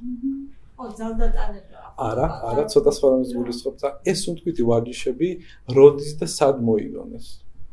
რომელ ეპოქაში? ძალიან დიდი ხნის წინ. ესე იგი, სადღაც ი- ა, იოგა არის დაახლოებით 1 8000 თუ 6000 წლის წინდელი, როგორც ვიცი, შეიძლება მეტი. იმ ეპოქაში სადაც ეს მოიგონეს, რა გარემო იყო? როგორი ჟანგბადი იყო? როგორი ენერგეტიკა იყო? როგორი ფლორა და ფაუნა იყო? ანუ რას ვისურვებთ, ნახეთ? ხო, ვისუნთქავთ. ჩვენ თუ ცხოვრობთ აგლომერაციაში და მეგაპოლისში და საშინელ დაბინძურებულ გარემოში, სუნთქვითი ვარჯიშები გაკეთება ცოტა რთულია და შეიძლება პირიქით გამოგვიძების მაგივრად დავფინძურდით, იმიტომ რომ მთელი ეს ნაგავი შევისრუტოთ. რაც ატმოსფეროში არის არა მარტო ქიმიკატები, არამედ ის ენერგია, ის სიძულვილი, ის ნეგატივი, რაც ჩვენ საზოგადოებაში ტრიალებს. თუ სადღაც უშბაზე დაждდებით, ან სადღაც ისეთ ან ჯგუფურად კეთდება ეს და კი, კი, ჯგუფ და ბაკურეში და ძალიან დიდი განსხვავებაა და აი ეხლა მივხვდი რა. კი, აი, ხო. გასხვავებას თუ გძნობ კი ბატონო კი ბატონო ანუ შეიძლება აქ პირიქით უფრო მეტი მავნებელი რაღაც მიიღოთ ვიდრე სასარგებლო, როდესაც ქალაქში ანაკრო ვიჯდეთ ახლა ეს პრაქტიკა გავაკეთე. ჩემი აზრით. თუმცა, ყველა ნაკეთოს ისაც მოსწონს. მარტივი ყველაზე მარტივი მედიტაცია რა არის თქვენ თქვენ მაგალითად პირადად რასაც იყენებთ საიდუმლო არა დაგიჭიროთ ახლა სიტყვაზე. მისმენდით მე კარგად. მედიტაცია რო არ არსებობს სხვადასხვანაირი, როგორ შეიძლება მარტივი და რთული. მედიტაციის ნაირსახეობა ინტერპრეტაცია რო არ არსებობს, ხო თქვი. ნახეთ? ხო არ არის არ არსებობს ტექნიკა მედიტაციის და კონცენტრაციის ტექნიკა რომელმაც უნდა მიგიყვანოს მედიტაციის მდგომარეობამდე არის უამრავი და მე ვერ გირჩევთ იმიტომ რომ შეიძლება თქვენთვის რთული მე რაც მიმოწია რთული ის თქვენ ძალიან მარტივად გამოგივიდეთ და მე რაც მიმოწია ადვილი ჩვენ თქვენ გაგირთულოთ ცხოვრება და თავშევი გავაკეთე აუ პოს ამ რა თქმა უნდა ცადეთ ეს ცხოვრება ძალიან საინტერესოა ერთი კითხვა. აი სუნთქვით სუნთქვითი ტექნიკით რო გეთებენ ანუ ახსნა მეტეცეს. ანუ ეს სახიფათო შეიძლება იყოს შემთხვევაში. ა, უბრალოდ როგორც თქვა აი რა ჯანსაღარემოში გათიშვა გონების რაღაცა არა, იცით რა არის? არის ჰოლოტროპული სუნთქები თუ რა გიგიათ, არის ტექნიკები, რომლებიც პირიქით, ანუ ჩვენი ტვინი, ხო? არის ძალიან მოკლებული ო, ჟ- ჟანგბადის ო, რაოდენობას. პირიქით მოკლებულია. და როდესაც ხშირი, ასე ვთქვათ, მეტ ჟანგბადს ვაწოდებთ სხვადასხვა ვარჯიშ ეს უნდა გამოიწვიოს. პირიქით და შეიძლება ამოატვირთიოს ბევრი ქვეცნობიერი პრობლემა, ბევრი რაღაც საკითხი, რომელზეც ჩვენ ისე ვერ ვამახვილებთ ყურადღებას და თუ სწორი გარემოში და სწორი ადამიანებში ან მეგირჩევდით მარტო, ყველაზე კარგი არის მარტოობა, იმიტომ რომ მარტოობაში არის საკუთარი თავის ანუ აქ ვინმეს ხედავთ სხვებს ამ საკუთარ თავშია ეს და სხვისი სოლიდარობა ნაკლებად დაგეხმარება თქვენ საკუთარ თავში ჩაღრმავებაში. აი აბსურდი. ეს არის უბრალოდ სხვა რამისთვის არის ეს ტექნიკები, რომლებიც კულტური და ასე შემდეგ. ეს ვერთობით სასიამოვნოთ, ა, მაგრამ საკუთარ თავში ჩაღრმავება აბსოლუტურად სხვა რამაც. თან გაცლებით მარტივი დებოდი. თქვენ გქონდათ ამ კითხვა? ო თუ შე- შეიძლება იცი რა აღარ გაქვს ანუ გაქვს მაგრამ ისე დიდი სურვილი აღარ გაქვს რომ დამისწო. Mm-hmm. არის ეგეთ რა. ინტერესი აღარ მაქვს რომ მაგაზანს დავსვო. გადამიტყვი პასუხი მივიღე. იგივეა, პასუხი ვერ მიიღო შენმა ლოგიკურმა გონებამ, მაგრამ ხო, მაგრამ იქნება გარის, გაბა იქნება მოგენს. შეიძლება პასუხი ბიციკლისტ, მაგრამ მაინც ისე ხო, შენ შეიძლება მოხვედი კითხების დასასმელად, არიან ანუ ესეც შეიძლება. ხო შეიძლება, ანუ ესეთი мотиваცია ქონდა რომ მოდიოდი. უფრო მეტად კი. სა. ანუ ნახე, განაუფრო მოსასმენად, არამედ კითხვებზე პასუხი უნდა მიიღო. და შეიძლება ისე გამოვიდა, რომ შენ მოусმინე და რაღაც პონჩი ისინი აღარ გაინტერესეს ისე და შეიძლება. შეიძლება ვწდები. მოკლედ. დაავადების უნდაუროს რაც ადამიანისა. როგორც ვიცი, არის 90% ფსიქოლოგიური და ფსიქოსომატიკური. გამიგია ეგეთ რა. კი, გონებიდან ხა. რომელიც გამოტლებას პოებს ფიზიკურ ჯანმრთელობაში ასე ვთქვათ. დიახ. რამდენად შეიძლება მედიტაცია გამოგიყენოთ იმისთვის, რომ იმართოთ ჩვენი დაკვირვება თქვა ამ კონკრეტული დაავადებისკენ და ასე ვთქვათ შევძლოთ მედიტაციით თვითგამკურნება. შეგვიძლია. შეგვიძლია გამო. კი. არა მაგ ხოლმე თუ ვინმე ინსტრუქტორი. აი ინსტრუქტორებთან ცოტა როგორ შეიძლება შენი ინდივიდუალური მ, ასე ვთქვათ რუქის და ისტორიის მდგომარეობაში ინსტრუქტორმა ჩაგაყუდოს თავით შენს საწყისში. მას შეუულია ლაბირინთში ცოტა რაღაც რჩევები მოგწეს დაგეხმაროს, მაგრამ ინსტრუქტაჟი მედიტაციაში არ არის, თუმცა შესაძლებელია რა თქმა უნდა კონცენტრაციაში დაგეხმაროს, რომ მე უფრო საბოლოო შეცდო. კიდე თავსოფიტას. აა როდესაც მივიდოდ თქვა ფსიქოლოგთან. კი. აა და ვიკეთებს ჰიპნოზს. შეუძლია თორე იმ მდგომარეობამდე მიგვიყვანოს, რა მდგომარეობაში თქვა მე მედიტაციის დროს მივიყვანდი ჩემ თავს, ანუ ფსიქოლოგის დახმარებით. ნუ ვის ჰიპნოზი. არა, ანუ განსხვავებული განსხვავ ანუ განსხვავებული მდგომარეობებია უბრალოდ. სხვადასხვა რამეა ეს. შეუძლია მან ს- სხვა რამ, ანუ ჩაღრმავება შენი ამის სიხშირეებში, მაგრამ შენი ასე ვთქვათ, ცნობიერება გააღვიძოს, რომ ეს სუ- სუ- სუ- სხვა რაღაცა რა თქმა უნდა. ანუ სხვას არავის არ შეუძლია ეს, აი ამაზე იყო აქცენტი. ეს ძალიან ინტიმური ჰიგიენის პროცედურა, რომელიც ანუ სხვა ვერ გააკეთებს ისე როგორც შენ შეგვიძლია. ამან კიდევ შეგიძლია. ესეც რა მინდა თქვენ თქვენი აზრით. პირველად როცა ადამიანის აი ეს ბუნებრივი მდგომარეობა, მთლიანობა იკარგება. ანუ ეს საკუთარ თავს აპურებთ, მოკლედ რა, არაცნობიერში გადავწყვეტებაში, როცა მткиვა რაღაც. ხო. ხო და ესე იგი პირველად, აი პირველი რა იყო, როცა დაიკარგა ადამიანის მდგომარეობა, პირველი ფიქრი იყო, რაღაც ისეთი მიფიქრე ჩემ თავზე, რომ მე განვიცადე ძალიან ცუდი რაღაც და გავედი მე, თუ პირველი განცდა იყო და იმან მოიტანა მე, ანუ შეიძლება კიდევ ერთხელ დამისვათ, იმიტომ რომ ჩემი ლოგიკა ეხლა ვერ აზროვნებს კარგად. თქვენ აშკარად ლოგიკურ კითხავს მისვენ და კიდევ ერთხელ ან ფიქრი არის პირველადი, რომელიც მე მაკარგულებს ცნობიერ მდგომარეობას, თუ კა ემოცია, აი ეს იქნება უფრო ალბათ ჩამოყალიბებული. და რითი განსხვავდება ერთმანეთს? აი, ესეთ ემოცია, ალბათ უფრო აი არა კავშირშია. ერთია. სიტყვამ შეიძლება ამოატივტიოს შექმნას ემოცია, ემოციამ შეგიძლია ფიქრის სახით სიტყვა მოგივიდეს. ერთი და ძალიან ნუ ყოფერთ. ანუ რას ვაკეთებთ ხოლმე? ჩვენ ყველაფერს მანაწევრებთ, რა. ეს შენ ხარ რასაც მიხსნიდი. აშკარად დიფერენცირებული ეს აქეთ ასაკეთ უკვე პრობლემა ეს ვერ მოგვარდება ის რაც ახლა შენ გაწუხებს. აი დაჟე მიდგომის სირთულესაც თავს თუ დაანებებ აი მარტივად ნუ ფიქრობ ამ ფიქრით და კონცენტრაცია გააკეთე აბსოლუტურად სხვა რაღაცას ზართულია ვიცი თეორიულად ცნობიერად გამარჯვება კი უნდა ცნობიერად კი არა მე სხვა რამეს გვე ანუ შენ თუ გზნობ რომ შენ აგზიხარ და ეხლა დილით кайღვიძე, რაღაცა გააკეთე, იცი რა ხტკივა აქ და რა გახარებს. იგი ეს არ ნიშნავს ცნობიერებას უბრალოდ ფსიქოლოგიაში ვეძახით არაცნობიერს და ცნობიერს. მე ვარ ცნობიერებაზე რომლებიც არის დამკვირვებელი. ანუ ის თვალი ის მოდი როგორ ვთქვათ ხო? რომელიც ხედავს ან თავისუფალია ტკივილისგან. თავისუფალი მეხსიერებისგან ანუ მაგამდე არ უნდა მიხვიდე პროსტა შეიძლება გააქტიუროს ეგრე გამო. იცი რა არის შესაძლებელია უბრალოდაც გააქტიურო. ამის შეიძლება გაგიმართლოს. და ყოველთვის დაუშვით თავში რომ შეიძლება მოხდეს ძალიან უცრად ეს ძალიან კანიშნავია. თუ შევიფიქრე, აუ ეხა ამდენი უნდა ვიმუშაო, ვიშოვდო და შეიძლება ის შანსი დაიკარგოს. მაგრამ კონცენტრაციაზე მუშაობა ძალიან ვარ გინდოდეს მაინც საჭიროა. კონცენტრაციის გარეშე ზუსტად ჩვენ აი ხიბლში და ვიტალურ სამყაროში დავფრინავთ. ხო, ეცეთ აი უცბად რომ მოსულა, ის მე იკარგება ხოლმე და რაღაც მომენტში რომ გამოდის, ამ ფიქრებს უყურებს იმიტომ და ხვდები რომ აბსოლუტური მაგრამ მე ისე ვიწყებ იმ ფიქრის ვექტორს ასწო, ანუ ვარდები უფსკრულია დიდი ამ ორ ადამიანს შორის რეალურად და ამიტომ გადავწყვიტე რომ და გავიარო გზა მოკლედ. კივილი. და როგორ არის მე გასული გზა? როგორ? მოკლედ როგორ უნდა გაიარო ეს? მოკლედ ვერა და მაგაშია კივილი.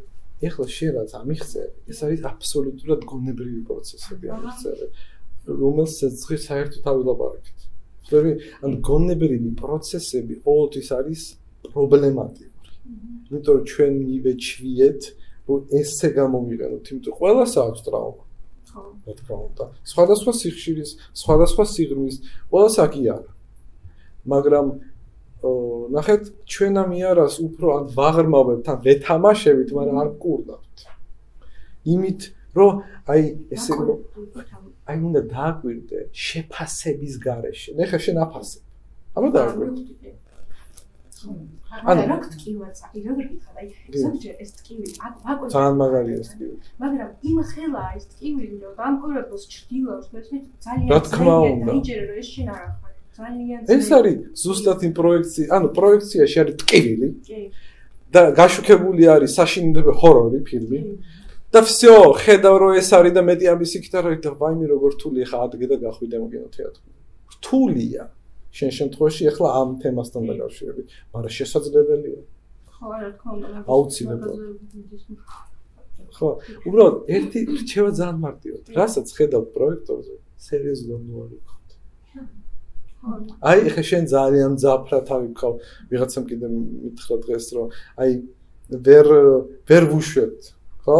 რაღაცა ღვთკივა სერიოზულად ავიქავ წინს რაღაცა ტკივილს ვატარებთ. აი ამ ყველაფერს ასე ჩვენ გრძნობთ თითქოს და ამას ხედავთ სამყაროში ჩვენ შეგნებაში.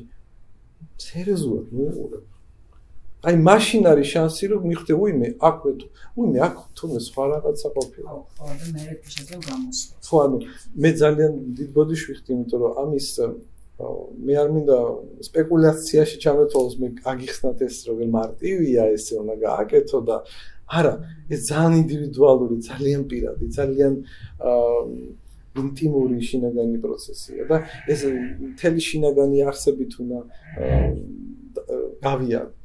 უბრალოდ აქცენტები შეიძლება ერთმანეთს ურჩიოთ. აი არ შეხედო სერიოზულად, რასაც ხედავდი მანამდე და ლუახიკო ეს რთულად.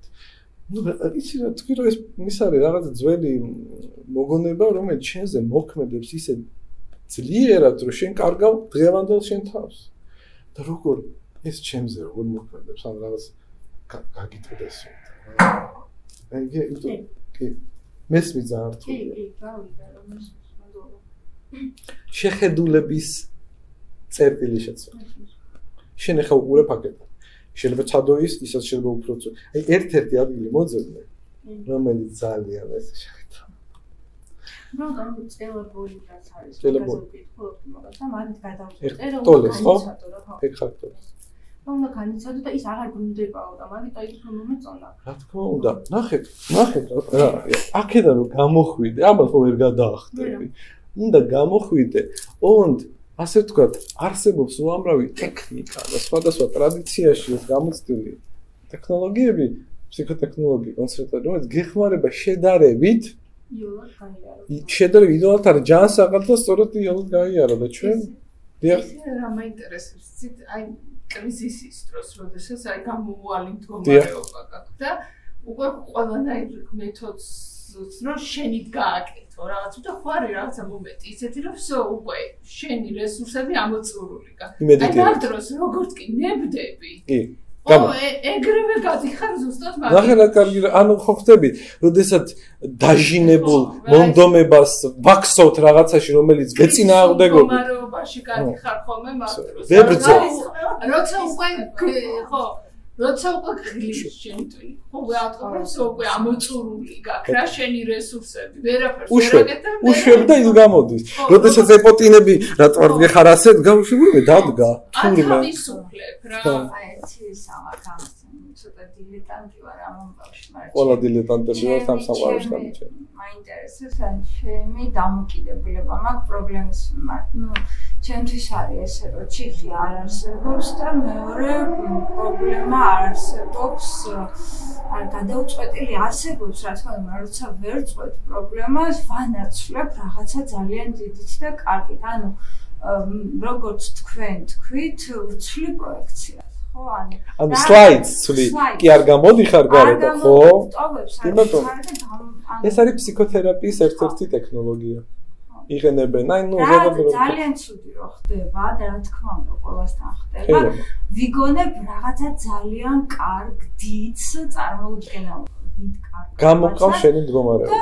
და ეს აი ამაზე ვერ თორემ საფრთხე თავი გამოყავს მაგრამ ის ცუდი ხო რჩება რა თქმა უნდა. რა თქმა უნდა, ანუ ზედაპირულად ქავერს უკეთებთ რა, ფასადს უცვლით. ანუ, ანუ იგივე მომენტია სიტყვაზე ღმერთთან დაგიყვანოს რაღაც ავანტყოფობა გჭირს ისეთი და აყუჩებ იმ ტკივილს რა, რაღაცა აბით. მაგრამ იმ პრობლემას ვერ აგვარებ, მაგრამ იმ მომენტში ხო უკეთებსნობ თავს. ხო მე ვერ გამიწყდება. ის მე ამოტივტიბა სხვა დროს. მაგრამ ღმერთმა არ ხდას, ისე წავიდეს ეს ინკარნაცია რა არ ამოტივტიბა, მაგრამ ხო და აი, ფსიქიკა ხო მართავს მაინც ხო ეს ფსიქიკა ანუ დაფიქრეთ. აი რას ვამბობ ეხლა ანუ რაღაცა რაც ილექება აი მართავს. გავიქეცი წავი და წავი და არის ნობს ის ხო არ ხარ მაინც მოდის და აი რომ მაშინ კითხვა ანუ როგორ აი თქვა რას გქით რომ რაღაცა გადი რა პრობლემიდან. ის თუ არ და გახ გახვედი, მაგრამ გაჭე როგორ გახვა. ხო შეიძლება ხანჯლებით გახვიდე, აი უნდა გაიარო რაღაც ბარიერი, ხო? და ხო. მომზადებული ხარ შენ ეხა მე უნდა ვიბრძოლო. და შეგილია? ეს შეხედ სხვანაირ თუ ხურას ადვილად გადააბიჯო. დაამთავრო ალბათ კი, ოღონდ გადახვიდე აუცილებლად უნდა, თორე ის ეს ყველას ახასიათებს ჩვენ რომ მარტივად დაფუჭო თვალი, რაღაცა გადავაფაროთ, ფენებად ერთმანეთს დავადოთ, მაგრამ ის ხო იგი ნახება ბომბი. და ნორმალურია. ხო გირჩევ და სამოთხე და გაიარო. ხო, ოღონდ ნახე ნებისმიერი უკიდურესობა, ვულგარულობა და ილუზიას ქმნის. ეხლა შენი სერიოზული მომართება მე ხომ გავიარო, ეს უკვე ილუზიას ქმნის და შენ ვერ გაიარო. ლაითად შეხედე, ანუ ამ სამყაროს შეხედეთ გაცილებით მარტივად. და ცოტა ცოტა იუმორიც გზნობათ, იმიტომ ნათქვამია რომ თუ მორალს ანუ ზნეობრივ რაღაც პრინციპებს არ შეურიე იუმორი ის ტირანიაში გადადის. საკუთარ თავთან და ნუ ან ტოტალიტარულად სხვას მართავ რა. ეგრე არის ხო ყველა ტოტალიტარული რეჟიმი ესე არ შეიქმნა. არა რეალური რაღაც ზნეობრივ რაღაც პრინციპებზე და მიზნებზე იყო დამყარი მაგრამ იუმორი არის ხო ძალიან სერიოზულად აღიქოთნა ყველაფერს. თავს ტირანია მე ადამიანს მე უკვე საკუთარი სამყაროს შეხედულებით მართავ და არგებ იმიტომ რომ შენ ესე გინდა ტირანია. იგივე საკუთარ თავთან, საკუთარ თავის ტირანი შეგლია იყო. როდესაც შენ აი არ უყურებ ამას ძალიან სერიოზულად აიქო პრობლემას, ის სერიოზულად უფრო შეგჭამს. ანუ შენ ფაქტიურად იმ პრობლემას ამართინებს საკუთარ თავს. თუ პრობლემას ვერ გააქრობ, პრობლემა გაიარა. სხვანაირი შეხედულებით, ანუ როგორც კვანტურ ფიზიკაში, როგორც შეხედა, ისეთია სამყარო. როგორც შეხედავ შენ პრობლემას, ისეთ ისეთ. მაგრამ აი რაღაც კიდე თქვა. ანუ როდესაც ადამიანს უჩვევა მედიტაციის სულ მედიტაციის სულ რაღაცის ჩაღრმავების გააზრების თქვა და კი ბატონო. ანუ ესე იგი რაღაც პრობლემა აქვს.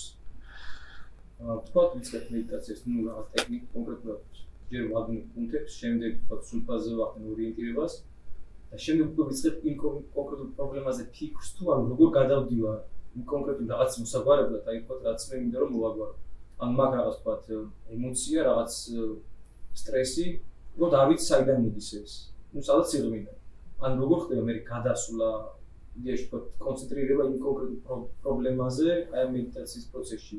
ან იგივე თქვენ ახსენეთ რომ ზოგი შეიძლება იჯდეს 6 საათი და ეგონოს რომ მედიტაციაში მაგრამ არა ანუ ეგ როგორ უნდა გავარჩიოთ რომ ნამდვილად მედიტაციაში ვიყავი ან როგორ უნდა ჯერ ერთი განასხვავოთ კი ბატონო ჯერ ერთი ახლა თქვენაც ახსენეთ. არანაირი საერთო არ აქვს მედიტაციასთან. იმიტომ რომ თქვენ მე თქვით დღეს რომ თუ გაქვთ მიზანი მედიტაციის ან მიზანი ამ პროცესში რაღაც პრობლემა მოაგვაროთ მედიტაცია არ გამოვა ეს იქნება რომ თვით ანალიზის რაღაც ფენები. ეს არ ამეტყვის რომ მედიტაციის მიზანი არ შეიძლება კონკრეტულად მედიტაცია არის უბრალოდ უმიზნოდ დაკვირვება ყველაფერზე, რაც შენ თავში ხდება. და შეფასების გარშე. და ალბათ მე ესე ფიქრობ, რომ თვითონ აი თქვენ რასაც ფიქრობთ, ხო, ან მედიტაციის დროს თვითონ ბალანსდება ორგანიზმი და ყურადღება ფსიქიკაც და იგივე ჯანმრთელობაც. იმიტომ რომ ანუ სხვა მდგომარეობიდან უყურებ შენ თავს, შენ პრობლემებს, თვითქოს და უკვე ხვდები ის პრობლემა, პრობლემა არ არის რეალურად. ჩვენ გგონია, ისევ და ისევ ყველაფერი გგონია, რასაც ეხა ჩვენ. ის ჩვენ გგონია, რომ ის ეხლაც პრობლემა. ხდები რა ხდება? ანუ ყველაფერი არის გონი. და რაში ვიყენებ გონს ყველაფერში და იმიტომ ვართ მე აი ამ ლაბირინთში. რაღაც მინოტავრის ლაბირინთში, რომელსაც ქვია twin. მედიტაცია გამოსულა. ნებრივად ხდება თუ კონკრეტულად ის არის შეუძლებელი ნებრივ გამოვიდეს და არ ვიცი. მართლა აი ცოტა ან მედიტაცია გამოსულა როგორ ხდება? ანუ რატო რატო ვკითხო ვიცი ანუ დიახ. დოკუმენტური ფილმები სხვადასხვა BBC-ს იმდრო იყო ლაპარაკი რომ ადამიანში იყო და ახლა 30 თუ მეტი დღე მედიტაციაში ისე რომ სწავლა განსხვავებული წყალი არ მოვიდა აი ერთ თქიმე 6 საათი რომ მედია აი აქ უკვე ვახდები ეს მართლა რა დავიჯერო თუ შესაძლებელია ეს. მაგრამ ძალიან საინტერესო ფილმია თქვენ BBC ახსენეთ. ერთი ფილმია ქვია სამსარა მაგარი ფილმია. ნახეთ რა ხდება იქ ჩვენ სამსარა არ ვიცი ამ საათიანი ორი ფილმია. როდესაც იწება ფილმი შემდეგნაირად ბერი რომელიც კელიაშია ჩაკეტილი და ის მედიტაციაში არის ერთი წელი არ ჭამს, არ სვავს, არც ასე ვთქვათ, საპირფარეშო არ ჭირდება. ის არის სხვა ცნობიერების მდგომარეობაში. რაც მე ვახსენე 6 საათი რომ ბოსტნეულივით იყო, მაგრამ ნახე რა ხდება, ფილმი რაზეა. როცა ის ფხიზდება, გამოყავთ დიდი პატივისცემით. ჩხილებს აჭრიან, როგორც ფაქტიურად განსხვავებულს ისე ექცევიან. მაგრამ ისიც რა არის? ის გამოვიდა მდგომარეობიდან. მაგრამ სექსუალური ჩაკრა ვერ მოაგვარა. რომ გამოფხიზდა და ყოფას დაუბრუნდა ის ინსტინქტურად ქალთან ასე ვთქვა სექსუალური კავშირის დამყარებას ვერ აკონტროლებდა ხდებით ასო ანუ ის ხო ითვლებოდა მეტი და მაგრამ არ იყო მედიტაცია? შეგიძლია ვაფშე ერთი წელი იყო როგორც სცენარი აი და ძალიან საინტერესო ფილმია რა სამსარა რატო ქვია? ანუ მაინც ვერ განთავისუფლა იმ ჯაჭვისგან იმ ბორბლისგან რისთვისაც არის მედიტაცია ანუ კი იყო თითქოს სადღაც გაშეშებული მაგრამ აქედან აქ ვერ გამოვიდა, ვერ გააცნობიერა, რომ დაბრუნდა ისე ფხიზამ მდგომარეობაში. ისე იგივე ინსტინქტები ამოწვა. ხსებით? ნეგა. ანუ ეგეც ილუზორული აღმოჩნდა. აი, ძალიან ბევრი ნიუანსია და ჩვენ ხან მე კიდე მაგრამ ამ რომლებიც დავიჭირე, იცით, აი სად დაცემის პერიოდი, რომ აჯილდოვებენ და რომ გამოდის ძახს რო ეთამაშე. ეს არ მახსოვს ეს მომენტი რატომაც შეიძლება კი კი. ეთამაშება, აი რაღაცნაირად ისე შეხედავს რა, რომ აი მე დაწინავდე. აპარტამულად ხო? ხო და აი მან და დაცემა. აი მან უკვე ის მინიშნება ერთ-ერთი კი. ნირვანას რასაც ეძახიან. ან გამარტება იყო ასეთი. ну არ ხარ სოცხალი არც მკვდარი ხარ შუალედი მდგომარეობაში რაღაც ასხილოსნებული რაღაც მდგომარეობა იგივე სასופეველი ქვია ჩვენთან ერთეგი კი ერთეგი უბრალოდ ასურთები რატომ ის არის რეალობა და არა ეს. ეხლა თქვენ ორი ორი არის წინ სხვადასხვა ასე ვთქვათ ხარ. აი კარგი მიიჩნევა. მადლობა რომ მითხარით მარტივად გაგცემ ტვინის არის აი თქვენ ახლა რასაც მეკითხებით? სხვადასხვა კითხვა. ეს არის ტვინის მდგომარეობები სხვადასხვა. ესე შეიძლება ესე შეიძლება. რეალურად ჩვენ საუბრობთ ტვინის მდგომარეობიდან გამოსვლა არის ზუსტად ის ნირვანა როგორც ეძახიან რომელიც არ არის გონებრივი პროცესი ანუ არ არის გონების მდგომარეობა. ხო ხტები ეს არის ცნობიერების მდგომარეობა რომელიც თუ ტვინი გააქრე სიტუაციას ჩვენ twin-ი ხო არ გვაქვს მუდმივი ხო? სხეული გვეკარგება და ეს ფსიქიკაც ქუცმაცდება მაგრამ ცნობიერება შესაძლებელი იყოს სულ არის კი ალბათ ცნობიერება მიყვება უბრალოდ ჩვენ აი აქ არ გვახსოვს ამის შესახებ რა არის საერთო ცნობიერება. ჩვენ ახლა მაგას ვჯელობთ ან მარტივად სიკვდილის შემდეგ შეიძლება მოხდეს რეალურ სამყაროში ეგრე გამოდის კი ლეონარდო და ვინჩი რა თქვა რომ სიკვდილის შემდეგ სიკვდილი ფაქტიურად არ არის დასასრული პირიქით. ის რეალურად სიკვდილის შემდეგ შეიძლება მზე აინთოს და ჩვენი ცხოვრება სანთლის შუქზე გატარებულს გავსო რა. შეიძლება ეგრე. კი არ ვიცი ჯერ. ნახოთ ჯერ. კიდე წინა. ხო არა უშავს მე რა მატრიცაში ნახეთ გაცნობიერება რომ არ მატრიცაში არ ნიშნავს რომ მოდი გავიქცეთ ამ მატრიციდან არა ამ მატრიცაში ზუსტად უნდა ვიყოთ იმისთვის არ ვიცი რისთვის ალბათ ყველა თავისთვის უნდა მიხდეს მაგრამ რაში გამოვიყენოთ ჩვენი აქ ყოფნა? აი ეს მხოლოდ შეიძლება რეალურად გავაცნობიეროთ მედიტაციურ სიღრმისეულ დამკვირვებლის პოზიციიდან. სხვანაირად ჩვენ გვექნება უბრალოდ შეხედულებები რომელიც ავირჩევთ რა ერთ-ერთს და იმას მივხედავთ. მაგრამ ეს იქნება ისეთი თამაში რა, ანუ ფაქტიურად ვიდეო თამაში, რომელსაც ვირჩევთ, ხა აქ წავიდე თუ აქ წავიდე. ეს შემჭამო თუ ეს არ შემჭამო. ეს ეს მისია ავიღო თუ მეორე მისია. ნუ ეხლა თამაშიც თამაშია რა. მედიტაციის მდგომარეობას რომ მივახსენოთ, ანუ ხოლო ჩვენ დავიმუშავოთ ჩვენ თავზე თუ თქვათ როცა ვიღაც გვიხმარება ამაში უკეთესი ანუ სხვა სხვა შეიძლება თქვათ მიგაწენენ თქვა აი მდგომარეობა. არენდოც. შემირჩევ. იმიტომ რომ შეიძლება დრო დაგაკარგვინოთ. შეიძლება პირიქით სხვა ლაბელინჩი შეგიყვანოთ. მე ხო იმდენი სოკოებივით გამრავლებული მასწავლებელი მასწავლებელია რომელსაც აქ სწავლების გადმოცემის წყურვილი რომ რავი შეიძლება შეიძლება არ გაგიმართლოთ და პირიქით სხვა მიმართულებით წაგიყვანონ. ასე რომ ენდე საკუთარ თავს, აი მთელი ჩვენ საუბარი დღეს იყო რომ საკუთარ თავში გვაქვს ყველაფერი. რატო უნდა ვეძებოდ დაგვეხმარებ აქედან ამის ის გინდა სტიმული ვიღაცის რჩევა? არა, არა, შეიძლება ჩვენ სხვებს უსმინოთ. და გაუტამა ბუდა რომელმაც ეს კლევა თავის ძოზე ჩაატარა, ალბათ სხვებსაც ჩაუტარებთ, უბრალოდ ძალიან გაპიარებულია ეს რა, უბრალოდ. რომ მან თქვა სამყაროს საიდუმლოებების შესწავლა მხოლოდ საკუთარ თავში წადეთ და ნუ მიყვებით ბრმაც სხვა სწავლებებს და სხვის გზებს.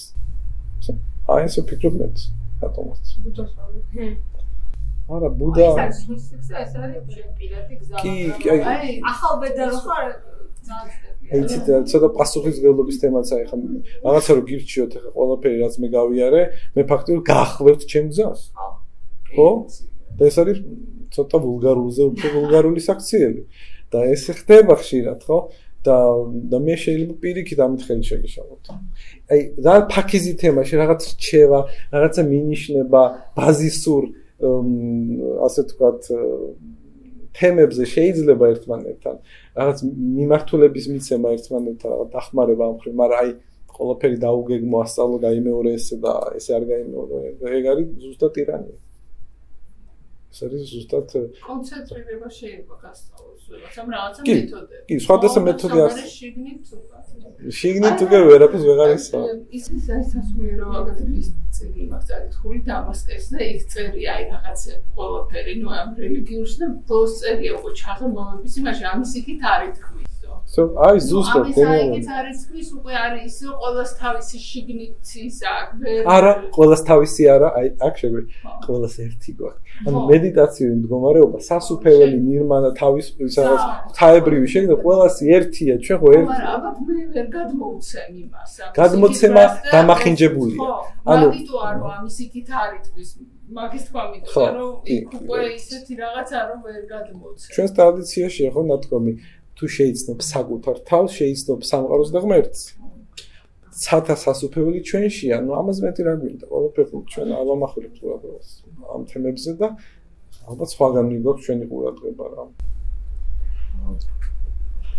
რეალობაზე საუბრობთ და რეალობის აღქმაზე და ამ პროექციას და ასე შემდეგ და არის ესეთი ფენომენი დარეალიზაციას, რასაც უწოდებენ, ეცითება ფსიქიკურ დარღვევად. და აი ეგ ფენომენი რომ მოკლედ ახსნათ ან ამასთან მიმართებაში კითხოს და რა გაქვს საკითხული ამ ფენომენთან დაკავშირებით? სავარაუდოდ გაქვს რაღაცა მითხარი. ან რა გაგებული შენ შენებურად ან ვიკიპედიაში შეიძლება? აი ეს როცა კარგავ შეგნებას რეალობასთან და რაღაც ქონია რაღაც მომენტებში ყოველ რასთან კარგავ?